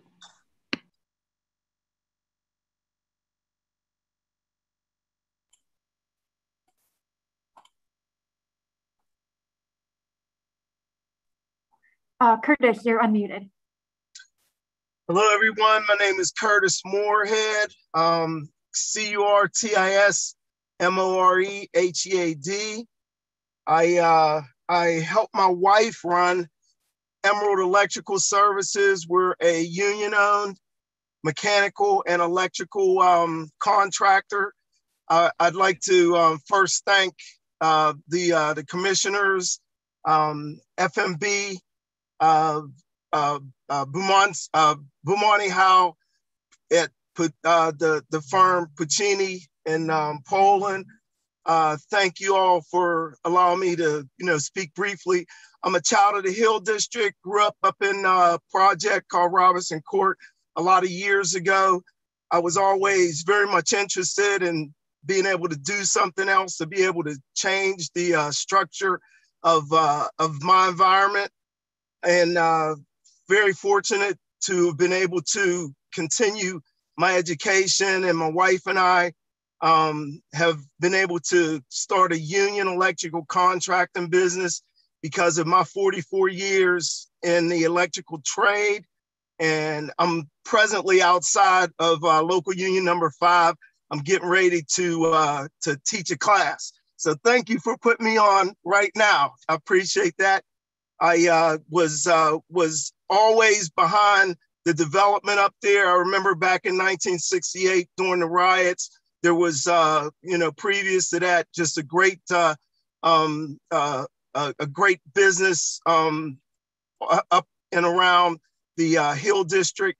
I fortunately enough was able to purchase some property up on Center and Kirkpatrick we have my wife and I own 75 square by 120 up at Center Kirkpatrick, formerly the uh, Old West Funeral Home, uh, Sugar Ray's, Willie Todd, Diamond, 5 and 10, some of the uh, places you guys would probably remember. So being able to uh, develop up there is my interest.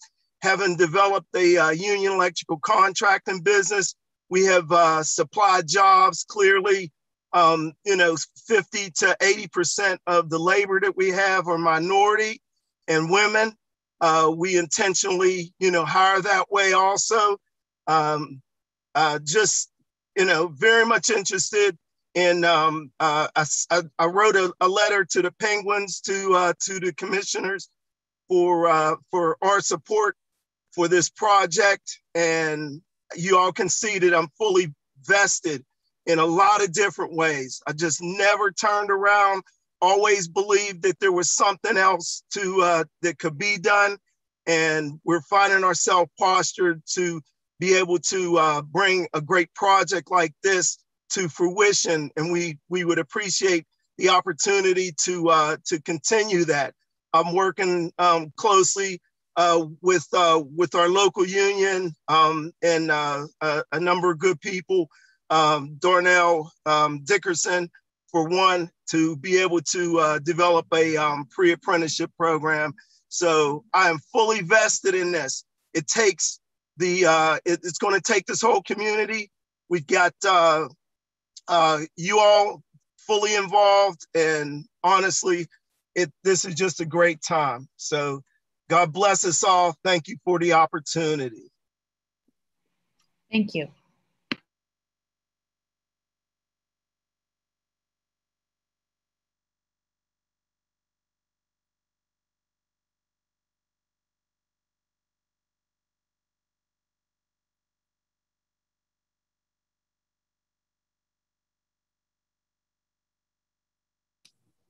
Hello.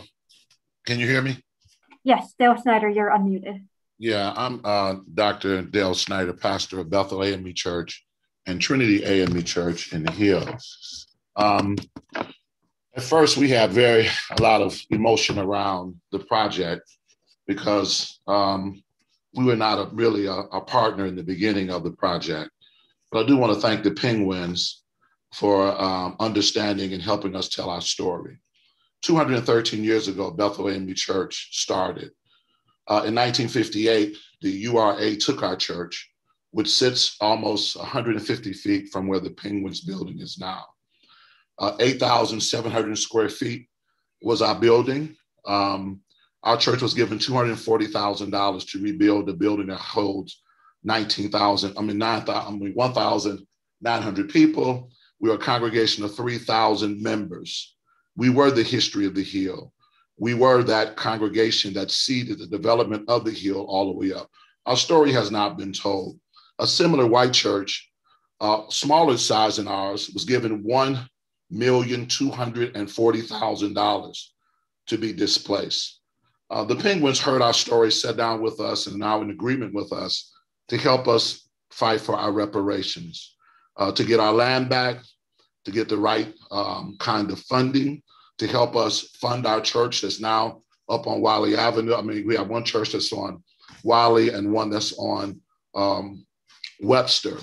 Um, we have been here. We opened the first school to teach Blacks to read. We were part of the Underground Railroad. We own property all up and down the hill where people came from the South. Our church was a citadel of hope for African Americans that was built in 1908, um, where it was Black took their nickels and dimes and quarters. We started our congregation in 1808, and we've been about the liberation of African Americans for 213 years. I want to honor those who have heard our story. Some say we're not entitled to reparations but I think that we are. And I want to thank those uh, in this project who will hear our story because there will be other stories that come forward. When you are an oppressed people and an oppressed group, all avenues of communication needs to be opened up. And I, I think as we go forward in this development, our voice will be one to make sure that those who are locked out, closed out, left out will have an opportunity to participate in this project in a more meaningful way. I'm bivocational. I belong to the laborers local union. I belong to the operating engineers local union. I have a bachelor's in business, a master's in theology, and God willing, on the 14th, I'll graduate with my doctorate in ministry. I bring a plethora of opportunities and experience to our congregation. Only been here for 16 months, don't hold that against me.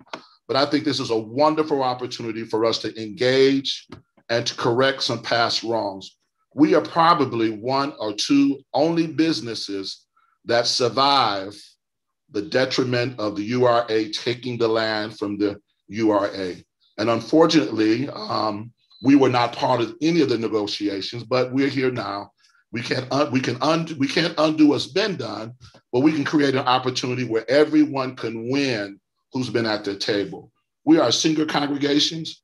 Both of our buildings we own, and we're looking to help in the development of the upper middle hill and to do what we can to support this project to make sure that everyone has an opportunity to win. So I want to thank you. Um, protocol has been established, but I do want you to understand the historical context of Bethel AME Church, and we want to reclaim our land, reclaim our history, so people can understand the significance that we have given to this community for 213 years. Thank you for giving this opportunity to speak.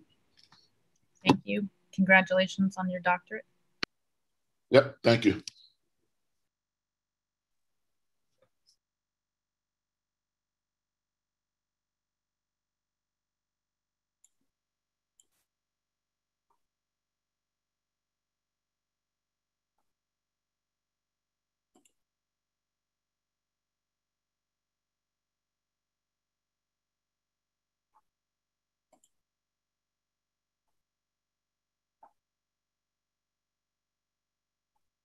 Uh, Angela Jackson, you should be able to unmute.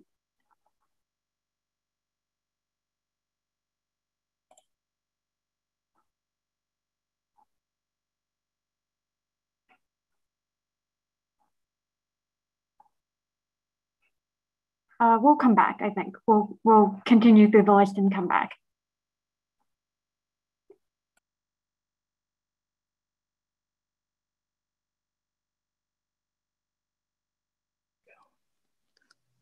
Uh, Marimba Milliones, you're unmuted. Good afternoon. I'm here before you today as a signatory to the Community Collaboration and Implementation Plan and President and CEO of the Registered Community Organization for the Hill District Neighborhood, the Hill CDC. I am also a member of the Executive Management Committee. I am here also as a proud lifelong resident of the Hill District community.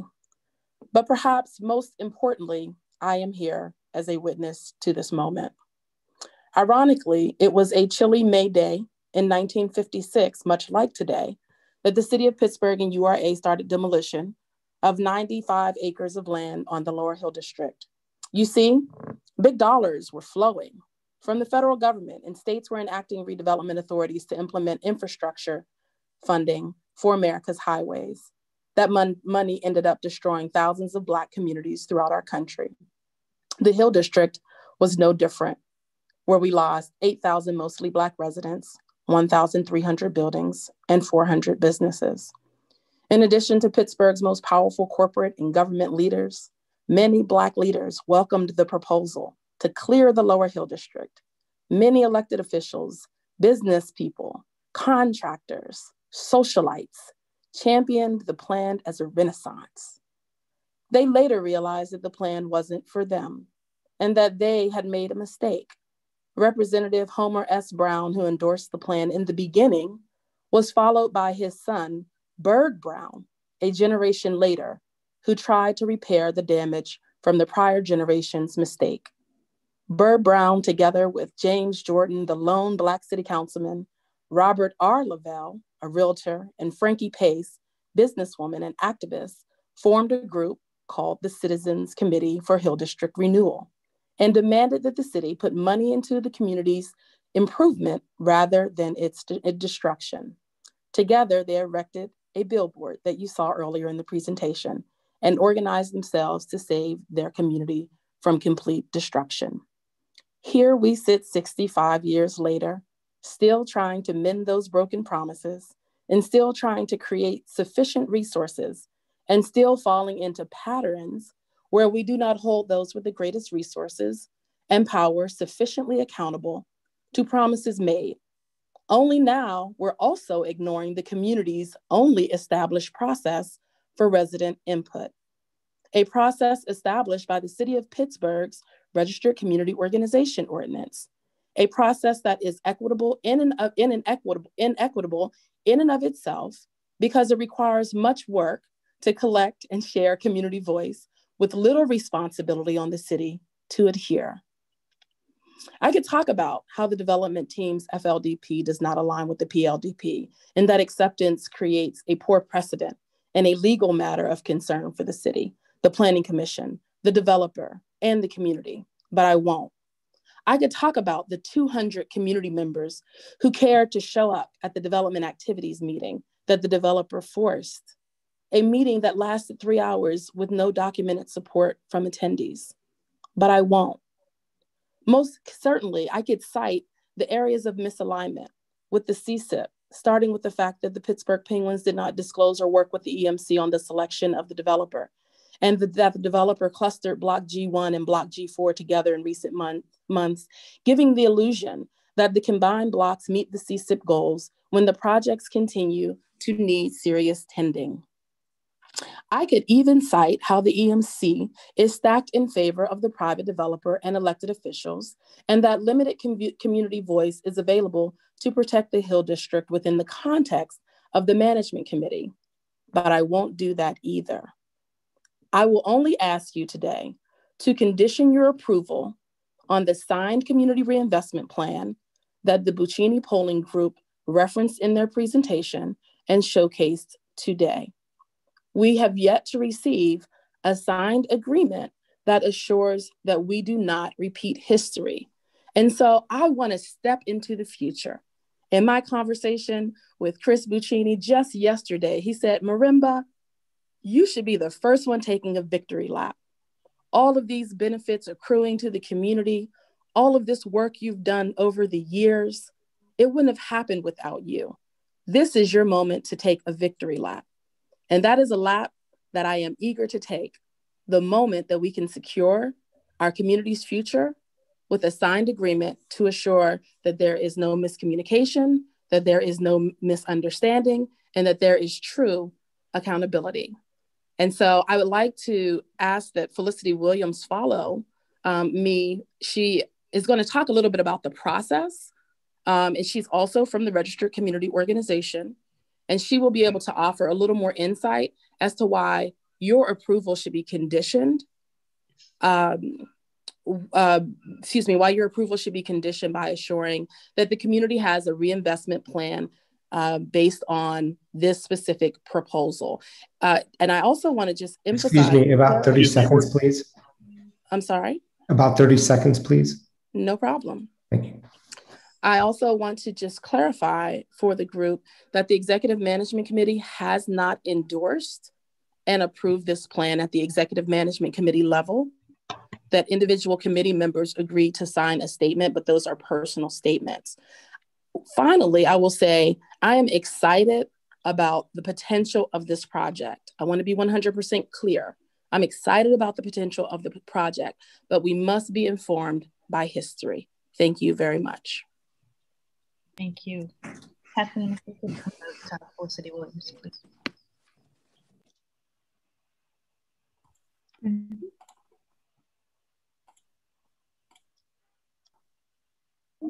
Uh, Felicity Williams, you are unmuted. Thank you.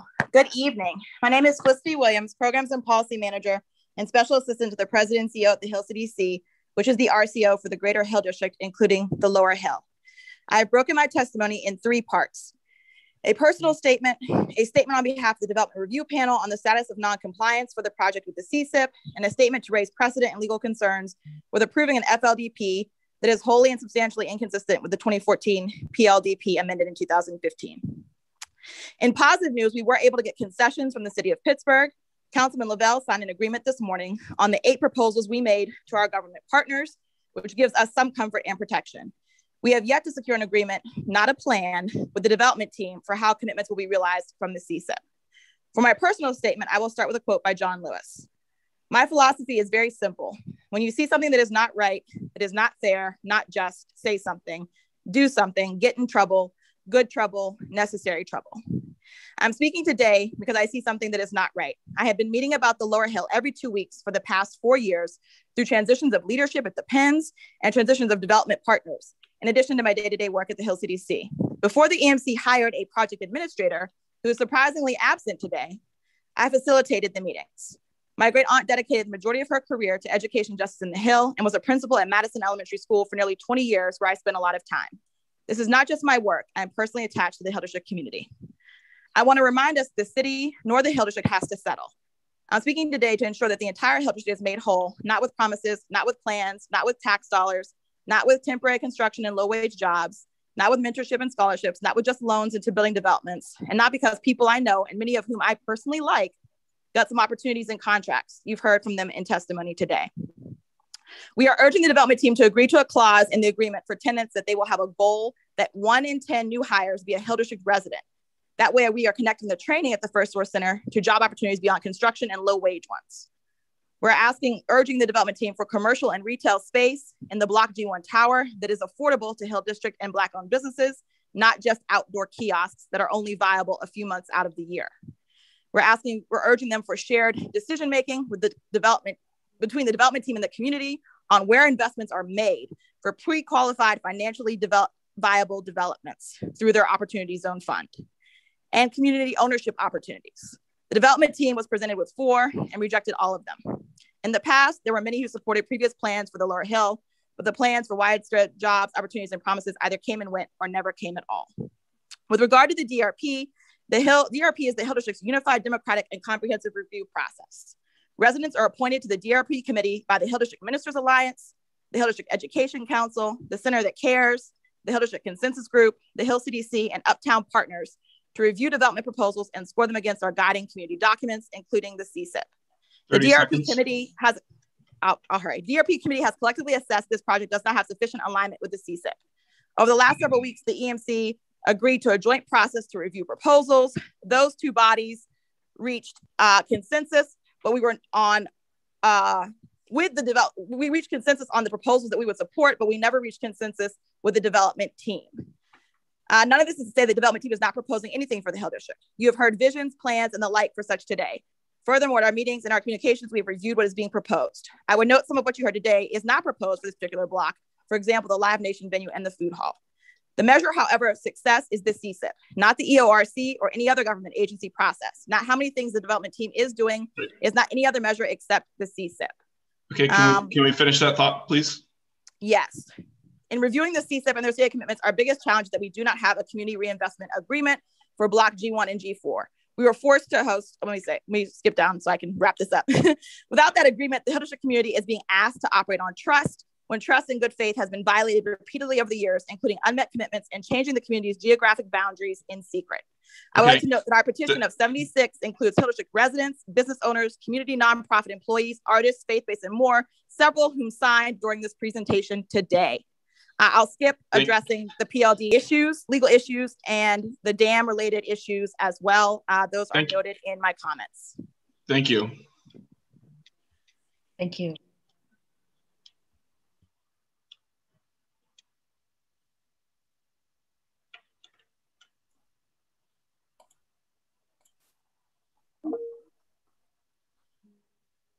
Uh, Brenda Tate, you're unmuted. Thank you. Can you hear me? Yes. Yes. Good. Well, good evening. I hope I'm the last speaker. There has been a lot said today. Uh, first, I'd like to say my name is Brenda Tate.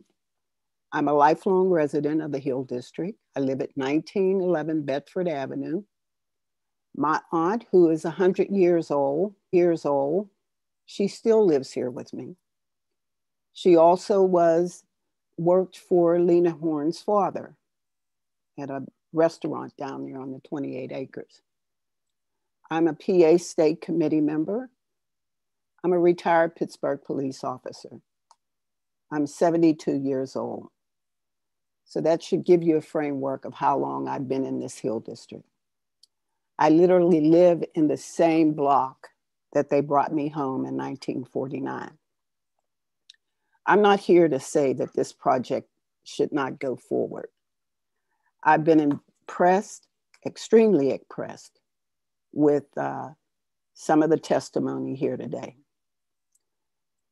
2006, I came through my living room and I looked at the TV and I saw a woman with a sign walking around the civic arena by herself, Kim Ellis.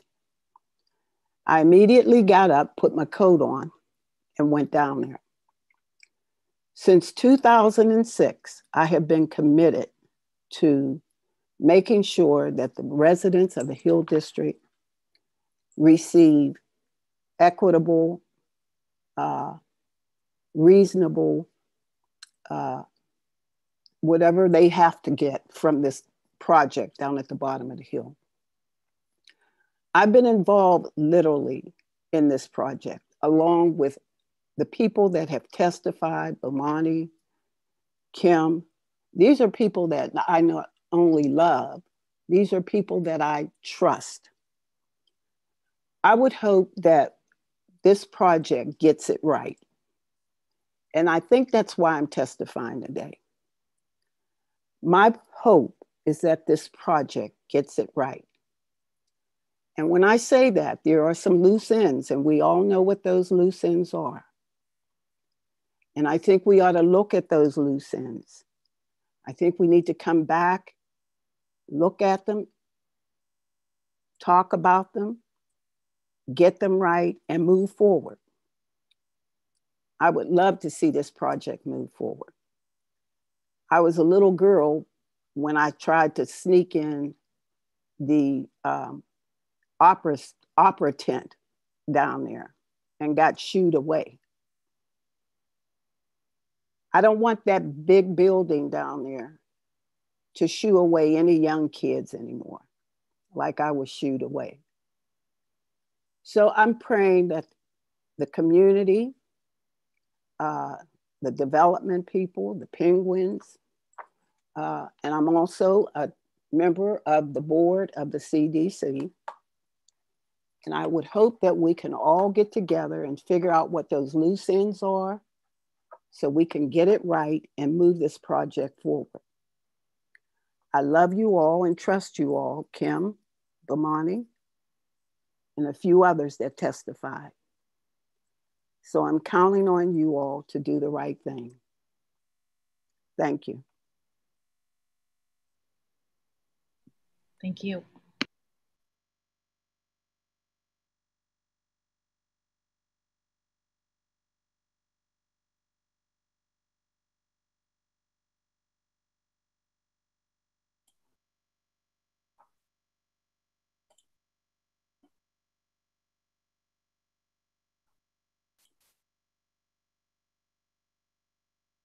Dawn Matthews, you should be able to unmute.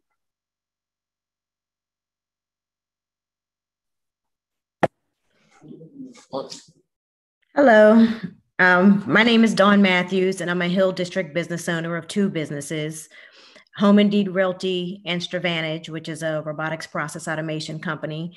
And I'm a Black woman, so obviously my both companies are Black and woman owned and I'm in full support of the project moving forward without delay.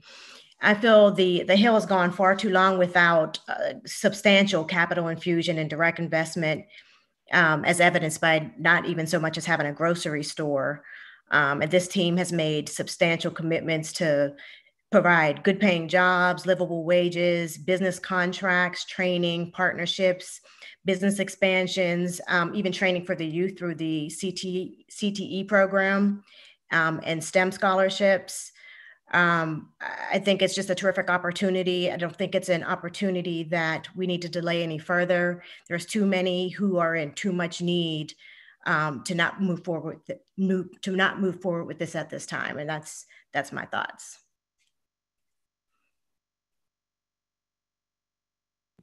Thank you.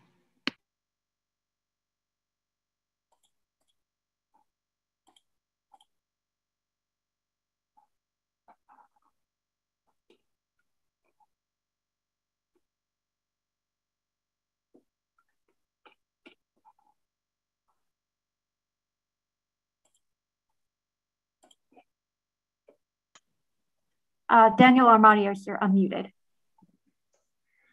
Thank you so much. Can you all hear me? Yes. Yes, uh, I'm Daniel Armanios. I'm an assistant professor in the Department of Engineering and Public Policy at Carnegie Mellon University, who studies issues of infrastructure and equity. My address is 506 Kerwood Road, Pittsburgh, Pennsylvania, 15215. Um, given I'm a researcher I speak in data, not generalities. And from what I see in triangulating the qualitative and quantitative data, this development deeply, deeply concerns me. My research identifies centering projects and local skills and needs as a key factor that influences the sustainability of our infrastructure projects. In other words, projects cultivating local skills and needs map onto better sustainable outcomes taking my research and applying it to what has occurred thus far with this proposed new development in the lower hill, there has been little centering in community skills and needs for this project. In fact, it has been circumventing it. Therefore, this is not just inequitable, it is simply bad business. I also wrote this in a recently published op-ed in Fortune magazine. And I won't go into the DRP and the failures therein. I think Marimba and Felicity have kindly and well eloquently done so. What I will say, though, is what they've done since then. Rather than working through these agreed upon mechanisms, the group went behind the community's back. And by the way, I mean community because the DRP is a six hill district community based organizations are involved with the DRP to lobby for a merger of the lower and middle hill census tracts. This allows this lower hill high end development to exploit opportunity zone tax credits designed for low income middle hill residents to be used for this high end lower hill development. In a recent community meeting, when the Buccini Pollin Group was asked to provide a project for which they thought was an exemplar of their prior community work, they noted their work in Wilmington, Delaware. There, they had previously used Opportunity ZAC zones credits intended for the city's low income Southbridge neighborhood to build high end luxury apartments. This is highly similar with what they are proposing to do here, using low income middle hill tax credits for their high end lower hill development. When Hill District residents pushed the Penguins led group to simply meet agreed upon demands in a variety of community meetings of which I observed. The response was that any additions are not financially viable. However, this does not align with their other actions. For instance, if these margins are so razor thin, why then would government agencies already allocate $80.65 million in public loans and subsidies to this project if it was on such financially questionable footing?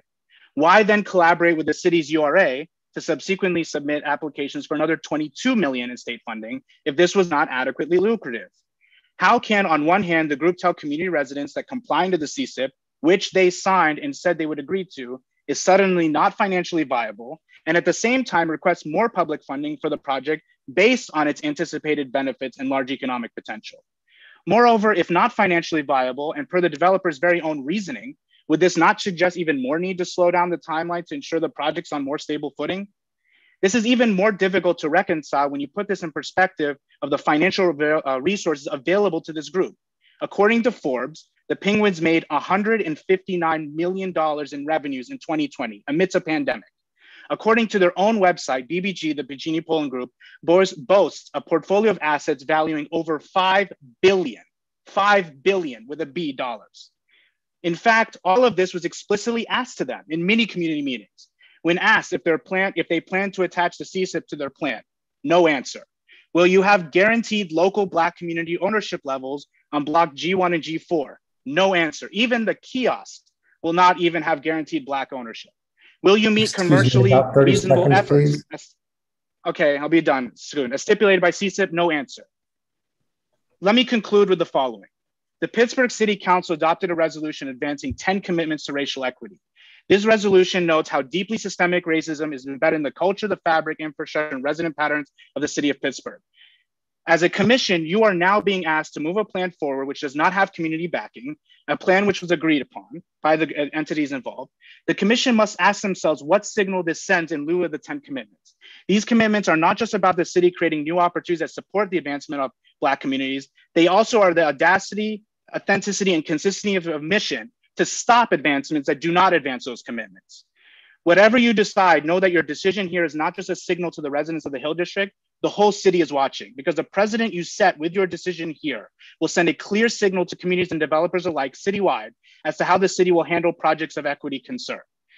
This will, if you choose to say, essentially, bad, bad is, uh, is if you choose to rule in favor of this project, you're essentially dooming any community re- review process going forward because if the developer does not choose to comply, they can simply cite this as a precedent. This will only open the floodgates to further development projects that are not centered on community skills and concerns, and such a precedent will reverberate well beyond these 10 command- commitments. And I'm happy to conclude to provide any citations you need for any of the statistics I mentioned therein. Thank you. Thank you.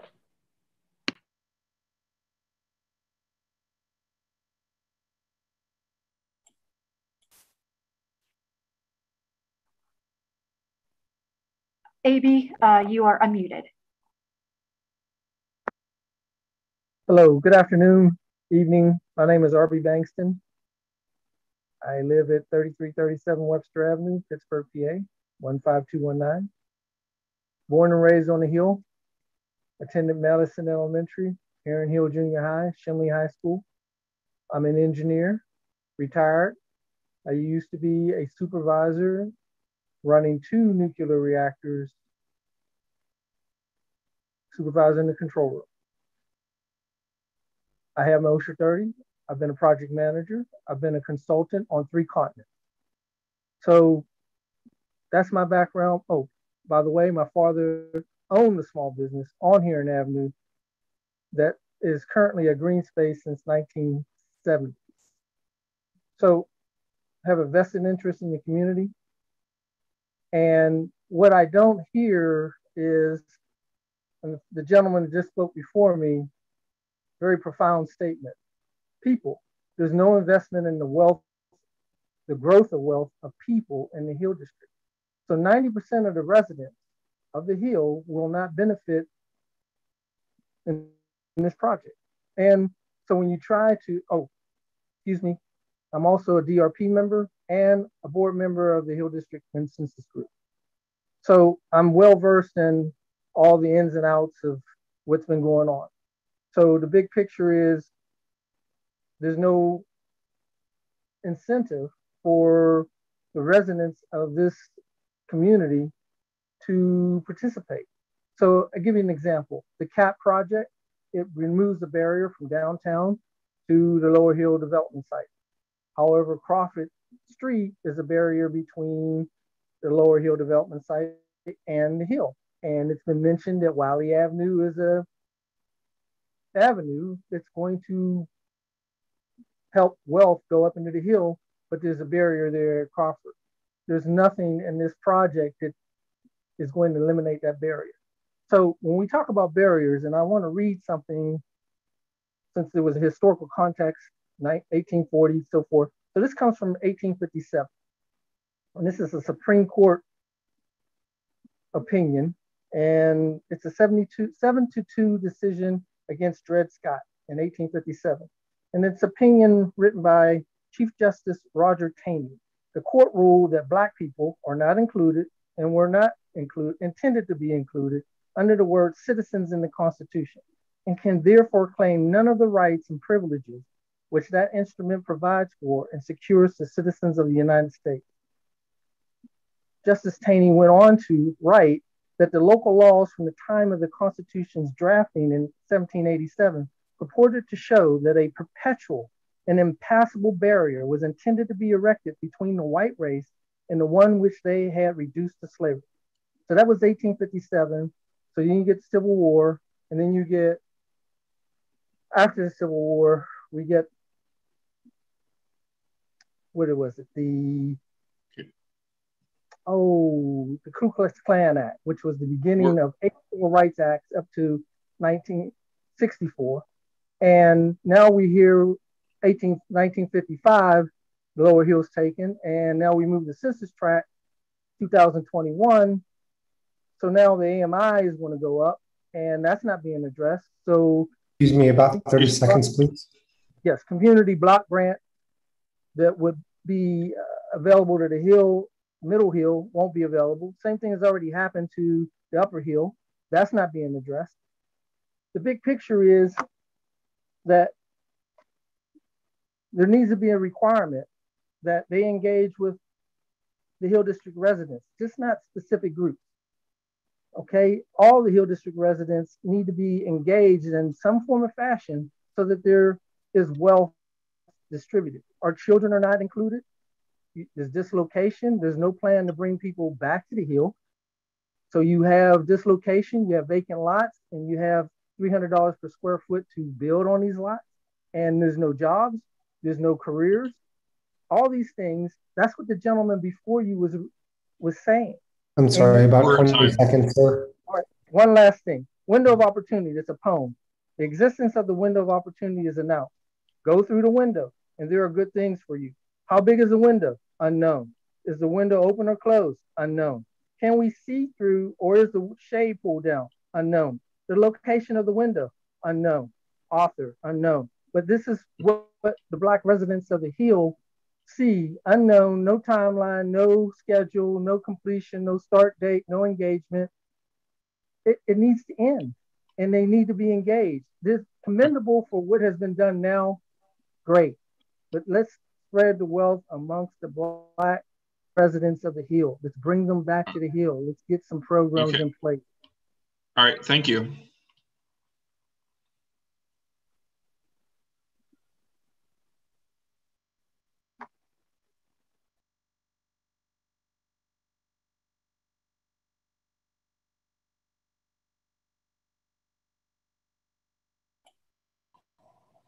Uh, Daniel Klein, you're unmuted.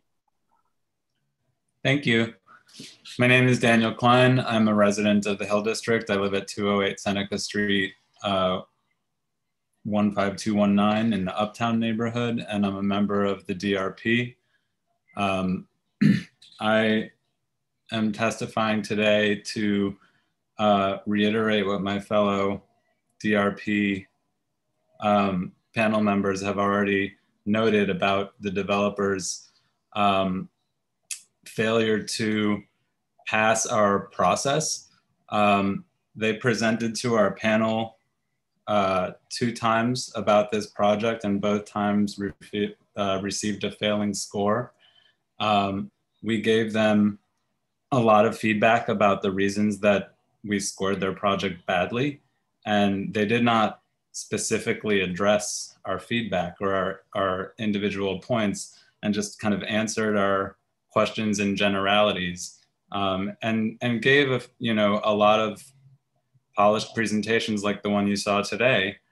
Um, but kind of glossed over everything you know make, making it seem like yes we're all in agreement here. I think you know nobody's saying that we don't want this development to happen. Every, uh, everyone on our panel has uh, has said that at one time or another that we recognize the the historical nature of the project and we think it's a, a benefit to our community and to the entire city and the region. However, um, we are scoring as a panel the proposal against the CSIP, which is an agreement that was already signed by our community leaders and by the developers. And uh, when, when weighted against those requirements, this proposal just does not meet the requirements. And that's why they they keep failing. So um, I want to um, say for the record that um, I would encourage the Planning Commission um, to go with uh, the recommendation of the Marimba Milliones and make their approval conditional um, on several on uh, several points that the the DRP have already expressed both in writing and in our meetings. Uh, but I do think that blanket approval is premature because uh, the developer um, has not addressed the requests, uh, especially around community ownership. There's there's no community ownership in this plan whatsoever. Nobody, uh, there are no opportunities or new seconds. opportunities being created for residents to own uh, any any businesses or green spaces, um, or to secure jobs in maintaining those things. And uh, the developers' commitments are all commitments of public funding, none of their own money. Um, and they have refused to agree to share decision making power for the opportunity zone. Um, okay. These things have already been mentioned. Thank you. Thank you.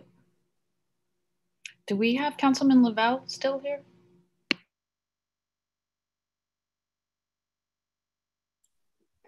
Uh, we do.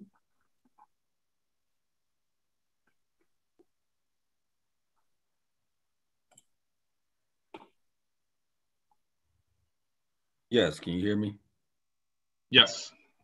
All right, thank you. Um, so Pittsburgh City Councilman Daniel Lavelle. Um, my address is 4331 and Dover Terrace. Um, you had asked us what hats we wear. I'm I also chair the CSIP and the Executive Management Committee. I'm also signatory to the agreement, and obviously, I represent the Hill District on Pittsburgh City Council. Um, I'm gonna try to be brief because we've been here a very long time. First and foremost, I want to thank all the residents business owners, stakeholders, Hill District stakeholders who chose to show up today, either providing testimony in writing, emailing your testimony, and or providing your comments this evening it's all necessary. Um, and so I just want to thank you all for participating.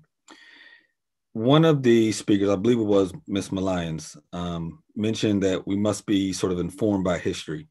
And Dr. Ellis started her remarks speaking about history and speaking about the city councilman at the time that said there would be no social loss if, and it could all be destroyed if they destroyed the lower hill. And looking back, we obviously know that that wasn't the case. There was indeed a tremendous amount of social loss and economic loss to our community, to which to this day we have yet to fully recover. I would also argue that the Black community in the city of Pittsburgh has yet to recover because of that demolition. Since the day I took office, my goal through this development was to leverage the Lower Hill development for the explicit economic and social benefit of residents of the Middle and Upper Hill District. That's been my goal since day one. That was the goal I made with, that was the agreement I made with the Pittsburgh Penguins before I led the charge to actually tear down the Civic Arena so we could move this development forward. And I believe we're there. Um, there was a, uh, there was another gentleman who spoke about the 10 commandments on racial equity. I wrote that bill. I authored that legislation. If I didn't believe that this was, uh, if I felt that this was harmful to that, or that this, this wasn't in line with those 10 commitments, I wouldn't be here today because this has taken a very long time to get to, right? This is 10 years, close to 11 years later, where we're finally here.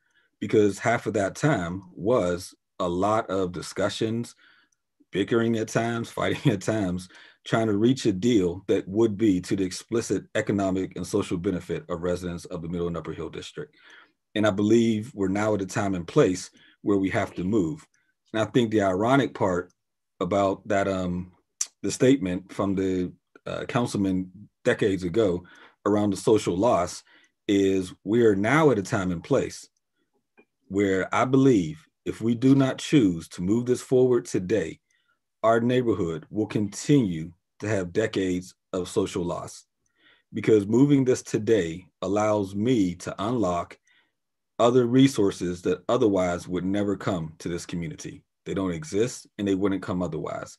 And the people that all of us collectively are reporting to want to have the best interests at heart would still be left in squalor. And so I believe it'd be uh, immoral and unjust if we don't move this forward. What I will also, however, admit is there's still more work to be done. This is step one. There is there are a lot of pieces on the table a lot of agreements that need to be reached, but that doesn't mean you can all you can always reach them one immediately by the time you want to take a vote. Um, and so I, I believe it was Miss Brenda Tate who spoke about the loose ends. And my response would be hold me to it. Hold me to ensuring those loose ends actually get tied up. Because as we move forward, as hard as I've been on the Pens in the past, as much as I've spoken to BPG as a developer and put my issues on the table, that doesn't stop today. We're going to keep having these conversations tomorrow and the next day because the lives of the Greater Hill District residents require that. Um, with that being said, I think today you've seen the overwhelming support of residents from the Hill District. And so, thus, I would ask you to stand with them, to stand with me and asking you to vote today to move this forward. Um, and I don't believe you should move it forward with conditions. Um, I believe the development needs to move forward so that we can begin to realize and restore the social and economic loss that occurred in 1955. Thank you. Thank you. Is that the end of testimony, Kathleen? Uh, we have the one person who wasn't available uh, earlier that we need to circle back to. Uh, Angela Jackson, if you're there, you should be able to unmute.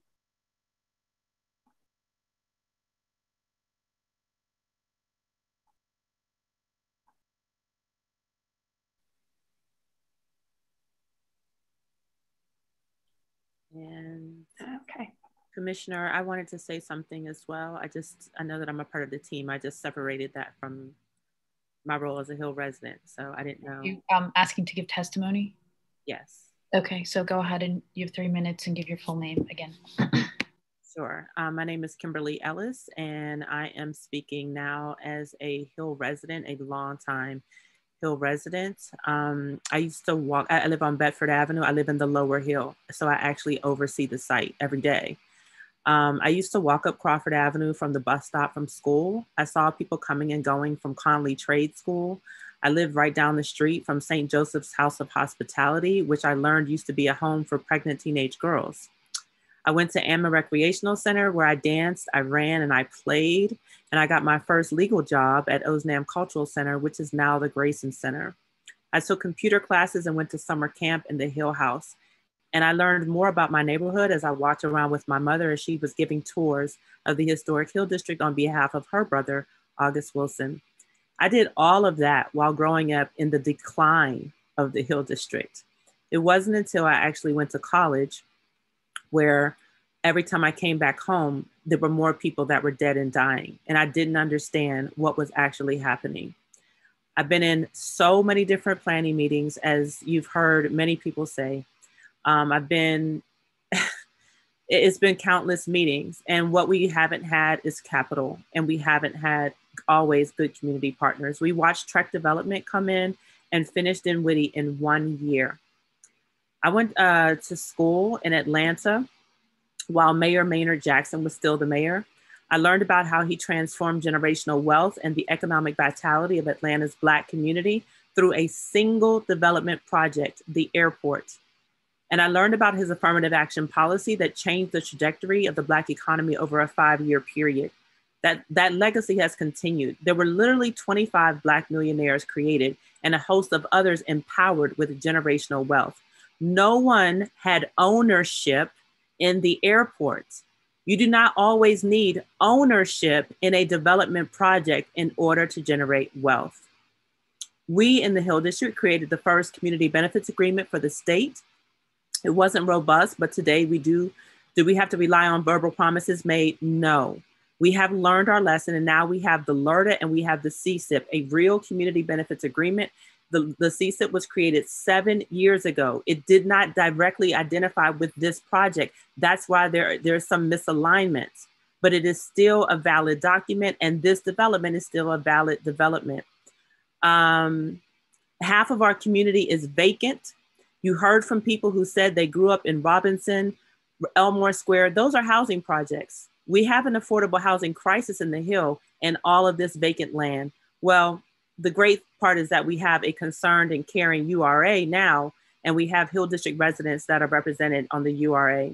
I don't know why the communication failed on the opportunity zone, but State Representative Jake Wheatley signed it, City Councilman Lavelle signed it, and Mayor Bill Peduto signed it. So that's a conversation we could probably all have. However, I have to note that from the development team, Amici, Aka, and Chris came up with the Opportunity Zone Fund to make up for that. About 30 seconds, please. Sure. Um, so I think that overall, I just I want to stress that there's been a lot of misinformation from the community groups. That is what is unfortunate. And you you heard a lot of the accurate information from us here and today. Um, we're going to have further community engagement. We're going to have better communication. I definitely think that's necessary. And Chris has repeatedly said he will countersign at any point, always ready to sign the agreement. Um, so thank you all so much for listening. And I'm, I'm, I'm happy to be here in honor of my mother, Freda Carolyn Ellis. Thank you. Thank you. Okay, we'll give a couple seconds to make sure there's no one else.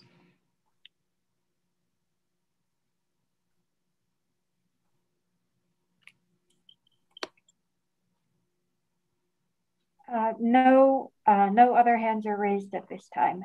Okay, so that closes public testimony. At this time, we take questions and comments from the commission.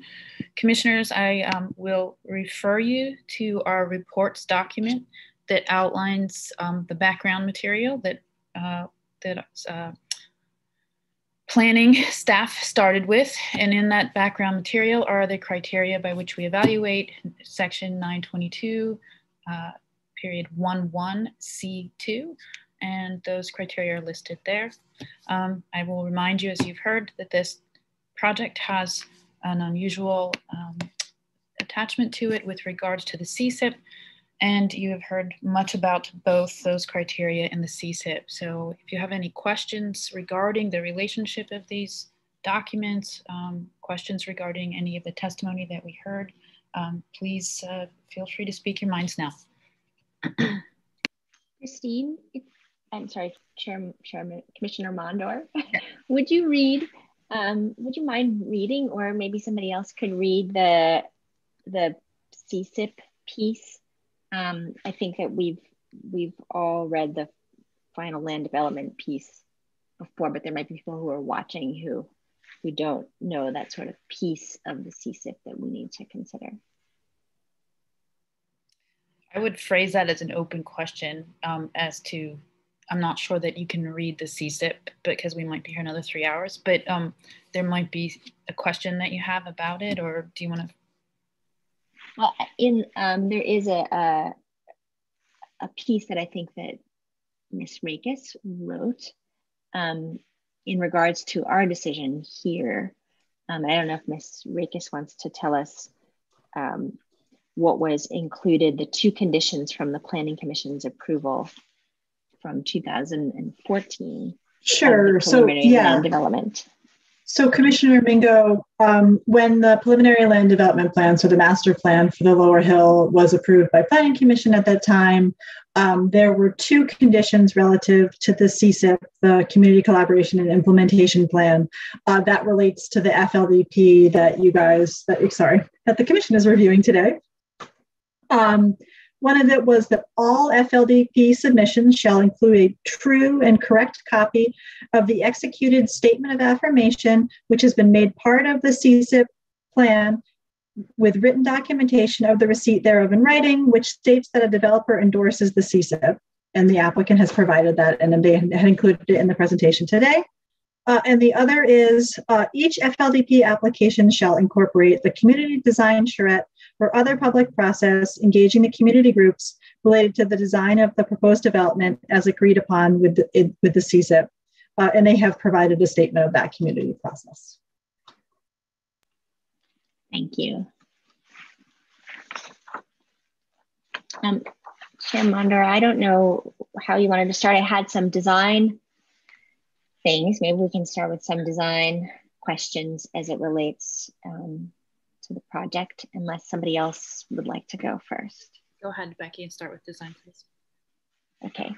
Um, I, uh, I appreciate you giving us some example, uh, some making some modifications to the site plan um, in regards to adding the stairway along the side where the right of way for Wylie Avenue is located. I'm, I'm still having a difficult time because I'm still having a difficult time understanding what you're actually building um, versus what is in the future um, and in regards to sort of what happens at the future line because there's drawings that show sort of the other white squares on the plan but there aren't lines that show like a fence that you're building temporarily. Because it could be i know it might be two years before the next thing happens. So I'd like to sort of understand what happens on those edges for the next two years. So we've tried to show that that edge would be built at an elevation that then could match with what we plan to be the connection with that block F urban space. And if that isn't built, then it, it would be an essential, essentially a low retaining wall over the elevation of Wylie now with that stairway that is running along the wall along along Wylie. Could could I ask that you guys um, uh, identify a slide and that staff could put up the slide so we can be looking at the same place? Sure.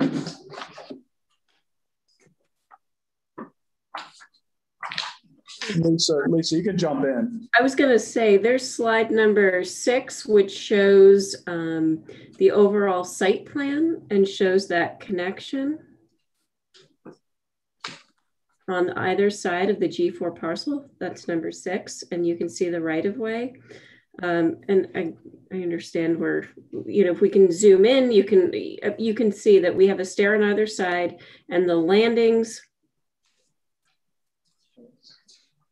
um, the landings that are happening where we're showing those terrace connections are coordinated with the, the grades of G1, but they're also coordinated with the grades of the future, you know, build out, um, you know, of Wylie and that F2 uh, relationship.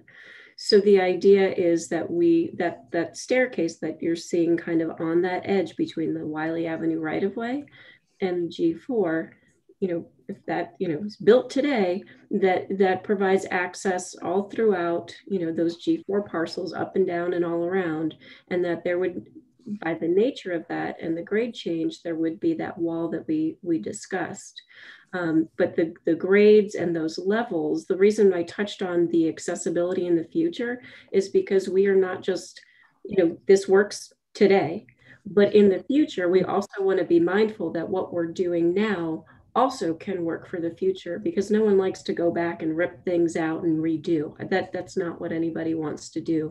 So the design is taking into account those grades and those elevations and making those landing connections for that for that continuation of the accessible that universal kind of accessibility experience that that you could also visit those terraces that are intermediate and in between also in the plan set uh, it's in pages 74 75 76 it gives an idea of what those edges would look like with retaining walls artwork stairways um, one of the things we've looked at, and as we, this is that difficulty in clarifying, right? Because we're in this area where this is what we can build, and then we're in the area where the urban open space has to be built. There's pro- there's also an interim place just to let you know, you know what could happen, and we could come in with another um, amended PLDP where if if Wylie's vacated and the condition that staff has proposed actually covers, you know, the potential vacation of Wylie, that that would trigger something. We could actually even do um, an interim um, amended PLDP where you'd lay lay down that slope a little bit, uh, you know, pre block F if you were if we were going to do that. So we really have three different options. Uh, this is the one that works just on G4. Frankly, uh, the, the goal is to get the urban open space on F going so that it's built contiguously. And then if it doesn't, there's actually an interim plan that may, when we do the design and we meet with staff and we meet with the community, that may be, you know, an interim position where you'd have some slope encroachment on that right of way and do, do a condition that may be somewhere in between these. But right now we're showing this retaining wall um, and stairways that, that work. The elevation of Wylie, we're, we're very, feel very strongly about uh, is inappropriate as it sits now for true utilization of that open space, as, as you've seen by the master plan, plan look at, at both F and G4 to create some really usable, you know, lawn area, festival, gathering space. That um, elevation of Wylie needs to needs to ultimately change uh, to effectively do that. So we're trying to plan for it, and if we don't get there, we're able to build this condition. So we're trying to. It's what we explained. Um, at the briefing and trying to document a little little little better here. Okay, so then um, so then above that, where the G3 and G2 spots are, um, what happens at those edges? You're building that space in between those two, but then what happens on the sites of G3 and G2?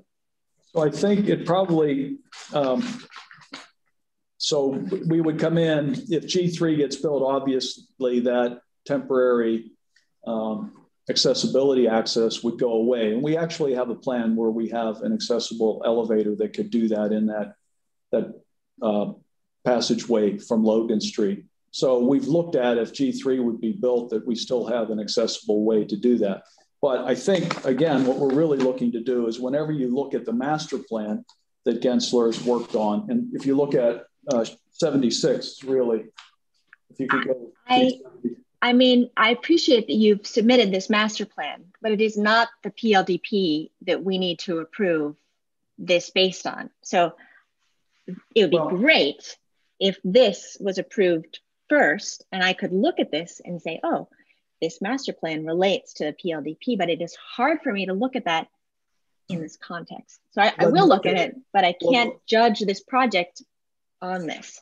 So let's go to what your question was is G3. And the answer is we're not here for G3. It's not part of that. And whenever G3 comes in, what we can say is we've looked at it in the larger picture and a master planning picture. And we come, if we come in for the G3 PLDP before F, we will be able to show that condition too. So are you putting a fence around G3 and G2 in the meantime? Not G3. No, um, I, am out of my realm on on seating and slope, but we're doing so. I don't want to speak. Is is there someone? Um, I, I, don't know. I don't know if Steve's on the call, but, yeah. but basically uh, G2 and G3 um, have the idea was that they were being graded out um, and those slopes were seeded and um, it's it's tying in into those adjacent grades. Um, so so that is that was the the concept there is that there's kind of because you can see that you're up at 845 towards Logan, you're down at 835 at the event lawn.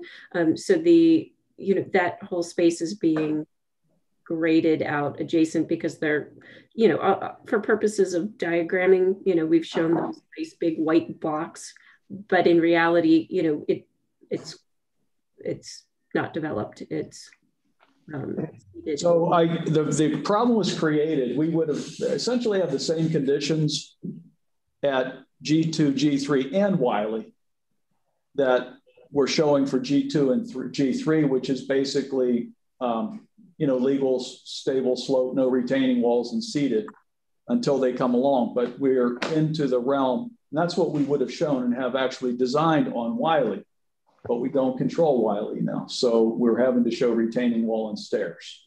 So if we had those same conditions where we had public ownership or they were public right of way at the edges of G2 and G3, we'd be looking at similar situations where we'd have to have a, you know, a fence or retaining wall, but we don't. We control that property. We can lay those slopes back and we can see them. So Okay, so then that's that that's helpful because I I asked about this at the last time. And so I was hoping there was going to be a drawing which showed about showed what was happening in between for this development now in that space in between because um, things are always changing. Um, but so then my question is at the edge of that G2 white box is a severe drop to a loading dock driveway. Am I incorrect? In addition, there's also a, a an elevation drop if you drew a line, if there's that line between G1 and G2 that goes across, um, that probably has some sort of fence. And so I'm also curious about what is being built there in terms of a fence slash wall of the loading zone difference to your courtyard difference and what's the temporary solution at the G1 side, G2 side? So at the G2 side, that's been designed, you know, with the potential on, on some level with the hospitality building. So it was again designed for the future so that they would be shared back of house facilities. And um, but in the temporary condition, it's been designed, as I mentioned, where there would be an engineered slope and and um, and, and, and, and grass and, and landscaping. There's there's landscaping there and right at the corner of Bedford. We, you know, we were focusing frankly on on the edge at um, at Wylie. But those are the those are the current conditions, and we also have um, part of our package on on the rights that we are, are acquiring in relation to bringing down G1 and G4 are those slope rights for um, those those adjacent parcels. Which again, that's what we would have just done if that were controlled by the SEA. Wiley was the owner of the SEA. I'd be showing you those temporary engineered slope um, landscape conditions um, as we are in G2 and G3, but the SEA doesn't control that slope. So that's those are the distinctions. And um, I, yeah, I, I, I'm, I apologize. I didn't really, I should have seen it. I should have seen that's what you're focusing on too, and, and G2 and G3, but we, we frankly didn't. They've been fully engineered by Baker. I mean, those are very well along um, engineered um, drawings that that we could, uh, you know, we could share. So you're telling me that this you can make an engineered slope from the corner of Bedford and Logan down to the loading dock without having a retaining wall. That's correct. Okay, and then, but the loading dock ends in a wall that is then at I think 835. There's a, a height difference. Am I incorrect? On the edge of the loading dock, the driveway goes under the loading dock, and then there's a a wall that happens there. So what's happening there in your drawings? Because right now I just see on the elevation the facade of the garage. Is, there has to be a fence. Yeah, Commissioner is um, I don't know. Is Steve Savage in? Is he? Um, is he? I, I, am on now, Bill. I I was on in a capacity where I couldn't speak, and that they okay. were kind enough to, right. to flip me over. Saved uh, by yeah. the circle. So, Steve, take it away yeah, no, absolutely. So at, at, the edge of the loading dock, there will be a slight difference in elevation between the loading dock area of approximately two to three feet. So that, that loading dock is not uniformly flat. It does have a pitch to it that pitches out towards Bedford Avenue. So in, in that context, there will be a, a pedestrian ramp and a set of stairs that allows for full accessibility from the plaza into that truck dock for for access purposes but also that edge treatment will be something that lisa and i collaborate on from a landscape and hardscape as well as engineered solution to make sure that there's a a means for uh, protecting that edge so we're not going to leave that out so that it's a fall hazard or anything to that effect okay so there's there are steps and some pedestrian access that you're not showing on any of these drawings that we're seeing here? Yeah, it, it's kind of down into the into the plan level of detail that wouldn't necessarily show up well on on the slides that give the context of the project. But when you oh, drill down into the, is it inside the building or outside the building? Out, outside the building. Outside. It is an exterior stair and ramp. Okay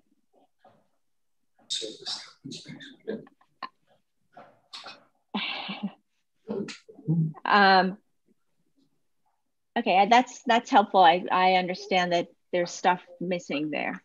Um, uh, okay, then my so my other sort of question then if I understand that loading dock area is if I if I were a person who didn't work in this building, maybe I was at the CAP project, maybe I was working downtown, but I somehow I parked in your G1 parking garage. Maybe this doesn't happen. Maybe I'm a visitor somehow. Or I parked my bike in your garage.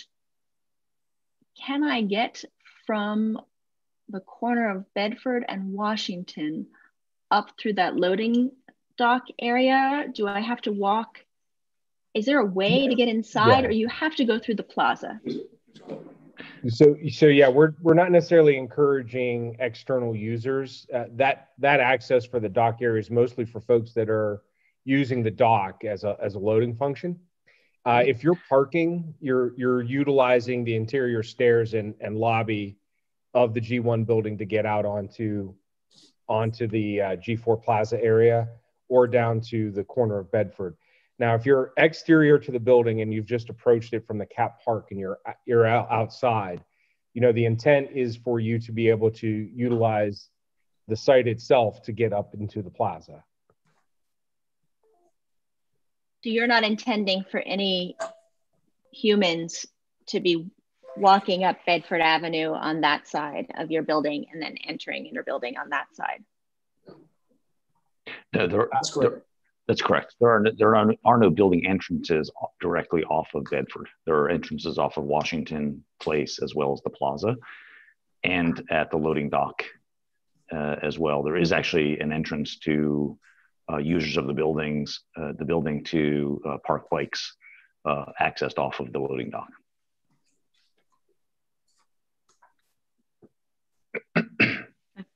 okay. Um, and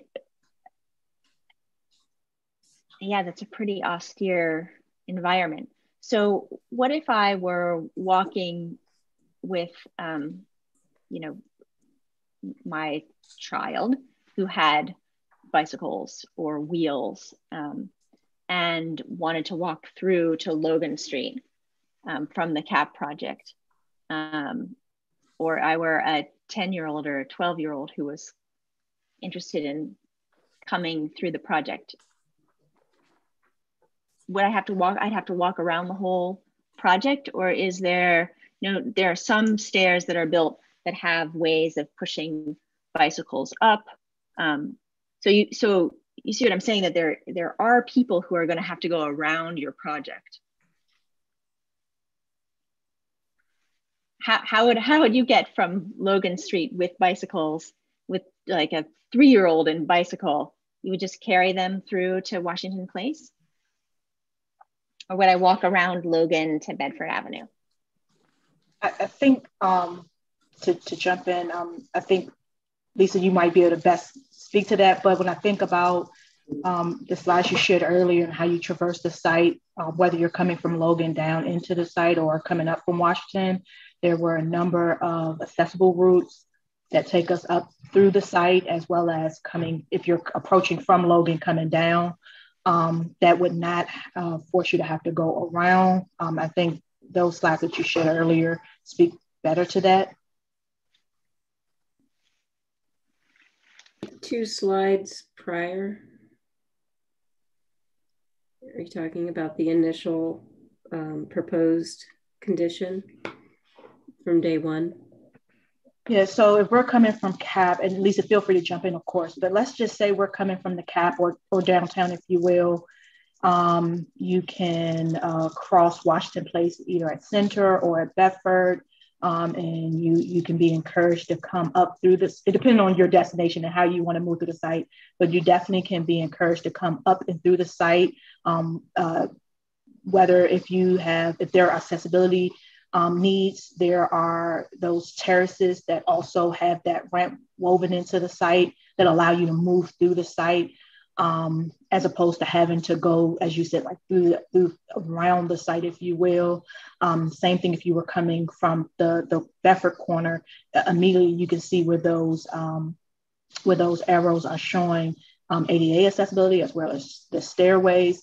Um, if you recall the uh, sections that we showed earlier, it kind of give you a sense of what that experience is. So it's not, you know, uh, the, the, the, goal will be that we can break that up. I think it will be based on the intent. If your intent is just a leisure stroll, I think we've created an opportunity where you can walk through the site. There are moments where you can stop, sit on a bench.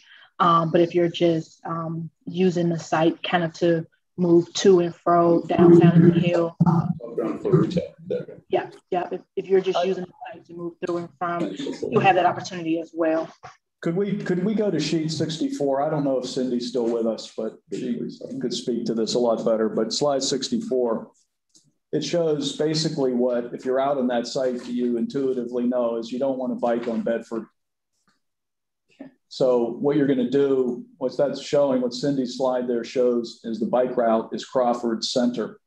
Now you'll be able to get down into the site, and we haven't really shown coming down Wylie or coming down Bedford Fullerton. What we've shown is when you get to our site, you can get the bike into the building, but we're frankly not encouraging um, pass through bike traffic there. That's that, that's the design. If you're on a bike and you're at the corner which um, I, have kind of spent a lot of time at that intersection. I don't, I don't think I've ever seen a bike there. But let's assume that somebody got stuck there for some unknown reason. They made a big mistake. You wouldn't want to keep going up the hill. You'd want to go down Washington and up Center. And that's where the, as this plan notes, like where the there's exterior bike racks right there at the corner of Washington. But Lisa, they're for the building and people that are using them. They're not for bikers to encourage them to bike to these sites. They're just not. It, it, it, might, it, it might be helpful for the commissioner to see page 47. I don't know if she's uh, had a chance to see it. That really speaks to um, that. That is, um, you know, where we're concerned about it being stark. Um, that is all ground floor retail and glass. Um, you can see the sidewalks and yes, there will be a, a, small part of the base that is where the parking garage is, um, but or the entrance to the parking garage is, but but most of it is a wide so sidewalk with glass and vibrancy in retail. So I don't know if that helps or not, but just want to make sure we pointed that out. One of the reasons we haven't shown, we actually have some more sidewalk and right of way there. One of the reasons we haven't shown more um, landscape feature against the building to soften that is that DOMI has actually indicated um, that they'd like to see uh, further widening of the sidewalk there. They're actually more concerned about you know having enough room for, for people. So when we work with DOMI, um, we'll try to blend that as best we can together, knowing that it's in everybody's interest to soften that that side even more.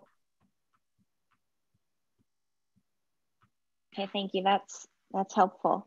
Um, you know, one of the um, issues is that a lot of people are going to try and cross Washington Boulevard, no matter what we, Yeah. no matter what you do here. I saw on a couple of things some ideas about how to deal with that. One of them showed um, not bollards, but maybe markers. Um, another one showed a median, putting a median, concrete median. It said by others. Um, can you talk a little bit about what you're thinking in terms of trying to sort of encourage people to go to this corner instead of and cross at the crosswalk versus just crossing at the end of the stairs? I think it was shown on slide number 37 in the plan where it talked about freestanding planters uh, proposed in the median. Cindy jump on. Cindy, can you? Yeah, I'm here. I, I just wanted to clarify that those delineators in the road that are shown are not um, meant to guide persons, but rather to guide vehicles as they come into the right turn lane to keep them from um, horizontally moving back and forth between lanes as they pull into the pull out or pull off or to make a right turn onto Bedford. And then Lisa has more information about maybe treatments on Washington Place that would encourage people to not play Frogger across the road. But Cindy, we, we're going to have uh, bollards and, and some mix of landscaping to prevent or deter certainly people trying to cross Washington. But what can we do? Both the CAP and our site is driving people to those corners at Bedford and Washington and Washington and Center. What can we do? And the commissioner's right. That's particularly dicey at Washington and Bedford. What can we do to improve that pedestrian safe, safety there?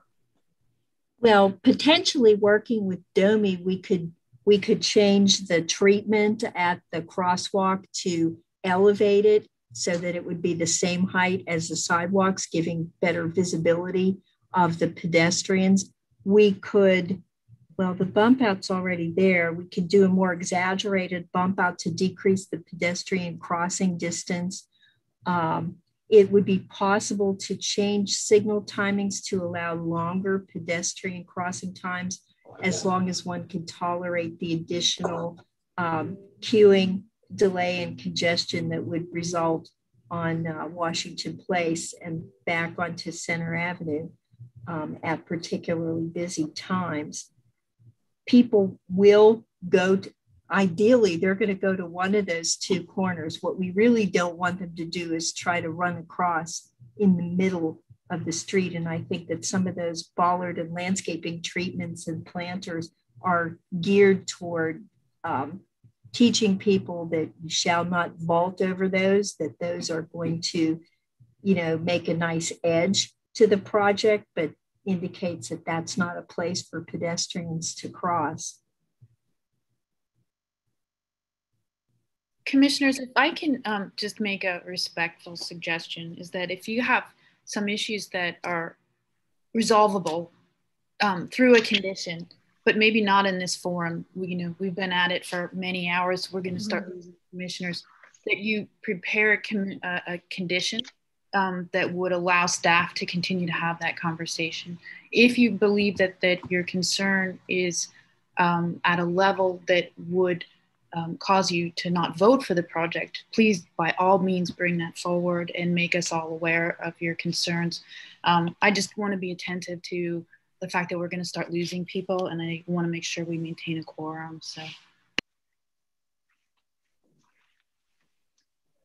Makes sense to me. Thank you, Christine.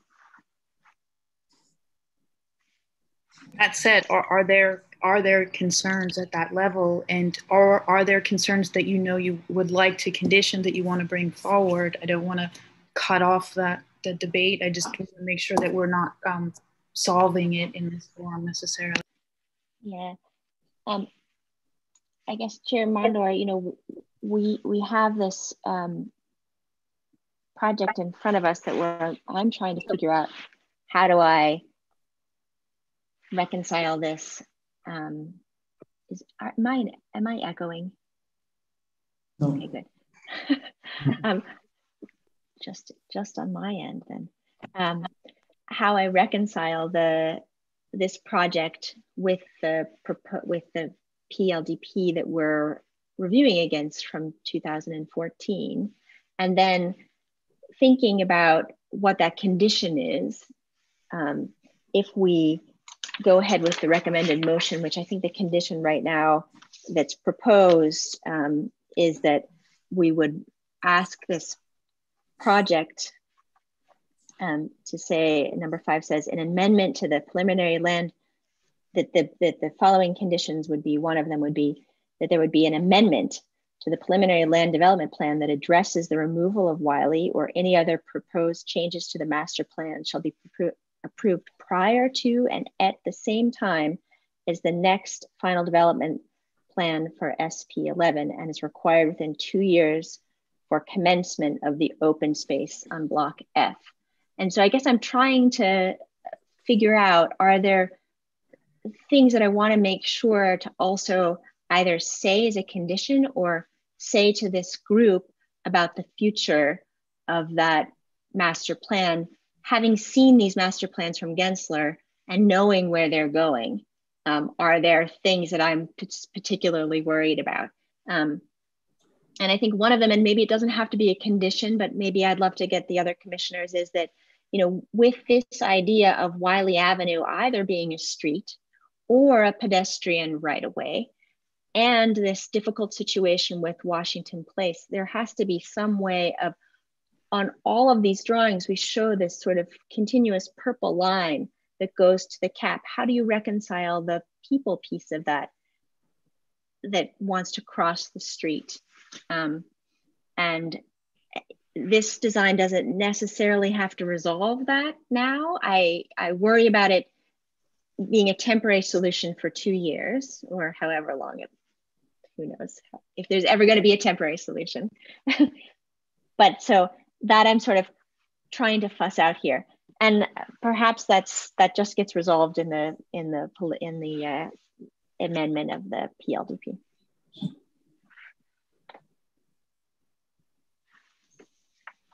I think I think your concerns are all very valid. The temporary condition, pedestrian safety, the directionality and future flow of whatever happens on the F site in the Wylie Avenue area. Um, I think whoever is the team that's bringing forward and uh, the next the F site or the next site that triggers the conversation about Wylie Avenue is that there is a, a, a, a lift to solve those issues. Um, they, they yes solved? I, I think what, what you've heard is that we fully appreciate what what you're saying and have wrestled with them ourselves and have tried to look ahead to to uh, answer them the best way we can, including we really believe that the pedestrians are going to be driven through the cap to the cap to the edge of F at, at center in Washington. I, I would also suggest that you work with staff to um, create documentation that shows the interim conditions and clearly says what the edge conditions are on these projects as you go, um, because it is, it, to Commissioner Mingo's point, it is not clear what is uh, going to happen in the interim nor how the edges are treated. So. Yes. I, yes, we, yes. In, in, in fact, um, again, as I mentioned, um, we have those G, G2 edge conditions. So um, we should have presented them. So our, again, my apology. Um, and to Mr. Layman, I know that we would be in this motion. Um, I, we have a lot more to discuss before we get to a motion, but just to ask the question to Mr. Layman um, about, you know, we have this note in here, number three, which is a usual one, the final construction plans, including site plans, landscaping plans, elevations, will be reviewed uh, by the zoning administrator prior to the rec recording record of zoning approval.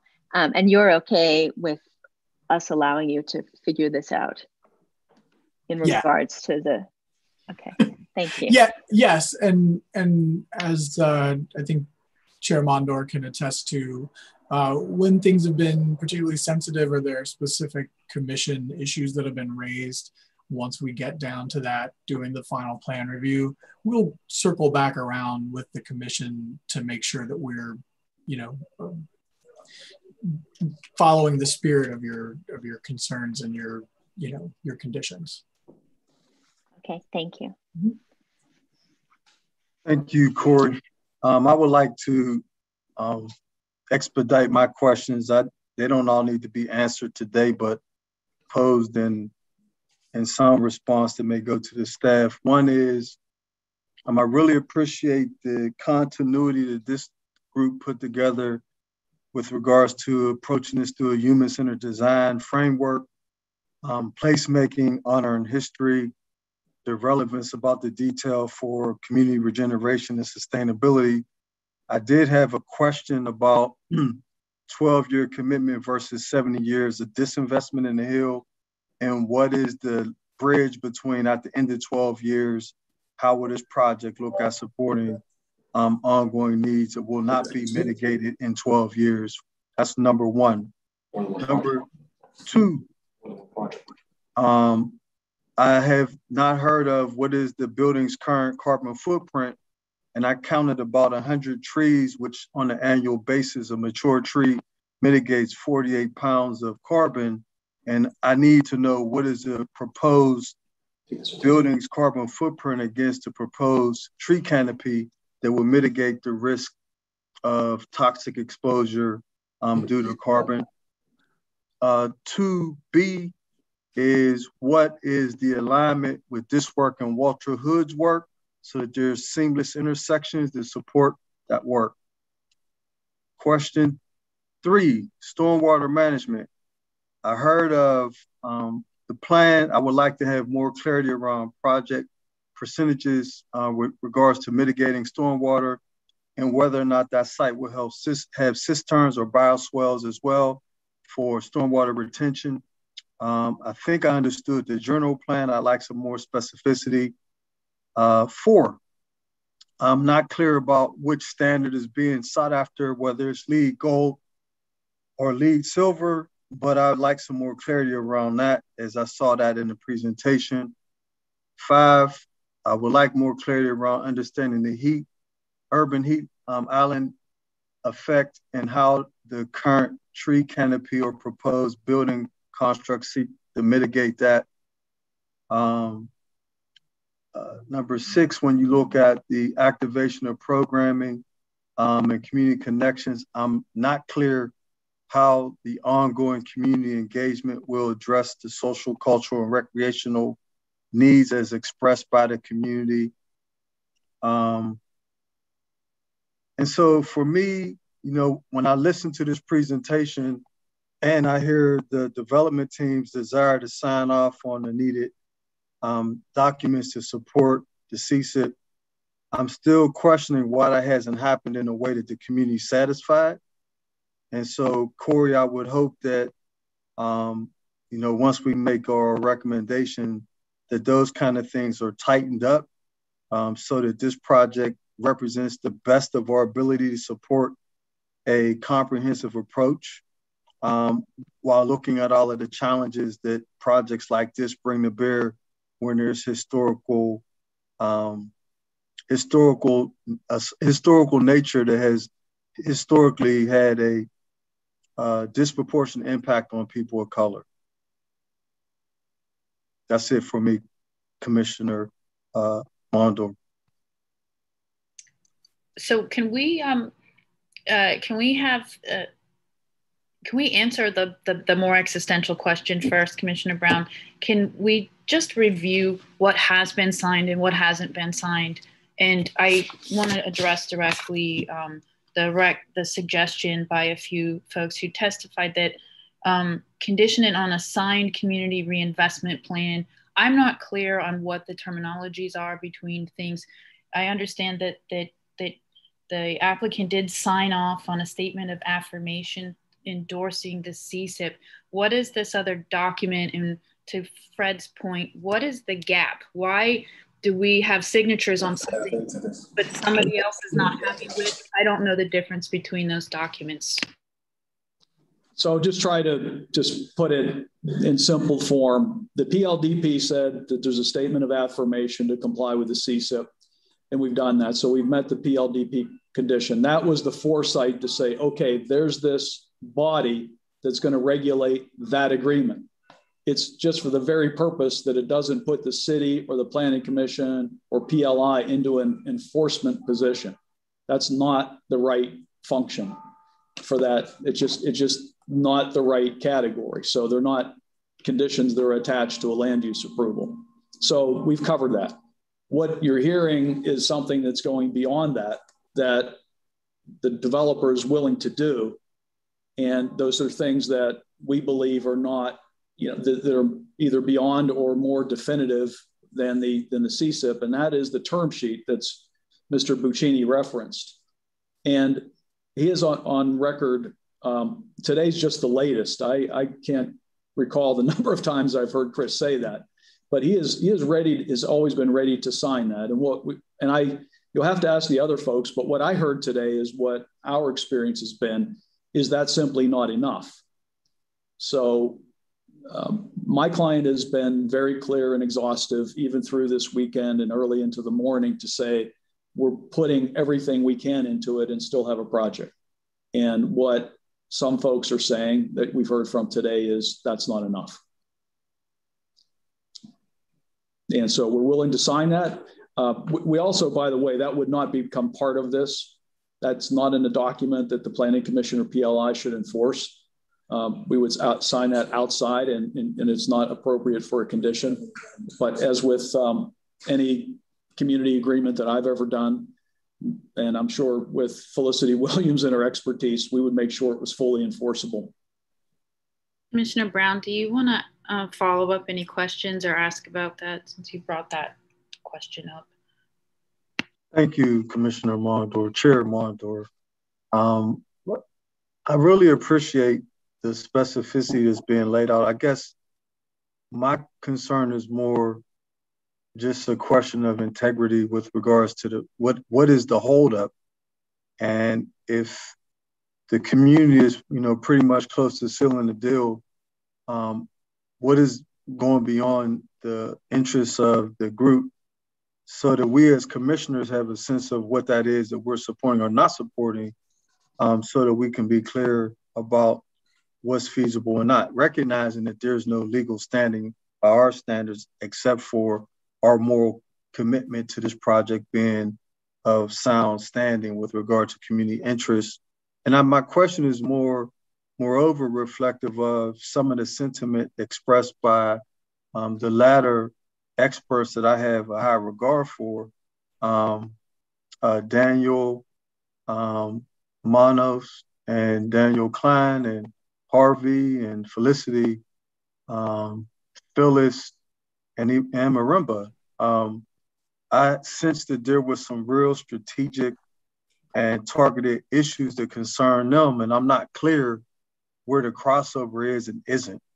Um, I am very clear that this group is working around the clock to try to seal the deal. Um, and if what I'm re- asking for is not relevant, please um, express that to me. Um, but, but I'm just trying to get a clear understanding before I make a, a decision. Thank you.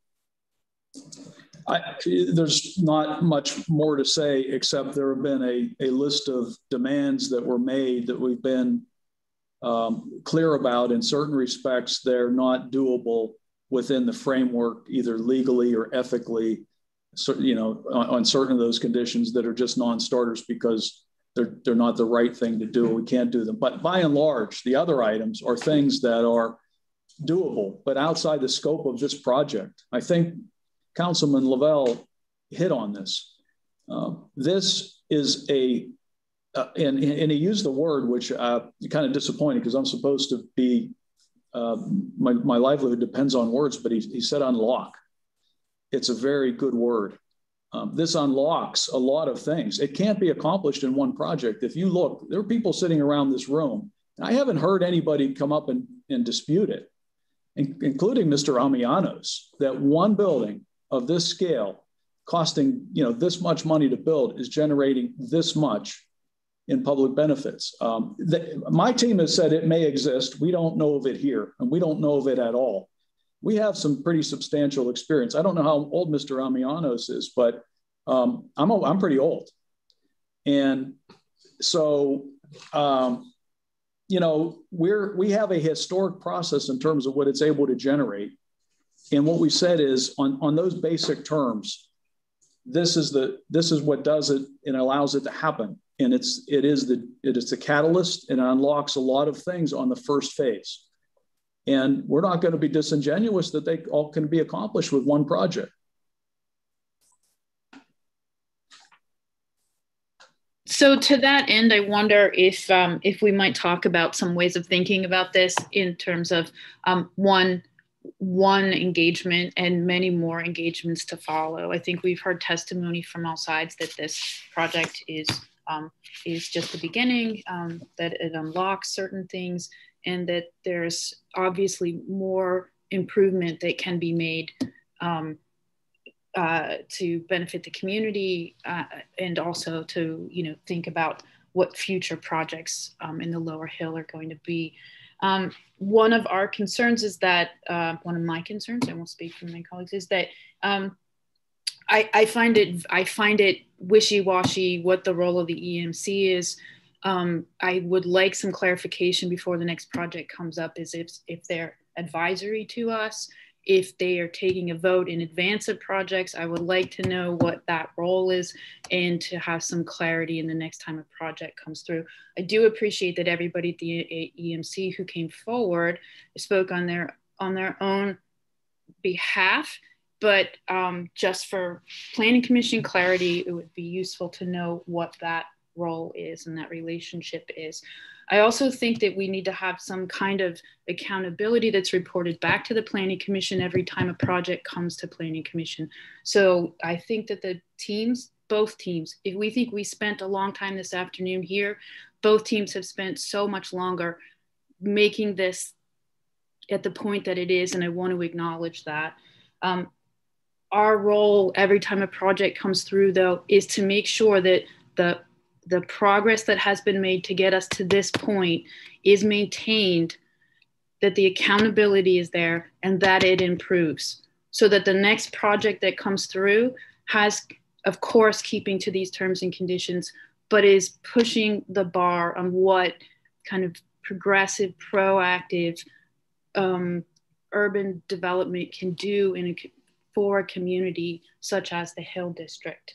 And so I would like to have, uh, I would like to suggest that we have a condition that there is some sort of um, dashboard or data that is consistently reported back to the Planning Commission on the terms that have been created to date and how those terms are being improved and built upon for future projects.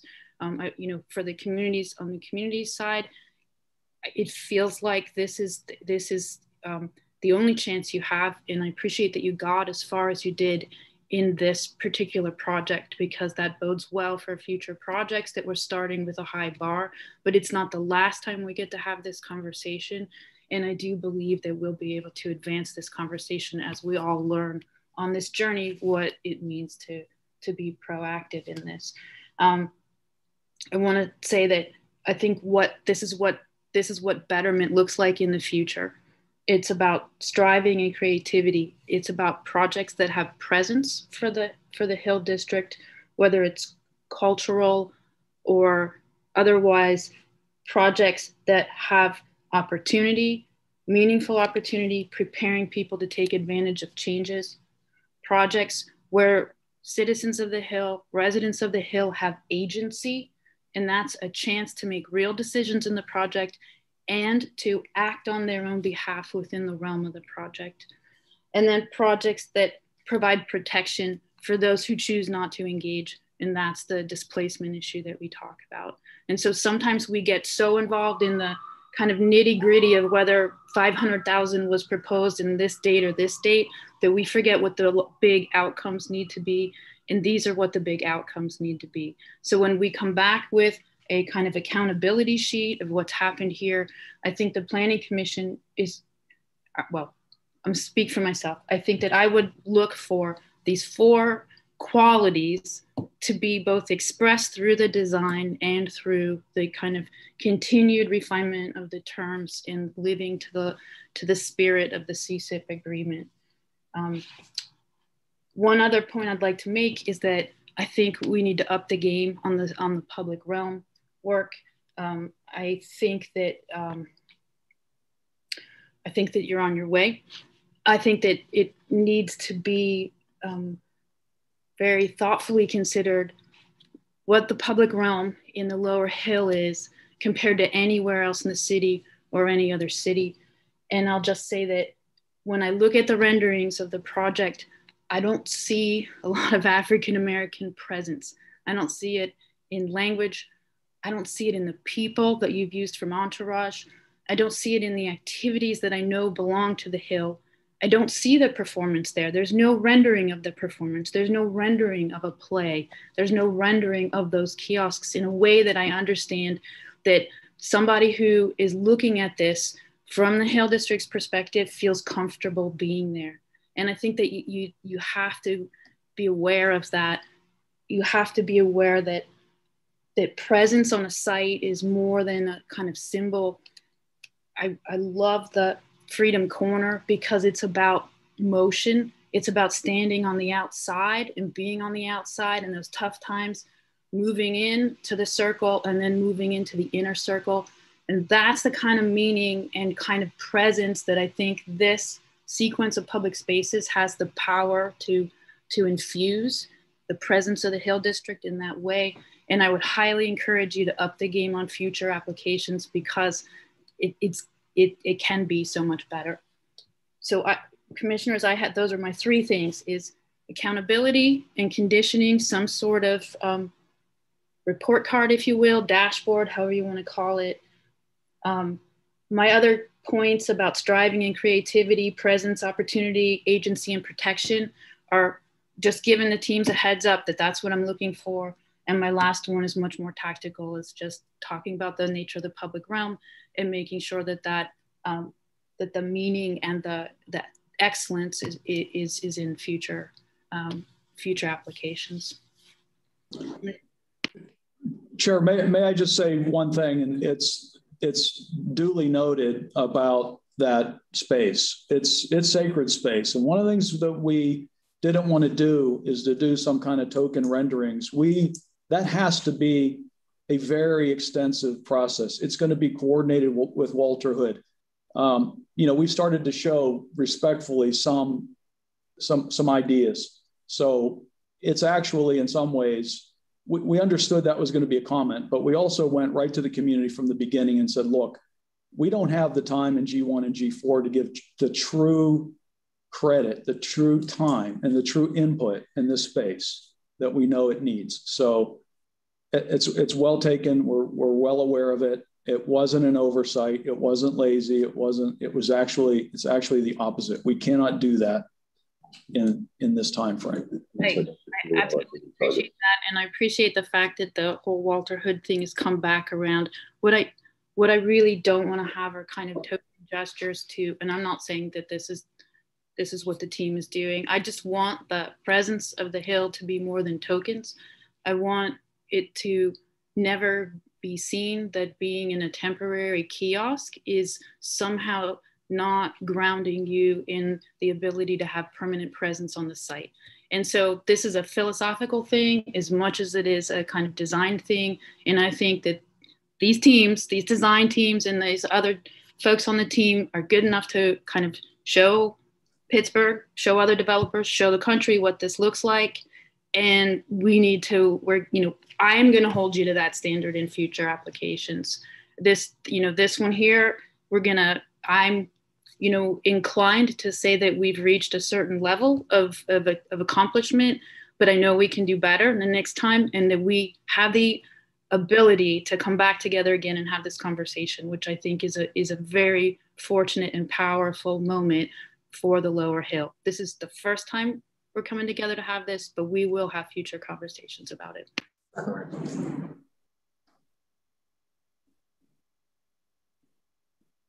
The only thing I would add, Chair Mondor, is what is the value of the DRP if a project is scored to not meet the metric? I mean, we need some clarity as to what what that means to us as far as when we're hearing it didn't meet the score. What did that mean? What's the response? What is the, the mechanism to to move it along to meet those metrics and support the scoring process.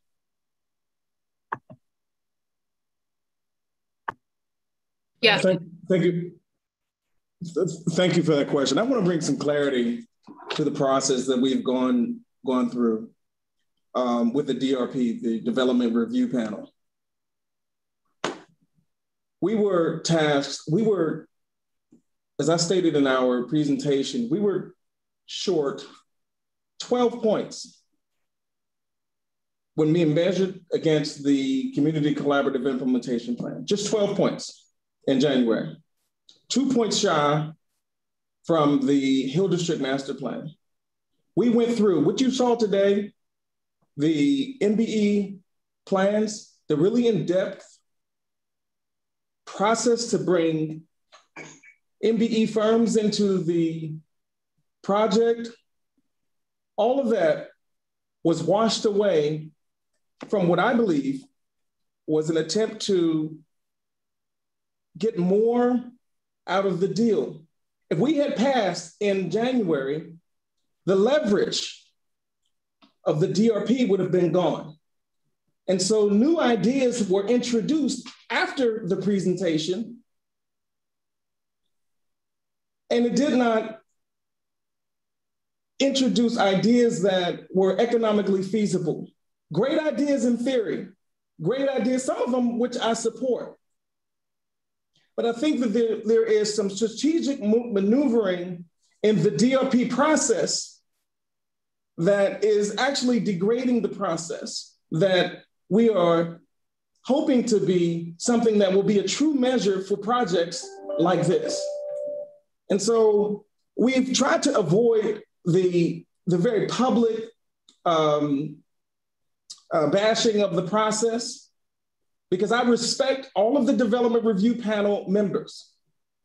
But what we presented was, was most certainly worth the 12 points that we were shy of and the two points that we were shy of.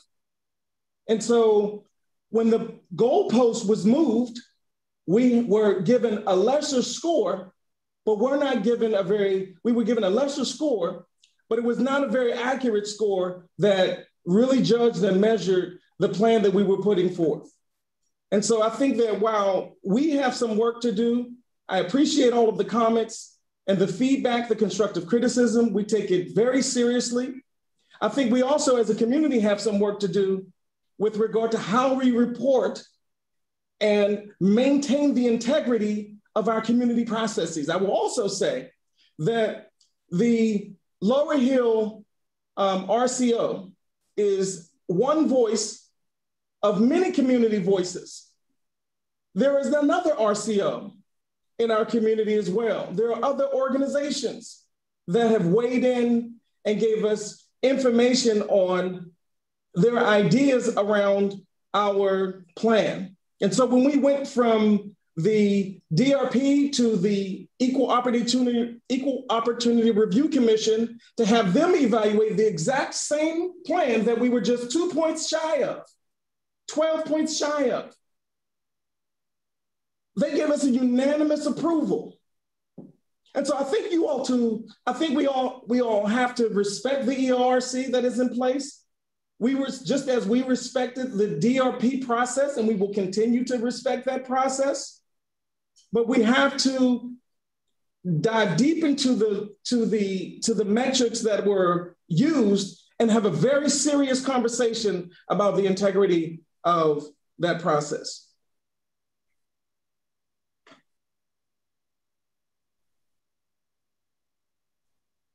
Commissioner Brown, do you want to respond or? Oh, certainly I do. I think, uh, first of all, I said when I started my comment that the approach to human-centered design and the commitment to a regenerative framework was phenomenal. And I'll restate that again. I am a longtime resident of the city of Pittsburgh, 57 years.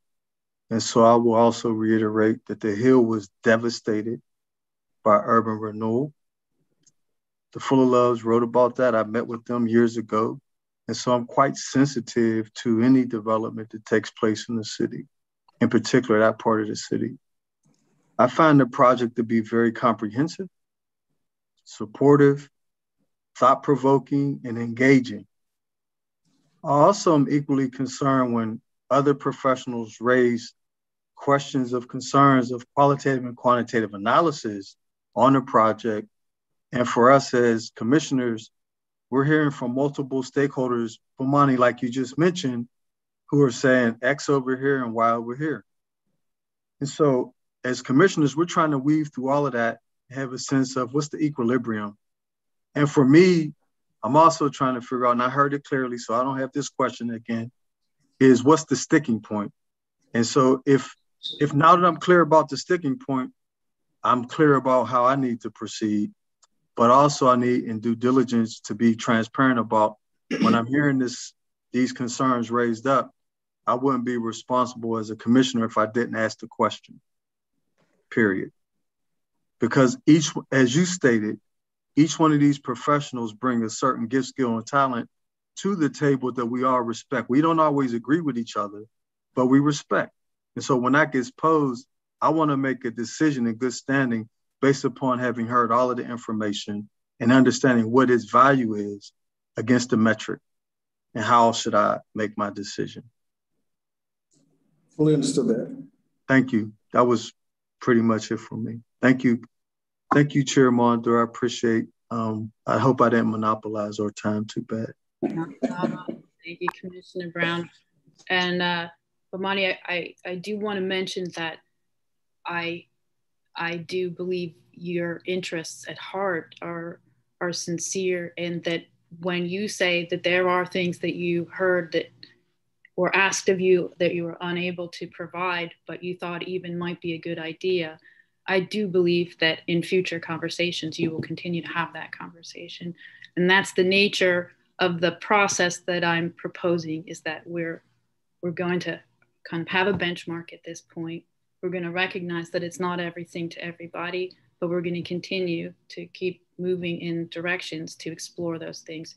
It would be impossible for any of us to know in advance all these things and to have asked and laid those negotiations on the table from the start.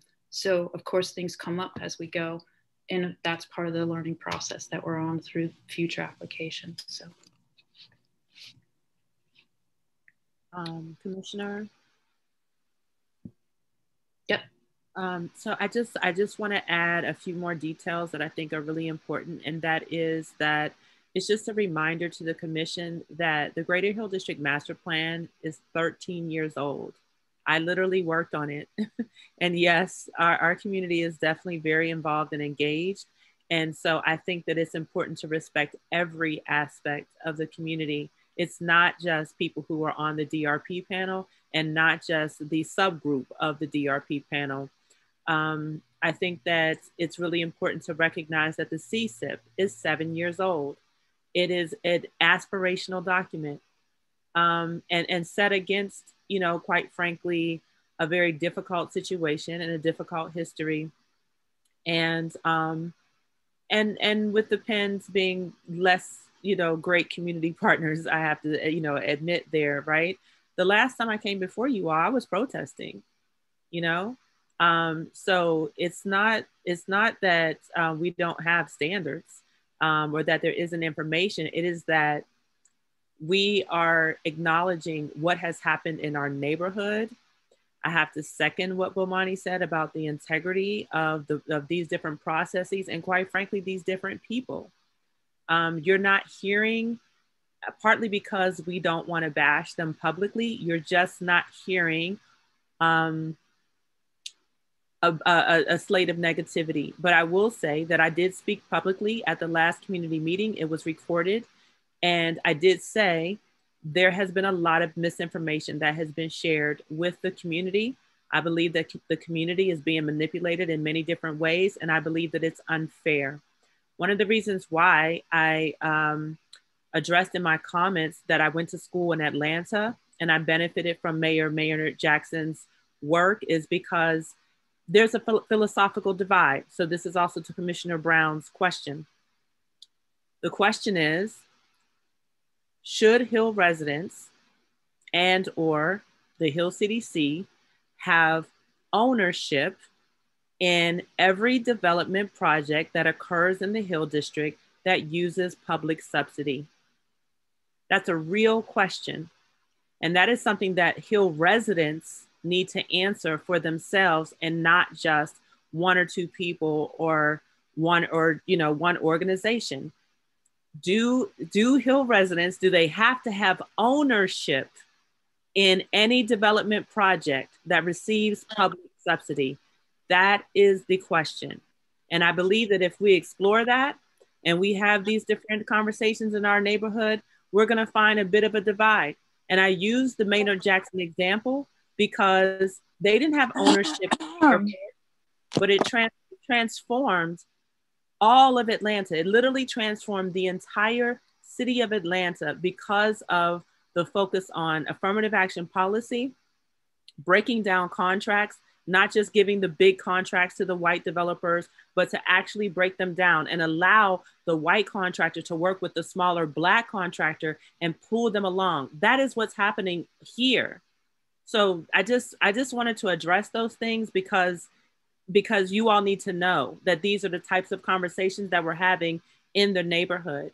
And you already heard one of our elders literally call us out, Bomani and Kim, you know what I mean? And to say that that she loves us and she trusts us, right? I didn't even know that she was going to testify today, but it matters. It matters that we're here and it matters that we're having this conversation and we're working from the inside. I'll definitely tell you that working from the inside, I've seen so much more than I did when I was on the outside. And so um, I just wanted to address that. I hope that I answered your question, Commissioner Brown, and I hope that I at least partially answered, you know, some of your questions, Commissioner Mondor. Thank you.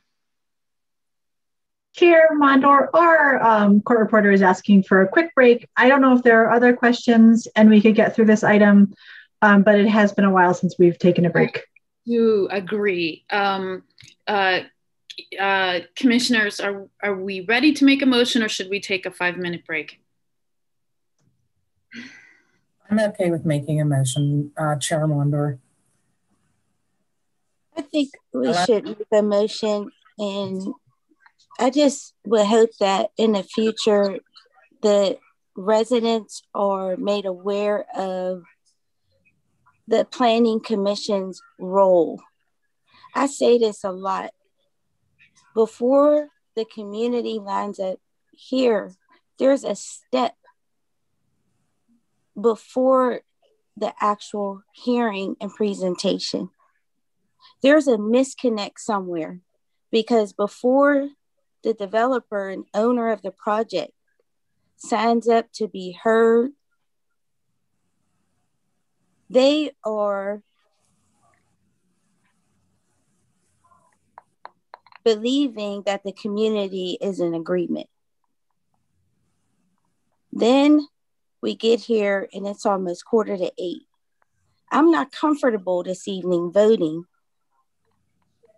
just to be transparent, when we have so many people that are saying that their requests still aren't met. And while the commission has to focus on technicalities in development, we still have a moral and ethical commitment to the community to hear them. And it's kind of hard to just forget about everything we've heard.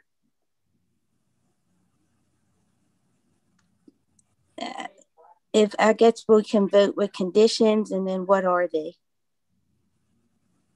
You know, what exactly after all these hours, I, I need a quick review on what we're actually voting on this evening. Okay, commissioners, um, you thank you for that, Commissioner Blackwell. Um, assuming we do bring forward a motion to uh, approve the following five conditions are already um, stated in our reports. The first three are standard about stormwater management plans, transportation impact study, and final construction plans. The last one is um, dealing with a right-of-way dedication is another technical requirement. The fifth one seeks to remedy the fact that the PLDP um, still uh, has Wylie in it and that that uh, amendment to the PLDP will address the removal of Wylie um, whenever the next FLDP plan comes forward or and is required within two years for commencement of the open space on block F. So that is in our report. I would propose we add a following condition that um, each application be accompanied by a um, dashboard um, reporting back on the uh, terms that have been agreed to to date and also reporting on any additional betterment of or, or progress of betterments all relative progress on terms uh, on on other terms that have been discussed between the community and the um, development team. Um, are there other are there other conditions, um, Commissioner Mingo?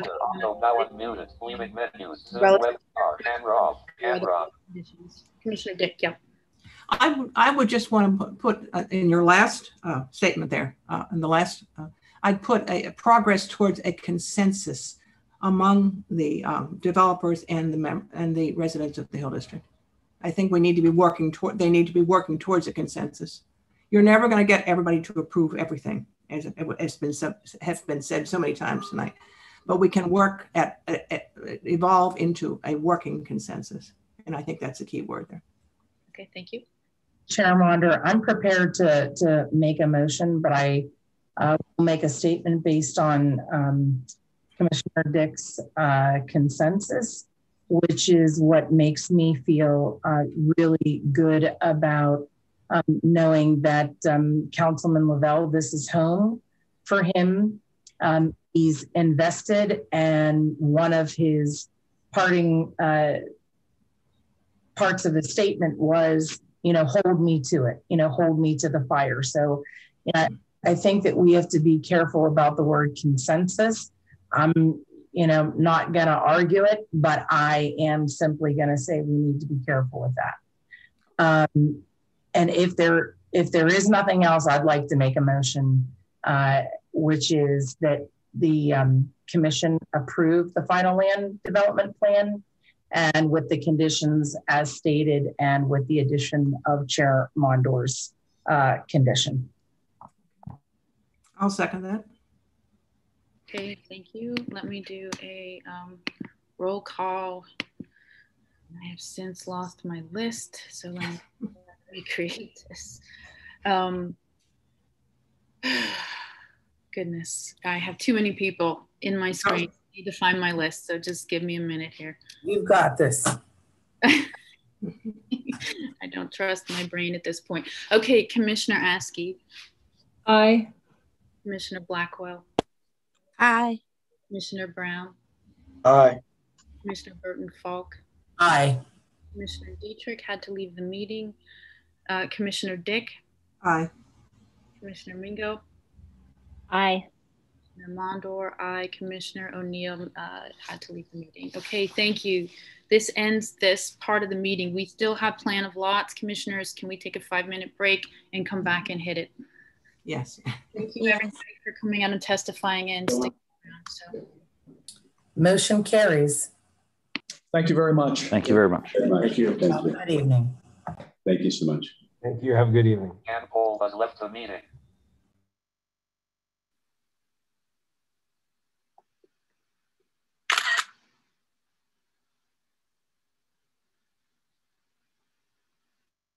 Alta. Audio now unmuted. No, I don't want it to be. PR Kimberly Ellison left the meeting.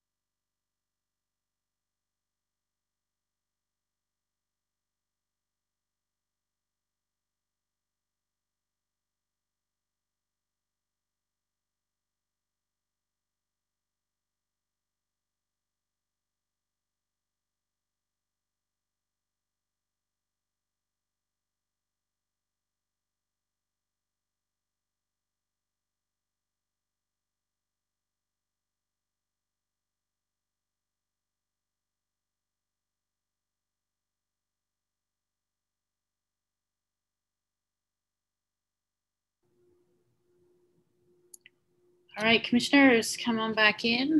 Let's put this evening to bed here. Um,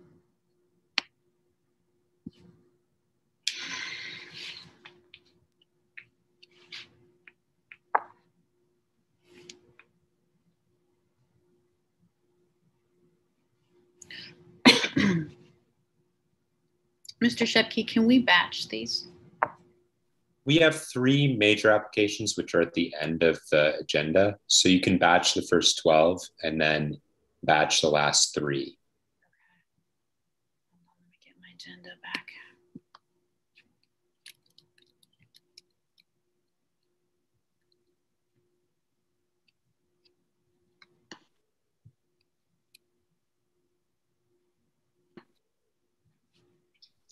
Hmm. Uh, commissioners, I will read through the first 12, unbelievable 12. Uh, I'm going to do this really quickly to the court reporter. This is all listed on the agenda, so please uh, don't try to do it from my text. Uh, plan of lots, we're on item D. Thank you. Number one is DCP lot 2021 00658 153 Carver, minor consolidation, Larimer. Item two is DCP lot 2021 00659, address 144 Meadow, minor consolidation, Larimer.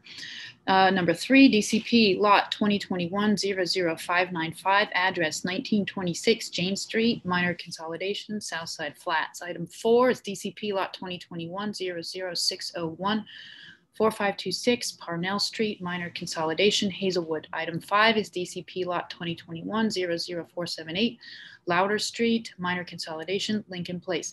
Item six is DCP lot 2021 00655, address 3107 Brereton Street, minor subdivision, Polish Hill. Item seven is DCP lot 2021 00654, Dagmar Avenue, minor consolidation, Beechview.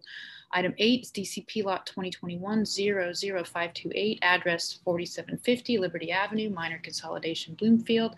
Item nine is DCP lot 2021 00613, address 1101 Shady Avenue, minor consolidation, Point Breeze.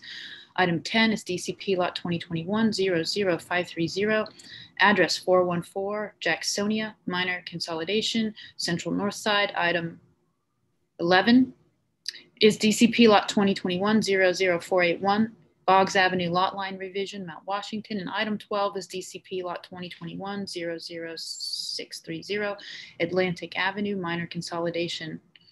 Okay, let's take it, Mr. Shepke. Uh, the first item on the agenda is the 153 Carver Street consolidation. This is the consolidation of two parcels into one parcel. The lot would have 49 feet of frontage on Carver Street and would be 4,900 square feet in area. The subject property is currently vacant, and the staff's recommended motion is to approve the 153 Carver Street consolidation. The next item is the 144 Meadow Street consolidation. This is the consolidation of two parcels into one parcel. The proposed lot would have 50 feet of frontage on Meadow Street, would be 5,066 square feet in area. The subject property is currently vacant, and the recommended motion is to approve the 144 Meadow Street consolidation. The next item is the 1926 Jane Street consolidation. This is a consolidation of two parcels into one parcel. The lot would have 20 feet of frontage on Jane Street would be 2,400 square feet in area. One house is located on the subject property, and the staff's recommended motion is to approve the 1926 Jane Street consolidation. The next item is the Parnell Street consolidation. This is the consolidation of eight parcels into five parcels. The proposed lot A would have 50 feet of frontage on Parnell Street, it would be 3,625 square feet in area. The proposed lot B would have 50 feet of frontage on Gladstone Street, it would be 3,625 square feet in area. The proposed lot C would have 48 feet of frontage on Parnell Street, and 130 feet of frontage on Gladstone Street would be 13,550 square feet in area.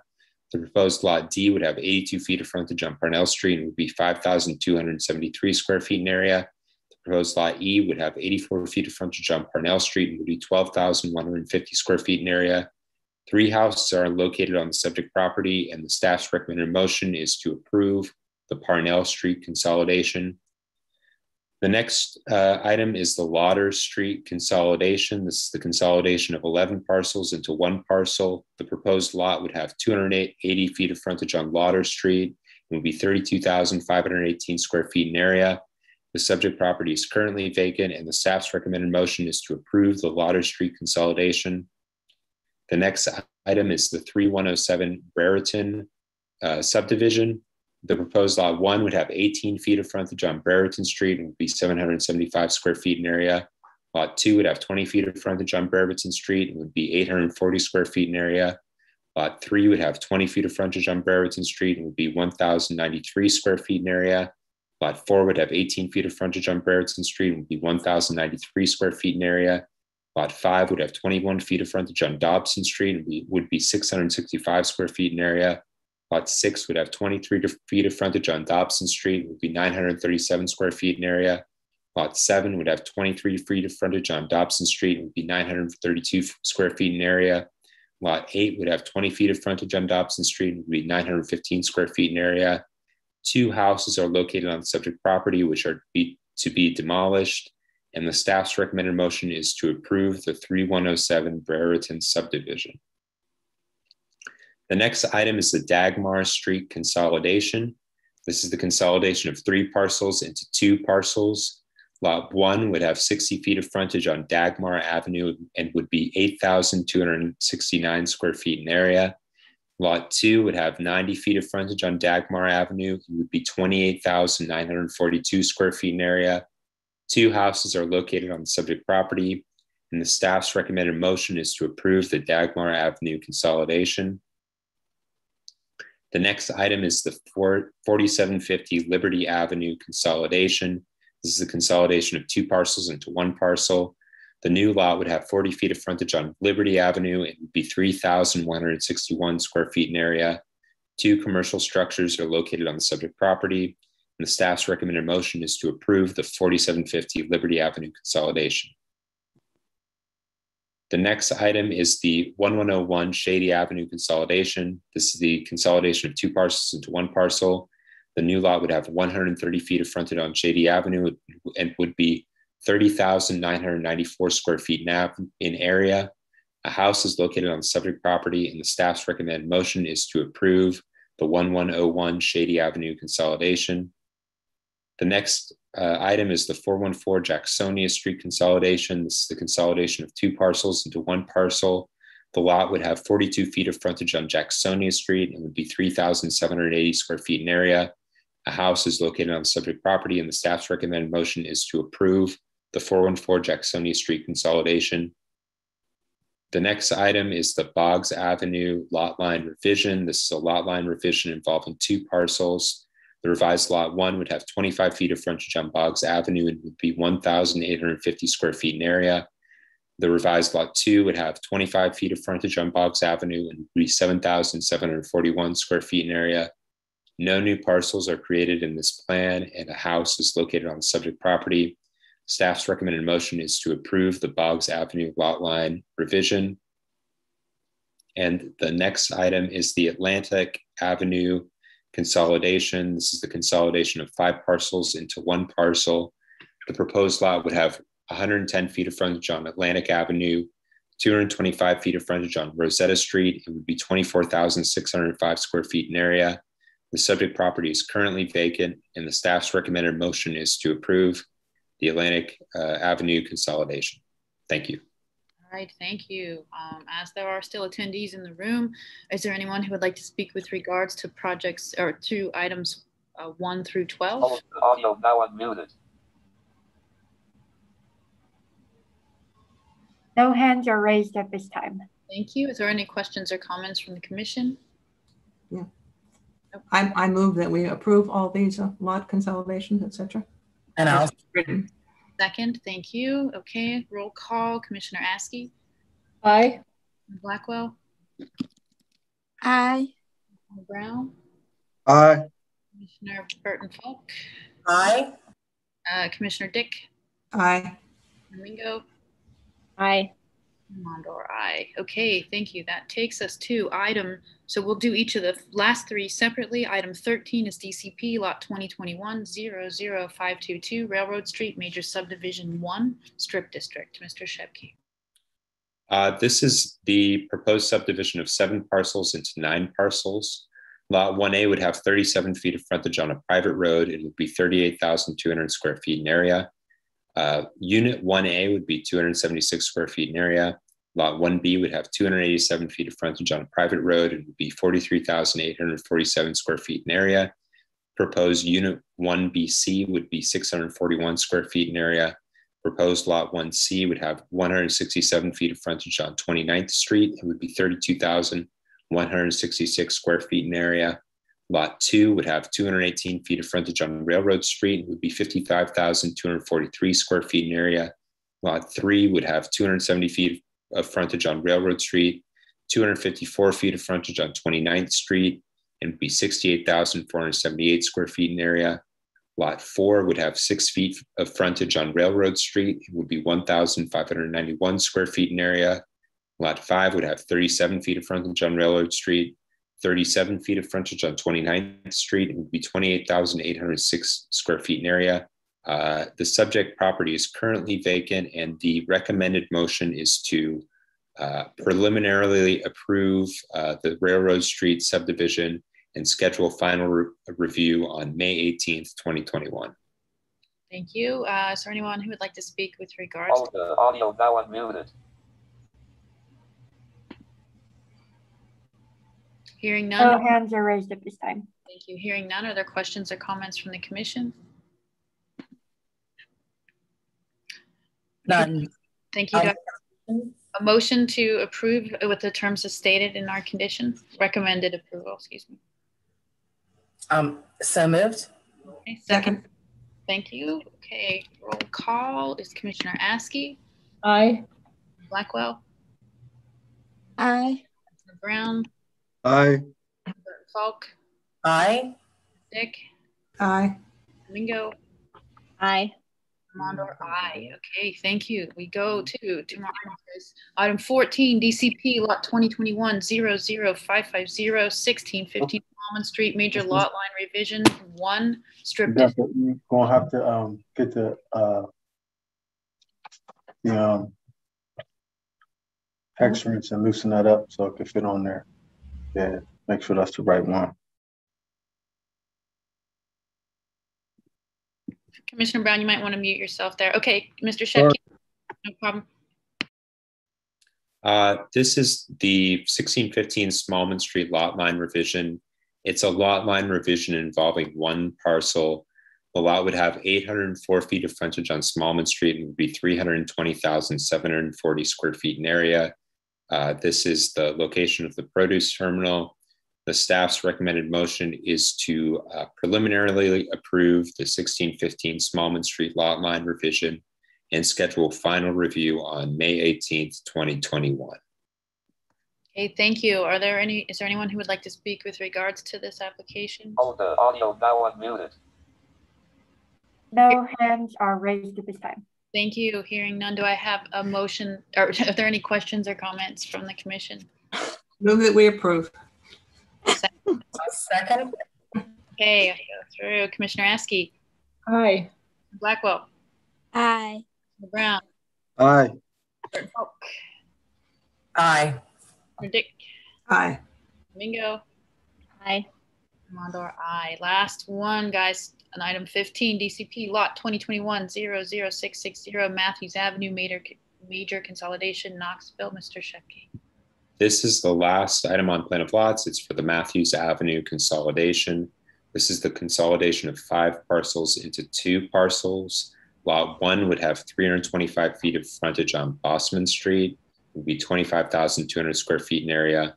Lot two would have 252 feet of frontage on Matthews Avenue Would be 32,500 square feet in area. A house is located on the subject property, and the staff's recommended motion is to preliminarily approve the Matthews Avenue consolidation and schedule final review on May 18th, 2021. Thank you. At this time, is there anyone who would like to speak with regards to this project? no hands are raised at this time. Any questions or comments from the commission? None. Okay, do I have a motion? So moved. Second. Second. Thank you, Commissioner Brown. Okay, roll call, Commissioner Askey. Aye. Blackwell. Aye. Brown. Aye. Faulk. Aye. Aye. Thank you, Holly. Mingo. Mondor, aye. Okay, that takes us through the end of Plan of Lots. Commissioners, I, I hope there isn't a director's report. Feedback, colon, Kevin, Kuhn. Uh, no, a number of things to talk about. I think we'll have a director's report in two weeks. Um, but you know, just you know, I mean, through, I mean, we had uh, you know a large tough item today. I think you know we can close out here. Uh, you know, thanks to all the direction that commissioners and commission leadership that you gave us, both in the briefing and and between, uh, you know, to to be able to help us get all the information to you uh, to be able to make a decision. Commissioners, thank you so much for showing up with all of your heart and your mind because this was a hard one and there will be others in the future. And I really appreciate you all being. Audio now. Well, thank you for your leadership on it, though, too. We definitely appreciate your leadership, Chair Mondor and staff. You are Yes, great. staff. Thank you. All right, guys, have a great evening. Go have dinner. Oh, wait, wait, wait. do I have a motion to adjourn? All in favor? Aye. Aye. Bye. Have a good evening, everyone. Thanks, everyone. Thank you, commissioners. Winger has left the meeting. Thank you. Commissioner Christine Mondor has left the meeting. Alt Q camera and meeting.